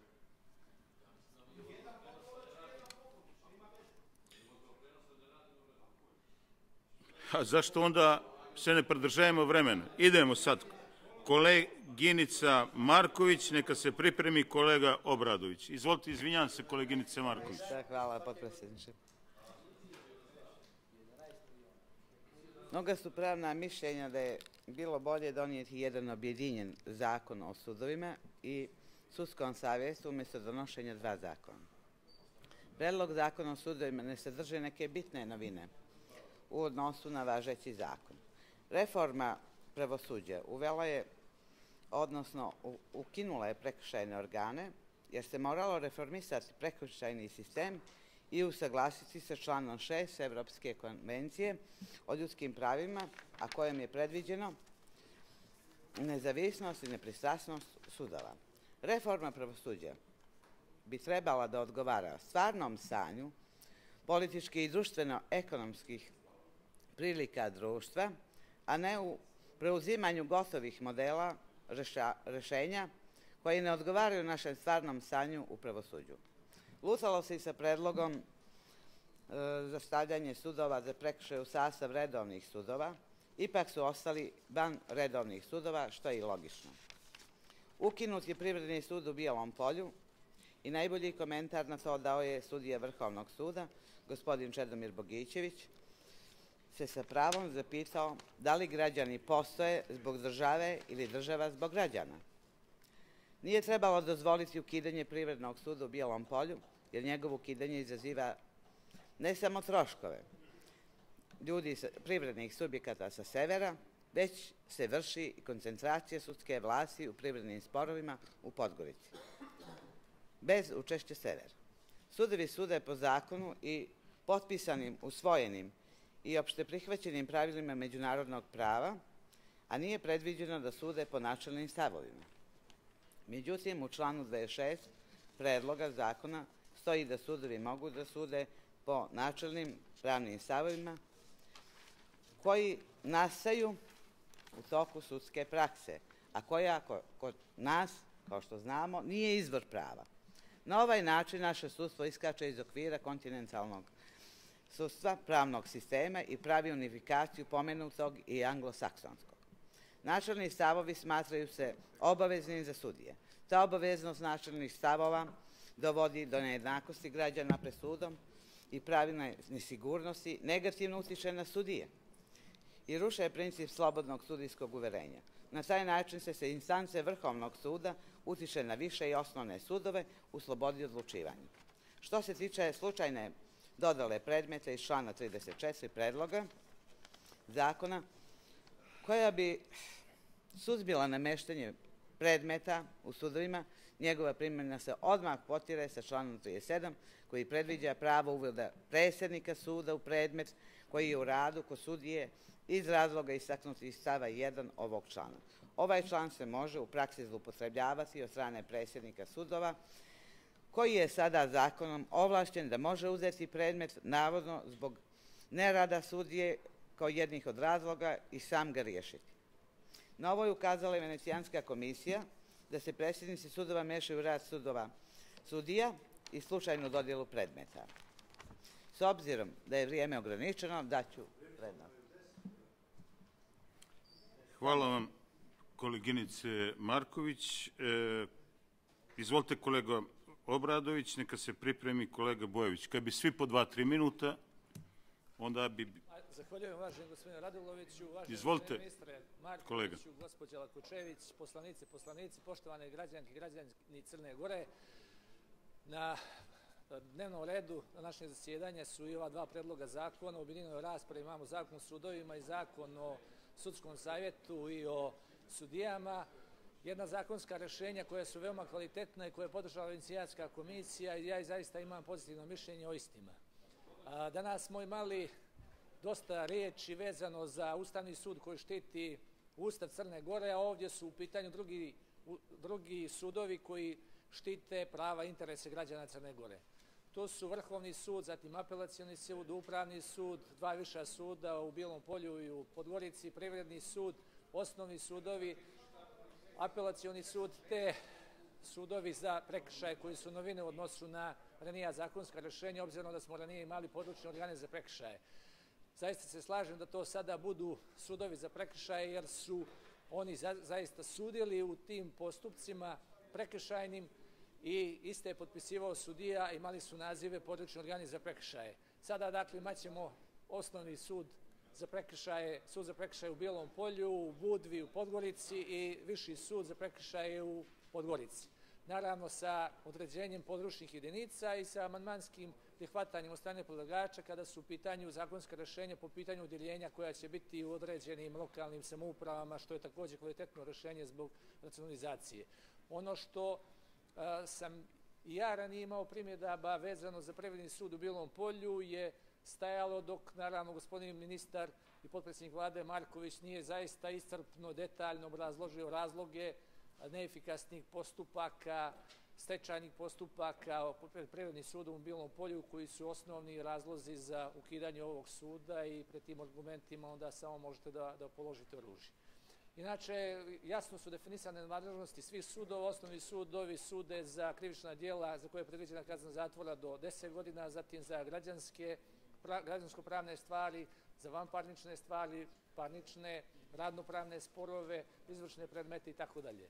Viši sud je za krivična dijela za koje je zapriječena kazna zatvora preko 10 godina i za rešavanje po žalbama i takođe i sobstvene nadležnosti i posebno kada su u pitanju određena krivična dijela koje je im zakonom dato da rešavaju u tim predmetima. Raduje činjenica da se posebno vodi pažnja o organizovanom kriminalu, korupciji, mitu, ratnim zločinima, terorizmu, pranju novca i po, tom pitanju postoji posebno vijeće pri višim, višem sudu u Podgorici. Apelacijani sud je tu da rešava po žalbama na presude Privrednog suda i presude viših sudova. Imamo naravno tu jednu na vrhu instancu, to je Vrhovni sud, a takođe i Upravni sud koji rešava u upravnim sporovima. Kada je u pitanju sama nadležnost, djelatnost sudija, zaista to moraju da budu veoma moralne, profesionalne ličnosti, da imaju određene uslove koje su propisane ovim zakonom, a to je određeni broj godina radnog iskustva, imaju položeni pravosudni ispit i ovdje je zaista zakonskim rešenjima predviđeno na koji način oni mogu da napreduju i da prolaze iz jednog suda u drugi, dakle u veću sudsku instancu. Takođe imamo novine po pitanju disciplinskog postupka i disciplinskog tužioca. Određeni su i uslovi vezano za sekretara suda, za pripravnike, za ostalo osoblje sudova, tako da imamo zaista do kraja izvedene odredbe vezano za sami pravilnik o organizaciji i unutrašnjoj sistematizaciji radnih mjesta u sudovima. Ono što e, ipak još uvijek nije kvalitetno do kraja izvedeno, a to je pitanje sudija porotnika, zakonskim rešenjem jeste to stavljeno, međutim znam u praksi da sudije porotnici u Crnoj Gori ne, ne, ne presuđuju, nemaju toliku ulogu kao što imaju u mnogim drugim evropskim zemljama i zemljama anglosaksonskog prava i po tom pitanju mislim da sad ima prostora da se unaprijedi zakoni. A, što se tiče ostaloga, što sam dakle istakao, podržavam reforme koje se tiču ova dva zakonska rešenja i ja, dakle, i Demokratska partija socijalista, a takođe gospodin Radulović zna da ste više željeli da gospodin Škrelja govori prije mene zato što vam čestitao rođendan, ali sada vam ja kažem da se ja pridržujem čestitkama vašem 80. rođendanu. Zahvaljujem za pažnju. E, kolego Bradoviću, to je bio mali štos starovaruški, pa tako, gdje nam sjedoste na njega, ali dobro, nema veze. Idemo, uh, izvolite kolega Kaluđerović, neka se pripremi koleginica Šćepanović. Hvala gospodine potpredsjedniče, poštovana Skupštino gospodine potpredsjedniče vlade Markoviću, poštovani građani. Najkraće, u pet minuta o dva veoma e, važna predloga zakona. Prvo da e, povodom predloga zakona o sudovima i ja potenciram i pozdravim rješenje iz člana 16 da će se u okviru e, Višeg suda u Podgorici formirati posebno specijalno odjeljenje koje će biti isključivo nadležno da sudi o krivičnim dijelima, najtežim krivičnim dijelima iz oblasti korupcije, krim, e, organizovanog kriminala, terorizma, pranje novca i još jednog broja krivičnih dijela. Sjutra će se raspravljati o e, zakonima iz sfere tužilaštva koji takođe svoju nadležnost prilagođavaju ovoj činjenici i vidjet ćemo, naravno time se stvaraju samo pravne pretpostavke, ali će biti potrebno i mnogo volje i hrabrosti i profesionalne odvažnosti da to zaista i u e, životu da rezultate. Ja ću ukazati na dva pitanja koja čini mi se nisu posebno bila e, predmet pažnje u dosadašnjoj raspravi o predlozima e, ova dva zakona. Jedno je što po mom sudu neka rješenja, i to konkretno u članu 29 predloga zakona o sudovima i članu 28 predloga zakona o e, sudskom savjetu, idu ivicom ustavnosti. I samo da e, podsjetim i pročitam, član 29 predloga zakona o sudovima glasi potreban broj sudija e, službenika i namještenika utvrđuje se prema okvirnim mjerilima koje propisuje ministarstvo na predlog sudskog savjeta. A član 28 E, Zakon o sudskom savjetu, broj sudija, odnosno sudija porotnika, utvrđuje se na osnovu okvirnih mjerila rada utvrđenih u skladu sa zakonom kojim se uređuje organizacija sudova, dakle ovim što sam već prethodno rekao. Dakle, okvirna mjerila za broj sudija utvrđuje ministarstvo. Gospodine potpredsjedniče vlade Markoviću, po mom sudu ovo je opasno ugrožavanje ustavne pozicije sudstva kao nezavisne grane vlasti i nadležnosti sudskog savjeta. Dakle, nesporno da član 11 Ustava kaže da je vlast e, podijeljena na zakonodavnu, sudsku i izvršnu, da član 126 Ustava prepoznaje sudski savjet kao samostalan i nezavisan državni organ koji obezbjeđuje samostalnost i nezavisnost sudova i sudija. Dakle, najviši mogući ustavom definisani stepen nezavisnosti i autonomiji. Takođe je nesporno da je amandmanom 9 e, kojim je propisana nadležnost sudskog savjeta tačkom 6 rečeno da sudski savjet određuje broj sudija i sudija porotnika.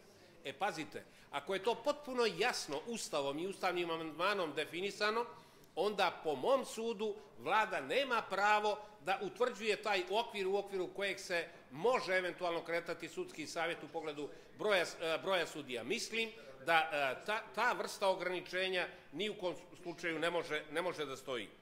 Drugo, član 38 zakona o sudskom savjetu koji uređuje posebne uslove za ovaj e, izbor sudija u svim sudovima, dakle da tu sada ne detaljišem, ono što e, mislim da nije dobro, za posebne uslove u pogledu za sudije višeg apelacionog i vrhovnog suda E, ste propisali u predlogu zakona da je uslov da radi, da radi kao sudija ili državni tužilac. Dakle, ne može biti neko ko ispunjava uslove, a u trenutku kada je raspisan javni konkurs e, nije već e, u poziciji da vrši sudijsku ili tužilačku funkciju. Ja znam da to ima svoje pozitivne, ali se bojim da ima više negativne strane, jer zašto da skraćujemo e, kadrovski potencijal za obavljanje sudijske funkcije iz reda onih koji su obavljali sudijsku funkciju, koji su svojom voljom, a bez mrlje na, da kažem, e, način obavljanja sudijske funkcije u određenom trenutku prestali da to budu pa neko vrijeme bili advokati, notari i tako dalje, zbog čega im uskratiti mogućnost da konkurišu i da budu ravnopravno kandidati za ovaj izbor za sudijsku funkciju i uh, interesantno je, evo za ovih 30 sekundi što ostaje, za predsjednike sudova, i to svih od uh, za prekršaje osnovnog, višeg, apelacionog, upravnog, vrhovnog, nema ovog uslova. Interesantno. A valjda je pitanje predsjednika sudova još odgovornije nego jer je on izre, takođe ne, nosila sudijske funkcije. Ali nema uslova da može birati neko koji je već u tom trenutku nosila sudijske, odnosno tužilačke funkcije. Interesantno. Hvala. Hvala i vama, kolega Kaluđerović. Izvolite, koleginica Šćepanović, neka se pripremi kolega Bojović potpredsjedniče, poštovani potpredsjedniče, poštovani ministre, kolege, poslanici, uvaženi građani Crne Gore. Akcijnim planom za pregovaračko poglavlje 23 temeljna prava kao strateškog i reformskog dokumenta u ovoj oblasti predviđene izmjene zakona o sudovima i izmjene zakona o sudskom savjetu, pa kada je riječ o ova dva zakona, pokazalo se kao cijelishodnije, jer je ovdje upravo i postavljeno to pitanje od nekih poslanika, da se novim zakonom o sudskom savjetu i pravima i dužnostima sudija regulišu sve one odredbe koje se tiču prava dužnosti sudija, a da se zakonom o sudovima regulišu odredbe koje se tiču osnivanja, organizacije i načina rada sudova, sudske uprave i finansiranje sudova. Što se tiče zakona o sudovima, svakako najznačajnije novine su u pogledu nadležnosti sudova za vođenje prekršajnog postupka koji su rezultat jedne sveobuhvatne analize Ministarstva, e, Ministarstva pravde i koje se upravo iz razloga i celishodnosti odlučio za alternativu 2 koja je bila ponuđena u nacrtu ovoga zakona, a to je da to budu specializovani sudovi i prenos ovih ovlašćenja za odlučivanje prekršajnim postupcima na sudstvo je odluka predlagača koji upravo i pozdravila Venecijanska komisija. Ono što je takođe značajna novina jeste i reorganizacija privrednih sudova, tako da se sad osniva jedan privredni sud u Podgoricu za teritoriju Crne Gore i sa koncentracijom nadležnosti za zaštitu prava intelektualne e, svojine. E, ovim e, predlogom zakona bila su predviđena tri prekršajna suda za teritoriju Crne Gore i to u Bijelom polju, Podgorici i Budvi. Sa odjeljenjima e, prema postojećim područnim organima mi smo predvidjeli amandmanom da to budu odjeljenja u svakoj opštini prema postojećim nadležnostima sudova za prekršaje jer ovdje se postavilo pitanje zaštite prava stranaka propisanim upravo članom 3 ovog predloga zakona, da svako ima pravo da se obrati sudu radi ostvarivanja e, svojih prava i da su svi pred sudom jednaki u zaštiti svojih prava. Takođe se ovdje postavilo pitanje od nekih poslanika da li je ovo rešenje koje smo zajednički našli e, da li je dobro i postavlja se pitanje da li će na ovaj način biti pravda dostupna svima. Ja smatram da jeste, jer u potpunosti obezbijeđena e, dostupnost sudova građanima i što je u krajnjem i bio cilj i nas i predlagača u ovom dogovoru. Posebno značajna novina je i centralizacija nadležnosti za krivično dijelo organizovanog kriminala, korupcije, ratnih zločina i terorizma u jedno specijalizovano odeljenje Višeg suda u Podgorici, E, moram takođe da pomenem što se tiče zakona o sudovima da je na matičnom odboru bilo e, postavljeno pitanje strane Vrhovnog državnog tužioca zašto policijski sudovi u buduće neće više obezbeđivati objekte sudova i tužilaštava, već će to sada biti obaveza i Vrhovnog suda i Vrhovnog državnog tužilaštva ili da oformi službu ili da angažuju neko privredno društvo koje se bavi poslovima obezbeđenja i ovdje se vidi i same javne rasprave povodom ovog zakona da je ministarstvo ovdje u potpunosti ispoštovalo e, zahtjev Ministarstva unutrašnjih poslova koji su prosto tražili da u buduće policajci budu na terenu, a da Vrhovno državno tužilaštvo i Vrhovni sud angažuju određene službe za obezbeđenje. Što se tiče zakona o sudskom savjetu i pravim i dužnostima sudija, E, čiji je naziv e, bio sporan pojedinim članovima odbora kao i predstavnicima Sudskog savjeta. On je amadmanom izmijenjen u Zakon o Sudskom savjetu i sudijama, mada meni lično nije bilo ništa sporno u tome iz razloga što se iz cijelog zakona provejavaju i prava i dužnosti sudija, samo je razlika u tome bila što ona nisu pobrojana u jednom određenom članu. E, što se tiče ovoga zakona, ovaj predlog donosi izmjene u pogledu uspostavljanja jedinstvenog sistema izbora sudije na nivou države na osnovu postupka koji je transparentan i zasnovan na zaslugama, e, koji se sastoji od inicijalne obuke, i od e, teorije, a ta inicijalna obuka sastoji se od teorijskog i praktičnog dijela, tako da kandidat će sutra biti ocjenjivan i ukoliko dobije ocjenu zadovoljava, on će tek onda zasnovati radni odnos na neodređeno vrijeme u određenom sudu. E, ovdje bih zaista pomenula i sistem e, ocjenjivanja i u vezi sa tim i sistem napredovanja sudija, jer ovdje se postavlja pitanje da li je ovim zakonom e, zatvoreni sistem isključivo za sudije povodom komentara koje su pomenuli neki poslanici. Ja zaista smatram da je ovaj sistem u potpunosti i pravedan i da će on stvoriti kvalitetne kadrove u Višem i Vrhovnom sudu, jer su u osnovnim sudovima sva mjesta otvorena i svi mogu mogu da se kandiduju i normalno da idu sistemom napredovanja na osnovu svog kvaliteti rada u e, viši i vrhovni sud. Ja sam imala da pomenem još nešto, ali zbog racionalizacije vremena vam se zahvaljujem za vršenje. Hvala vam, koleginice Šćepanović, na korektnosti. E, da su bili svi ostali poslanici kao vi, danas bi već i završili. E, izvolite, kolega Bojeviću, neka se pripremi kolega Škrelja. Zahvaljujem prvi potpredsjedniče, poštovani građani, uvažene kolege.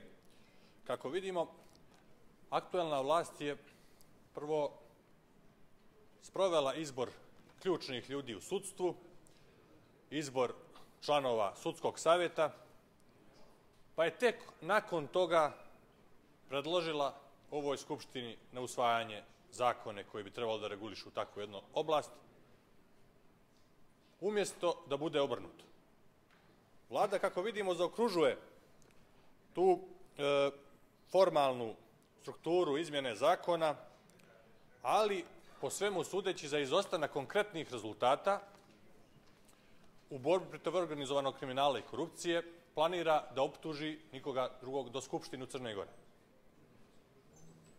Skupštinu zbog toga što je izglasala zakone, zbog toga što je izabrala članove Sudskog savjeta, Tužilačkog savjeta, Vrhovnog državnog tužioca i tako dalje.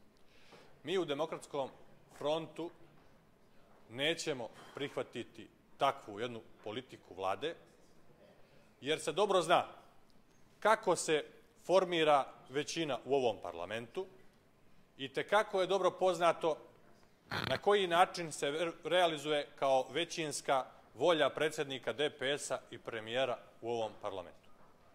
U toj realizaciji volje aktuelnog premijera Demokratski front niti je učestvovao, niti će učestovati. Tako da ta, taj pokušaj gospodina Markovića da prebacuje stalno odgovornost na parlament ne može da bude generalizovan i ne tiče se nas iz Demokratskog fronta. Idemo dalje.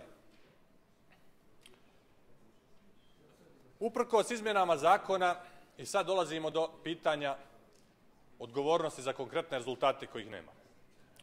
Uprkos ovim izmenama zakona možemo očekivati u ključnim slučajevima organizovanog kriminala i korupcije i nerazjašnjenih ubistava, nastavak prakse prebacivanja odgovornosti između različitih sudskih instanci, između sudova i tužilaštva, obaranje presuda i sporu obradu predmeta. Privredni sud kratko. Pošto se toliko već govorilo o tome da se ovim zakonom Privredni sud u Bijelom polju ukida, postojaće samo Privredni sud u Podgorici. Nije problem u tome što se Privredni sud u Bijelom polju ukida. Problem je što taj Privredni sud u Bijelom polju nije dao ama baš nikakav doprinos u borbi protiv organizovanog kriminala i korupcije koja je snažno bila zastupljena u postupku privatizacije firmi i preduzeća na sjeveru Crne Gore. U ovom trenutku možemo da kažem da u Crnoj Gori nema niti jedan postupak koji je pokrenut protiv odgovornih lica za uništavanje privrede na sjeveru Crne Gore. I u tom kontekstu treba govoriti o tom privrednom sudu. Međutim, neće se stvari promijeniti, niti će se riješiti time što ćete ukinuti privredni sud u Bijelom polju i ostaviti samo privredni sud u Podgorici. Ja tvrdim, s obzirom da je nedavno izabran i novi predsjednik privrednog suda, da vi zapravo želite da centralizujete nadležnosti u ovoj oblasti i da do kraja kontrolišete preko svojih ljudi u Privrednom sudu u Podgorici sve procese koji bi se eventualno vodili kad su u pitanju stečajevi, kad, su pitanje, kad je u pitanju privredni kriminal. Dalje, ne možemo da ne primijetimo, kao što su to kolege već istakle. Pravo problem se takođe e, pravi građanima sa sjevera Crne Gore, jer se uvećavaju njihovi privatni troškovi zbog toga što će biti ukinut privredni sud. Udaljava se jednostavno sud od onih koji bi trebalo da ga koriste kao građani koji imaju svoja prava. Dalje, sudovi za prekršaje. Sada postoji u dio mreže sudova ali tek nakon što je u kontinuitetu u više godina Evropska komisija, znamo to iz poslednjeg izveštaja Evropske komisije, a onda i opozicija, ukazivala na apsolutno neprihvatljivu poziciju sudova za prekršaje. Sudije za prekršaje, kao što znamo, birala vlada, a onda se posle toga pojavljivala kao stranka u postupku. Dakle, postoje klasični sukob interesa u tom slučaju. Dalje, uslovi za izbor sudija viših instanci i predsjednika sudova, sudija i tužilaca, definisani su na 8, 10, 12, 15 godina. Dakle, da bi neko postao predsjednik suda, on mora da ima toliko godina radnog iskustva na pozicijama sudova i tužilaštva. Šta želite da postignete na ovaj način? Da ne dozvolite filtriranje u sudstvu, da ne dozvolite ulazak novih ljudi na ključne pozicije u sudstvu, na pozicijama predsjednika suda, već da tu ostanu isključivo lojalni, stare sudije i da se održe klanovi u sudstvu. Dalje, disciplinski tužilac, ključna stvar. Kaže ovako, disciplinski tužilac koji bi trebalo da vodi istragu i utvrđuje disciplinsku odgovornost sudija. Bira se po ovom zakonu iz reda sudija i mora da ima 15 godina rada kao sudija. Dakle, vi omogućavate da neko ko je već 15 godina karijerni sudija i koji je razvio svoje privatne veze sa ostalim sudijama, sad on treba da postane disciplinski tužilac i da kao nepristrasno i bez konflikta interesa utvrđuje, o, utvrđuje disciplinsku odgovornost svojih 15-godišnjih kolega i sudstva. Dakle, to je apsolutno e, e, neverovatno. I na kraju, a trebalo bi da bude e, iskorišćeno rešenje koje je predlogala Venecijanska komisija, koja je predložila da se razmotri mogućnost uglednog pravnika koji bi bio disciplinski tužilac, koji ne bi bio ni sudija, ni tužilac, gdje bi se otklonila mogućnost sukoba interesa i pristrasnosti u tom, u tom dijelu, ali vi to niste željeli da prihvatite, već ste postavili strogi uslov 15 godina rada u sudstvu. Kad smo već kod uglednih pravnika i završavamo. Ako je za člana sudskog savjeta izabrana Vesna Simović-Zvicer, koja je grubo kršila zakon o sprečavanju sukoba interesa i to u kontinuitetu, onda je jasno da je iluzorno pričati o bilo kakvim ustavnim reformama i pravosudnim reformama. Zahvaljujem. Hvala vama, kolega Bojoviću. Takozvani javni servis je procijenio da na javni interes nisu dva sistemska osnovna zakona koja određaju pravnu državu Crnu Goru, pa još jedno iskustvo o takozvanom javnom servisu. Idemo dalje kolegije i bez takvog javnog servisa imajući u vidu da možemo preko interneta biti praćeni preko našeg kanala.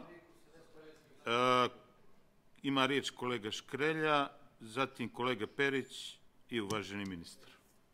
Izvolite, kolega.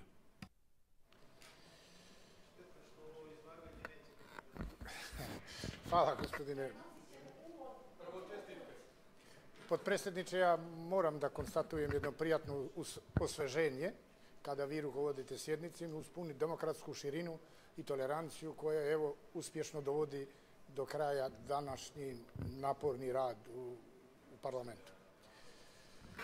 Uvaženi poslanice i poslanici, uvaženi ministre, jedan od razloga zbog kojeg se pristupilo izradi novog zakona o sudskom savjetu i pravima i dužnostima sudija proizilazi iz akcionog plana za pregovoračko poglavlje 23 pravosuđe i temeljna prava, kao strateškog i reformskog dokumenta koji sadrži ciljeve i pregled aktivnosti u oblasti pravosuđa koje je potrebno ispuniti na putu evropske integracije. Nezavisno, pouzdano i pouzdano pravosuđe je od strateške važnosti za ostvarenje interesa Crne Gore u daljem procesu demokratizacije i uključivanja u evropski i evroatlantske asocijacije, a posebno značajno na putu ka punopravnom članstvu u Evropsku uniju. Postizanje najvećeg mogućeg stepena samostalnosti, nezavisnosti pravosuđa je cilj koji treba ostvariti. Ovom po meni reformom, prav, reformom pravosudnog sistema Crne Gore, samostalno i nezavisno pravosuđe je najbolji garant zaštite ljudskih prava i sloboda u skladu sa načelom vladavine prava i međunarodnim standardima. Načelno se može reći da postojeći ustavni i zakonodavni okvir predstavlja dobru pravnu osnovu za uspostavljanje nezavisnosti i samostalnosti pravosuđa kakva ocjena proizilazi iz mišljenja međunarodnih stručnjaka. Postupci izbora, napredovanja, imenovanja za rešenja sudija i državnih tužilaca postavljeni su na način koji u dobroj mjeri isključuje mogućnost uticaje politike, odnosno zakonodavne i izvršne vlasti na pravosuđe. Predložena zakonska rješenja pružaju solidne garancije za nezavisnost i samostalnost pravosuđa. Cilj ovih prijedloga izmjena i dopuna pomenuti zakona je dalje jačanje i zaštita nezavisnosti i samostalnosti nosilaca pravosudne funkcije kroz dosljednu primjenju postojećeg zakonodavnog okvira, njegovo stalno preispitivanje i nadogradnju kako bi se obezbijedila zaštita pravosudnog sistema od mogućeg uticaja drugih grana vlasti. Ostvarivanjem ovog cilja teži se daljem unapređivanju zakonodavnog okvira, radi stvarane preduslova koji će doprinjeti podizanju društvenog ugleda nosilaca pravosudnih funkcija, kao i jačanju poverenja građana u pravosudni sistem u cijelini. Za pouzdano funkcionisanje pravosudnog sistema značajno je osigurati i usavršavanje nosilaca pravosudnih funkcija, jačati njovu etičnost, kompetentnost, obezbijetiti zaštitu zlopotrebe funkcije, što predstavlja garant stabilnosti pravosuđa. Jer ne treba zaboraviti da stvarnu nezavisnost sudstva garantuje i sama ličnost sudije. Ukoliko sudija nije nezavisan kao ličnost, ako je podložan uticajima koji dolaze sa strane, a posebno drugi dvije grane vlasti, onda sudstvo neće biti nezavisno, bez obzira na postojanje pravni i stvarnih garancija za to. Svoje vremeno je Sokrat, Sokrat savjetovao sudije da sa dužnom pažnjom slušaju, mudro odgovaraju, trezveno razmišljaju i nepristrasno odlučuju. Hvala na pažnju. Hvala i vama kolega Škrelja. Riječ ima kolega Perić, a zatim završna riječ ministra Marković. Izvolite kolega Perić. Evo, zahvaljujem se uvaženi potpredsjedniče Skupštine, uvaženi potpredsjedniče vlade. Dakle, nastojaću da budem što kraći, ali negdje kao light motiv cijele diskusije mi poslužila zapravo završna riječ po prethodnoj tački ministra pravde, kada je on govorio o kredibilitetu institucija. Kredibilitetu institucija, njihovom građanju i ovako preuzeli jedan princip koji je imao Louis XIV, ili ta se moja, država to sam ja. A, ima mnogo definicija patriotizma. Meni je najbliža ona da je patriotizam braniti zemlju od onih koji su na vlasti. Meni je vrlo bliska. I tome treba upravo da posluže sudovi. A šta se dešava na našim sudovima? Jer znate, vlast je po prirodi svojoj kvarljiva, kvari ljude. Šta imamo u našim sudovima? Znači, sudovi su premreženi partijskim kadrovima. Sudovi... Sud, osvrnuću se i na to. Rođaci... Evo da napravim digresiju. A opozicija je bezbolna vlast. Ono što vi radite, to boli. Znači, kada je riječ o, o sudovima, osvrnut ću se na taj dio. Znači, kada je riječ, kada, kada je riječ o, ne smeta zbog dinamike u krajnoj crti, nismo ni otri, ali nije, nije ne toliko presudno. Znači, sudovi su premreženi partijskim kadrovima. Imamo nepotističke principe prilikom zapošljavanja. Imamo kandidate za sudije koje očigledno varaju na testovima. Imamo za najteže slučaje da padaju presude zbog ovaj, vjerojatno štamparskih grešaka ili tehničkih grešaka. Imamo to da se gube materijali iz spisa. Imamo to da se gube CD-ovi pa da se nalaze naknadno. I u tom cijelom ambijentu mi govorimo o tome da trebamo čuvati kredibilitet institucija. Svakako. Ali sve ovo što sam rekao je odgovornost vlasti. I da, mi jesmo dio zakonodavne vlasti, svi u ovom parlamentu. Ali svi sa onim odlukama koje uspijemo da donosemo smo odgovorni za njih. Tačno toliko. U, tre... u tom trenutku kada ova strana bude većinska, vaša će kritika biti potpuno opravdana. Do tad svu odgovornost za stanje u državi prosto snosite vi. Ono što je, što je meni posebno bilo zanimljivo da kroz čitavu seriju a, a, zakona, kakvi su bili u, u oblasti poreske politike, jako, jako su me podsjetili po svojoj fizionomiji i, i ti i ovi zakoni, mi imamo provlačenje prosto neke niti kako, a, podgorički rečeno, da učinimo, posa, učinimo ćef, posao ne završi. To je bukvalno, negdje, smo, negdje se tu tretiramo. Evo da uzme, budem konkretan. Dakle, imate zakon o sudskom savjetu i pravima dužnosti sudija, gdje u članu 74 kažete u kriterijuma za sudiju koji napreduje, uvodite dva kriterijuma. Jedan je ocjena rada sudija, odnosno državnog tužioca, potpuno legitiman kriterijum, a drugi je ocjena intervjua sa kandidatom. Po osnovu kriterijuma iz stava 1, tačka 1 ovog člana i kandidatu pripada 60 bodova, znači za ocjenu rada sudije, a intervju nosi 20 bodova. Što će reći da bez jasnih kriterijuma vi opet možete da dezavišete sva dobra rešenja kojih nesporno je ima u ovom zakonu. S druge strane, ono što sam dužan da pomenem, prosto da smo isprocesuirali, dali zapravo tu parlamentarnu prohodnost dijelo amandmana inicijative za ljudska prava i da su oni u proceduri. Ali prije, prije nego završim, samo jedna rečenica. Mislim da mi stalno brkamo dvije stvari. Prva stvar je da dobar metod ne mora nužno da proizvodi dobre posledice. To će reći, pogrešan čovjek može i od dobrog metoda da napravi loše posledice. Isto tako, kvalitetan čovjek uz loš metod može da napravi nešto. E sada vi pazite kakvu ste vi ostavili ovdje infrastrukturu sudsku i onda u te infrastrukture, sudske infrastrukture, onda nam na kraju dolazimo do toga ko koči i ko vuče. Ja moram reći, ne znam ko, kuč, ko koči i ko vuče, ali znam ko, uh, ali znam, dozvolite, ali znam ko kida krila VDT-u. To se vrlo dobro vidi. Zahvaljujem. Hvala i vama, kolega Periću. Vidjet ćemo sutra, kao što sam i vidio sad na mome mobilno, kada je ukinuta ova zabrana, stotinu poruka čestitali rođendan. Izvolite, ministre Markoviću, završna riječ.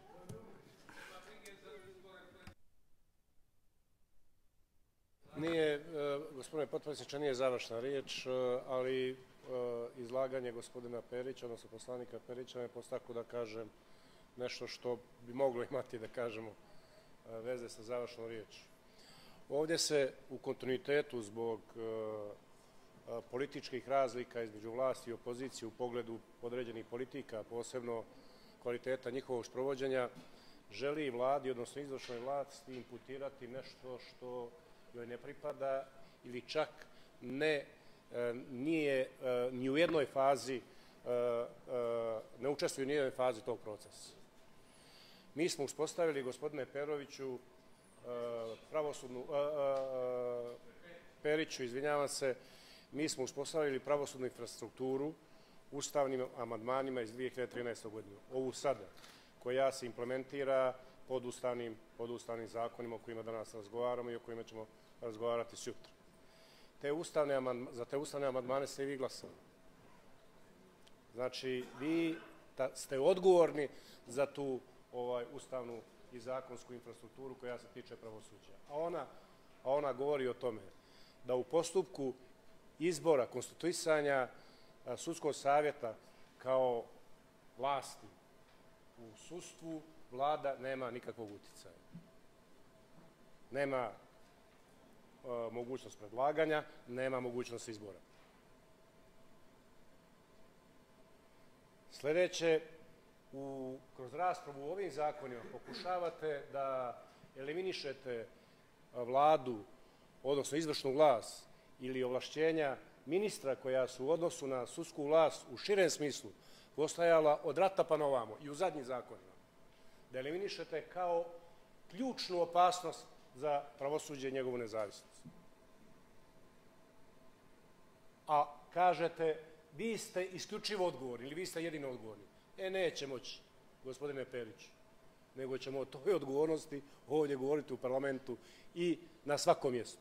Dakle, da li je sustvo efikasno, odgovorne su, odgovorna je sudska vlast, sudski savjet, predsjednik Vrhovnog suda i svaki sudija pojedinačno, a ne ministar pravde, niti vlada u cijelini. Da li imamo optužnica, da li imamo otkrivanja i optužnica za krivična dijela organizovanog kriminala i korupcije, bit će odgovoran vrhovni državni tužilac i specijalni tužilac. I to govorim veoma jasno i više puta sam ponovio. I nemojte vi braniti gospodina Stankovića od mene, jer sam ja sa gospodinom Stankovićem lični prijatelj. Kad ga, vi niste znali, kad niste znali da postoji uopšte. Ali to ne znači da ću zbog tog odnosa povlađivati van institucionalni zahtjevi. A istovremeno preuzimati odgovornost. E, tu se mi razlikujemo, gospodine Peroviću. Ovaj, ovaj uh, Perić. Izvinjavam se, stvarno se izvinjavam. Nego, ovaj, izvinjavam se, stvarno. Ovaj. Tu se mi razlikujemo.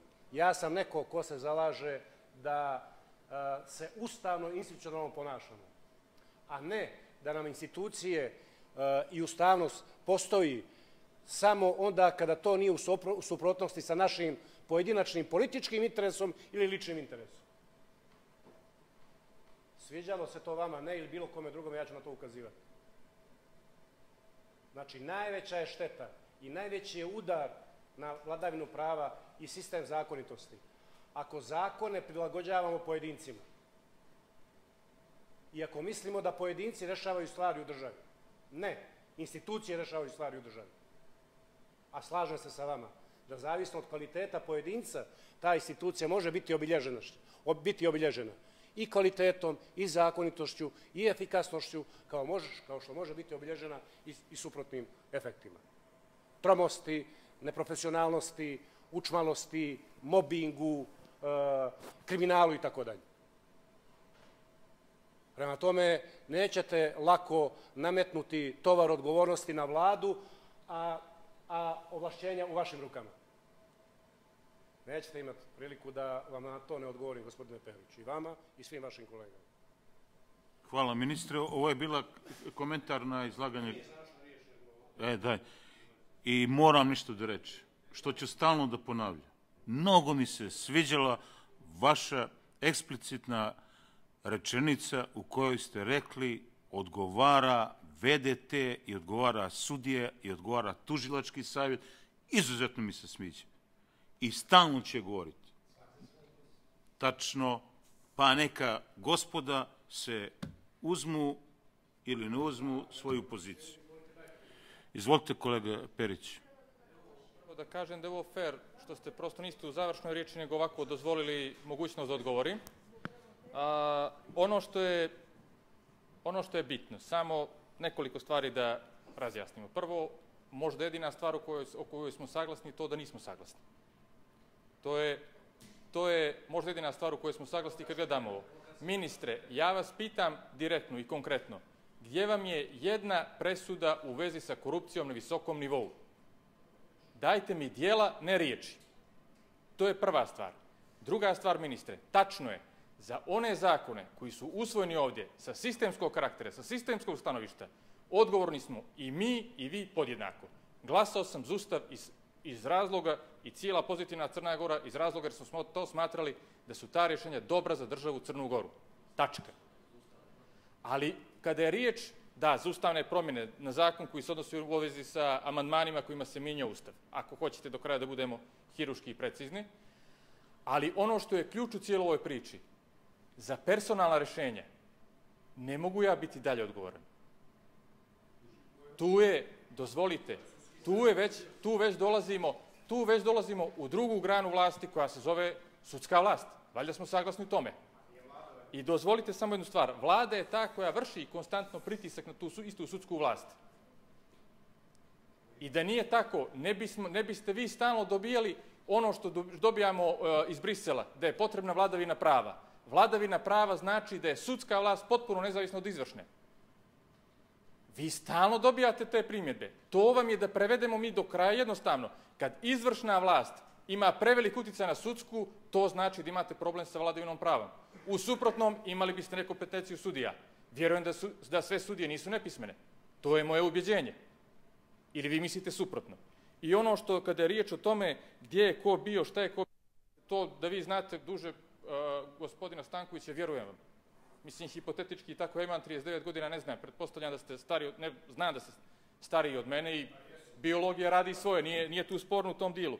Ali ja, gospodine Stankoviću, bih trebao da predvodim, ako hoćete, politički da novi talas, koji je nastao između ostalog zbog grešaka koje ste, koje, koje ste između ostalih i vi personifikovali u DPS-u, a koje se odnose na potpuno pogrešnu politiku 90-ih, sankcije i mogli bismo sad redamo koliko god je potrebno. Dugo je vama trebalo dok dođete do referenduma. Jako dugo. Znači, samo kad, kad uzimamo neke pluseve i minuseve, da ih prosto, prosto sve posložimo. Kada je riječ o odgovornosti, time završavam. Za svaki zakon koji smatramo da je dobar za državu, mi ćemo ga podržati. A izvinite, za sprovođenje zakona je odgovoran sudska vlast u ovom, u ovom domenu, a za taj pritisak koji vi vršite na sudsku vlast, to ne vidim čak ja ovdje, to se vidi u Briselu. Zahvaljujem. Hvala vama, kolega Periću. Hoćete li ministre završnu riječ? Izvolite, koliko želite. Znači, gospodin Perić opet pravi konstrukcijonu grešku. On pita ministra pravde gdje su sudske odluke. Pitajte sudstvo. Kao što ih ja pitam na sudskom savjetu. i, i, i, i da iskoristim priliku da se ne složim sa poslanikom, poslanikom Gošovićem kada je rekao da će 20.000 novih predmeta u, sud, u, redovnom sudstvu iz prekršaja opteretiti rezultate rada sudova. Neće, ako ih i bude 50.000, samo pod uslovom, ako naše sudstvo bude u stanju makar tri pravosnažne presude u jednoj godini da obezbijedi u predmetima. Niko neće gledati statistiku je li, sudova za prekršaje 20.000, od tih 20.000 koji će unijeti 5.000 ostalo neriješeno. Ako budemo imali dvije ili tri pravosnažne presude u predmetima, u, teški, u teškim predmetima. E, zato, gospodine Periću, pitajte predsjednika Vrhovnog suda i predsjednika Sudskog savjeta. Jesmo li sve prihvatili ovim zakonima? Jesmo li ustavnim amandmanima prihvatili? Jesmo ih učinili, učinili nezavisnim? Jesmo li im obezbijedili jesmo li obezbijedili svaki politički utic, zaštitilo političkog uticaja? Danas može predsjednik vlade ili ministar pravde da priča bilo kojem sudi šta god hoće, on nema rizik nikakav ako ga ne posluša, jer ima stalnu sudijsku funkciju. Stalnu sudijsku funkciju. I pre, svaki sudija Vrhovnog suda i višeg suda i apelacijalnog suda ima veću platu predsjednika vlade. Čemu vi pričate? Okrenite se tamo gdje su problemi. Mi imamo i, za, za, ostatak, za ostatak ovaj u stvaranju uslova da, da, da sustvo bude samostalno i efikasno. Ali evo im alati u ruke, dali smo taj alat u ruke. Nemojte optuživati, optuživati više vlast. Kako ću ja da utičem na predsjednika, da jednog sudiju ili predsjednika više suda u Bilom polju? Zašto bi me poslušao? Da ne mogu da pokrenem inicijativu za njegovu smjenu? Da ne mogu da pokrenem ovaj postupak odgovornosti za njega? Ne. Da li mogu da mu smanjim platu? Ne mogu. On je ima stalnu sudijsku funkciju i finansijski je ovaj jači od člana vlade. E, pa to je, to je, to su udbaški maniri pozicije, a ne vlasti, mi smo demokratska vlast. Prema tome, dajte mi da objektiviziramo, dajte mi da objektiviziramo ovaj, ovaj stanje. To je ono kao što gospodin Bulatović kaže, podmetnuli su nam trojicu ovaj mržnje govora, a pored njega, pored njega to uz, uz, ovaj uzvikuju. Pa nije reagovao, a čak nije ni podnio prijavu protiv njih. Ni on, ni organizatori. Pa i onda udba, to je, to je manir opozicije da se da na udbaški način optužuju vlast. Kada sam je već, kada sam je već to rekao. Hvala ministre. E, svako ima svoj izbor. I pa i sudija jest.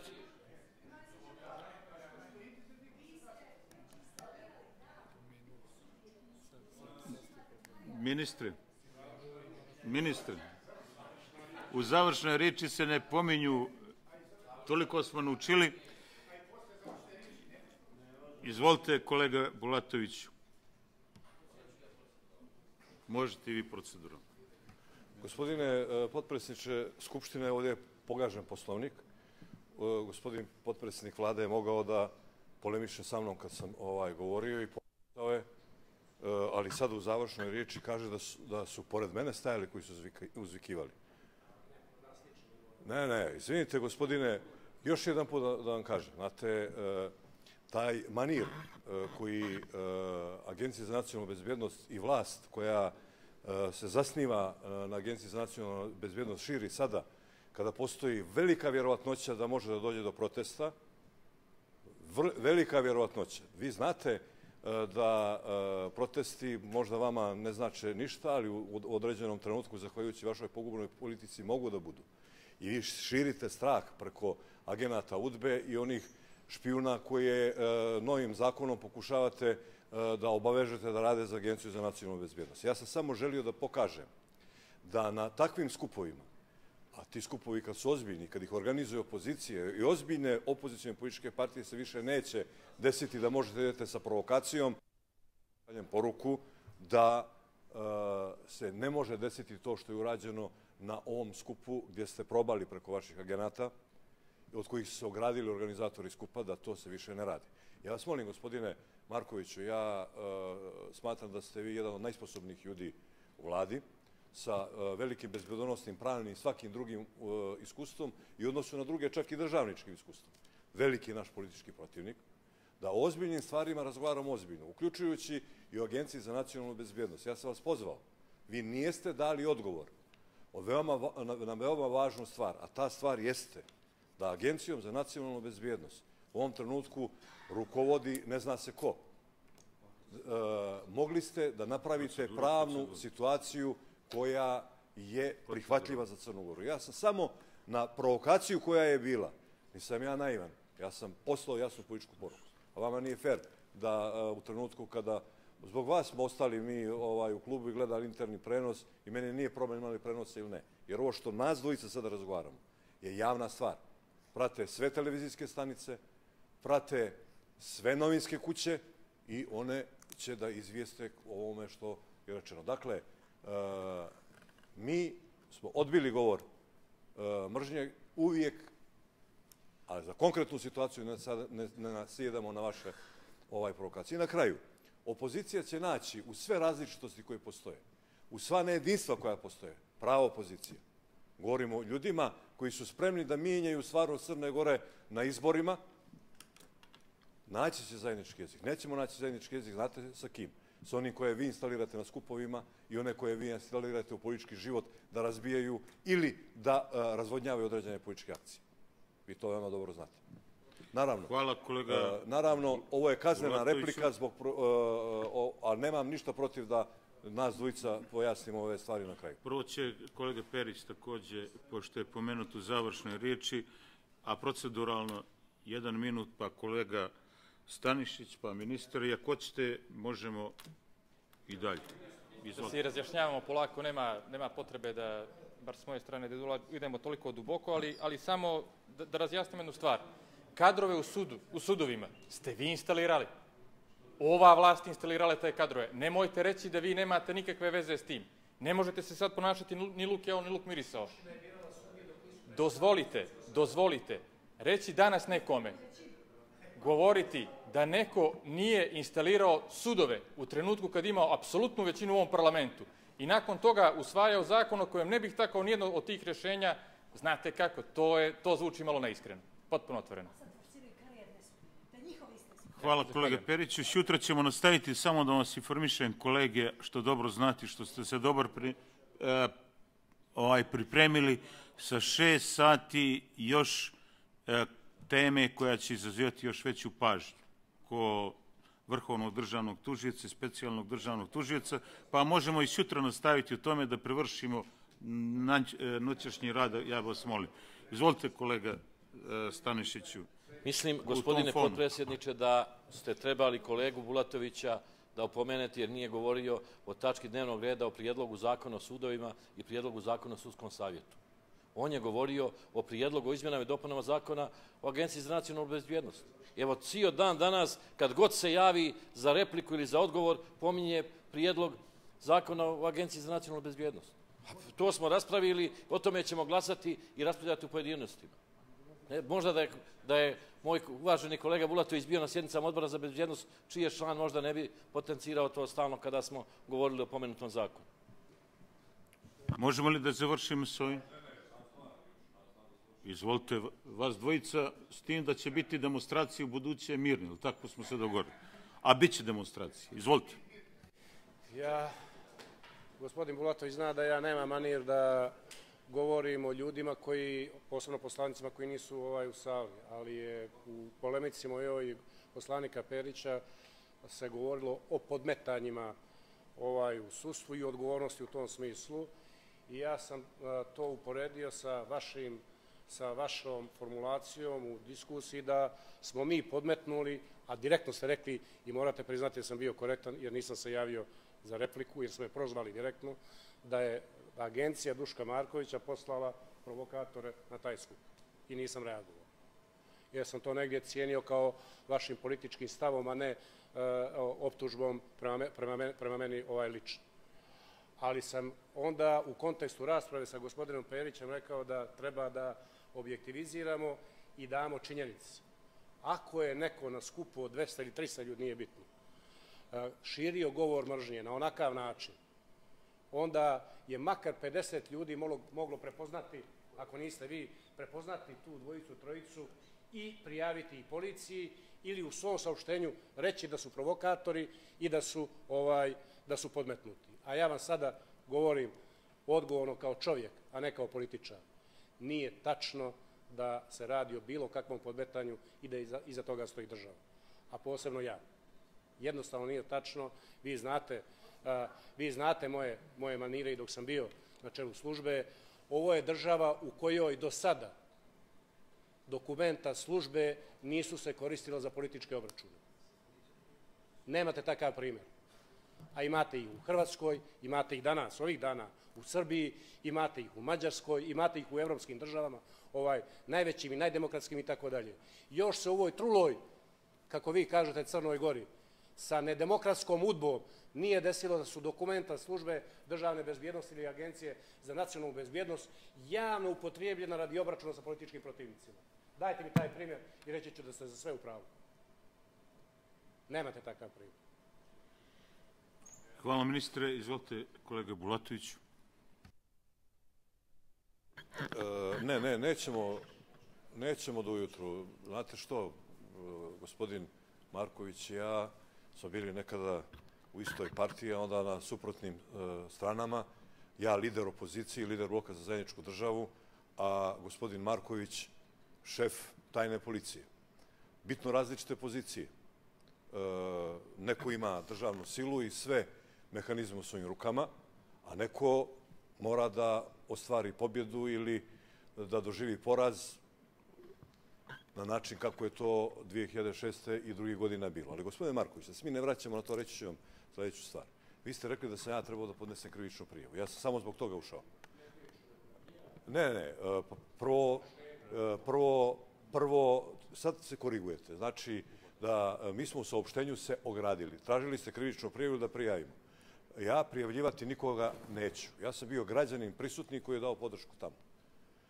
Skup o kome govorim se odvijao 50 do 100 metara dalje od mine i od mene. I od mene. E, gdje je bila policija, pored policije. Organizator skupa je to na samom skupu osudio, označio ga tim činom i ja sada da vam kažem i tvrdim i tvrdim politički nemam dokaze jer nemam prinudu i tajna prisluškivanja i sve drugo, da iza toga stoji najprljaviji dio tajne političke policije. Zašto ja kažem Duškova? Zato što ste vi dugo godina bili na čelu toga, to je figurativno. Vjerovatno je neko uzeo sada kontrolu i vi nemate moć nad tim, ali ste od skoro koordinator biroa.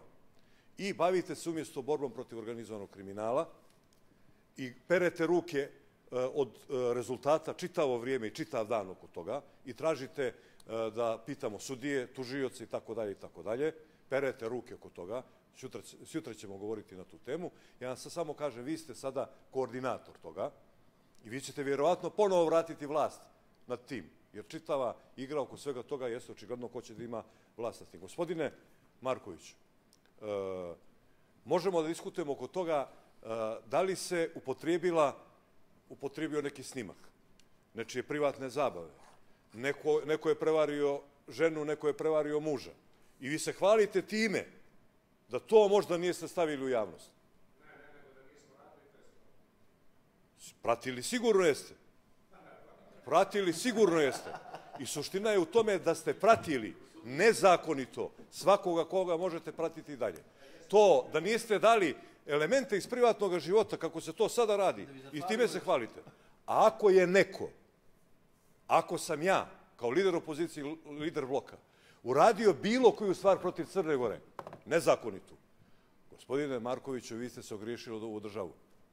Ali za mene nijeste to mogli sasvim sigurno da nađete. Da li ste nešto drugo tamo, da li se napravio preki prekršaj u saobraćaju neki drugi, a to je, gospodine Markoviću, nemojte da se hvalite sa tim a zloupotrebljavali svako prisluškivanje, praćenje koje je suprotno zakonu, nego šta je nego zloupotreba. Šta je podmetanje na mitizima parola i drugog? Šta je, gospodine Markoviću, svaki saobraćajni znak u Crnoj Gori oblijepljen parolama, zna se kojim. Pa to su radili aktivisti, nisu, ne, zna se ko je to radio. Hvala kolega Bulatoviću. E, kolege, konstatujem da je presed pretres završen, izjasnit ćemo se naknadno. Sa ovim je završen današnji rad. Laku noć, šutra u 11 sati. Prijatno.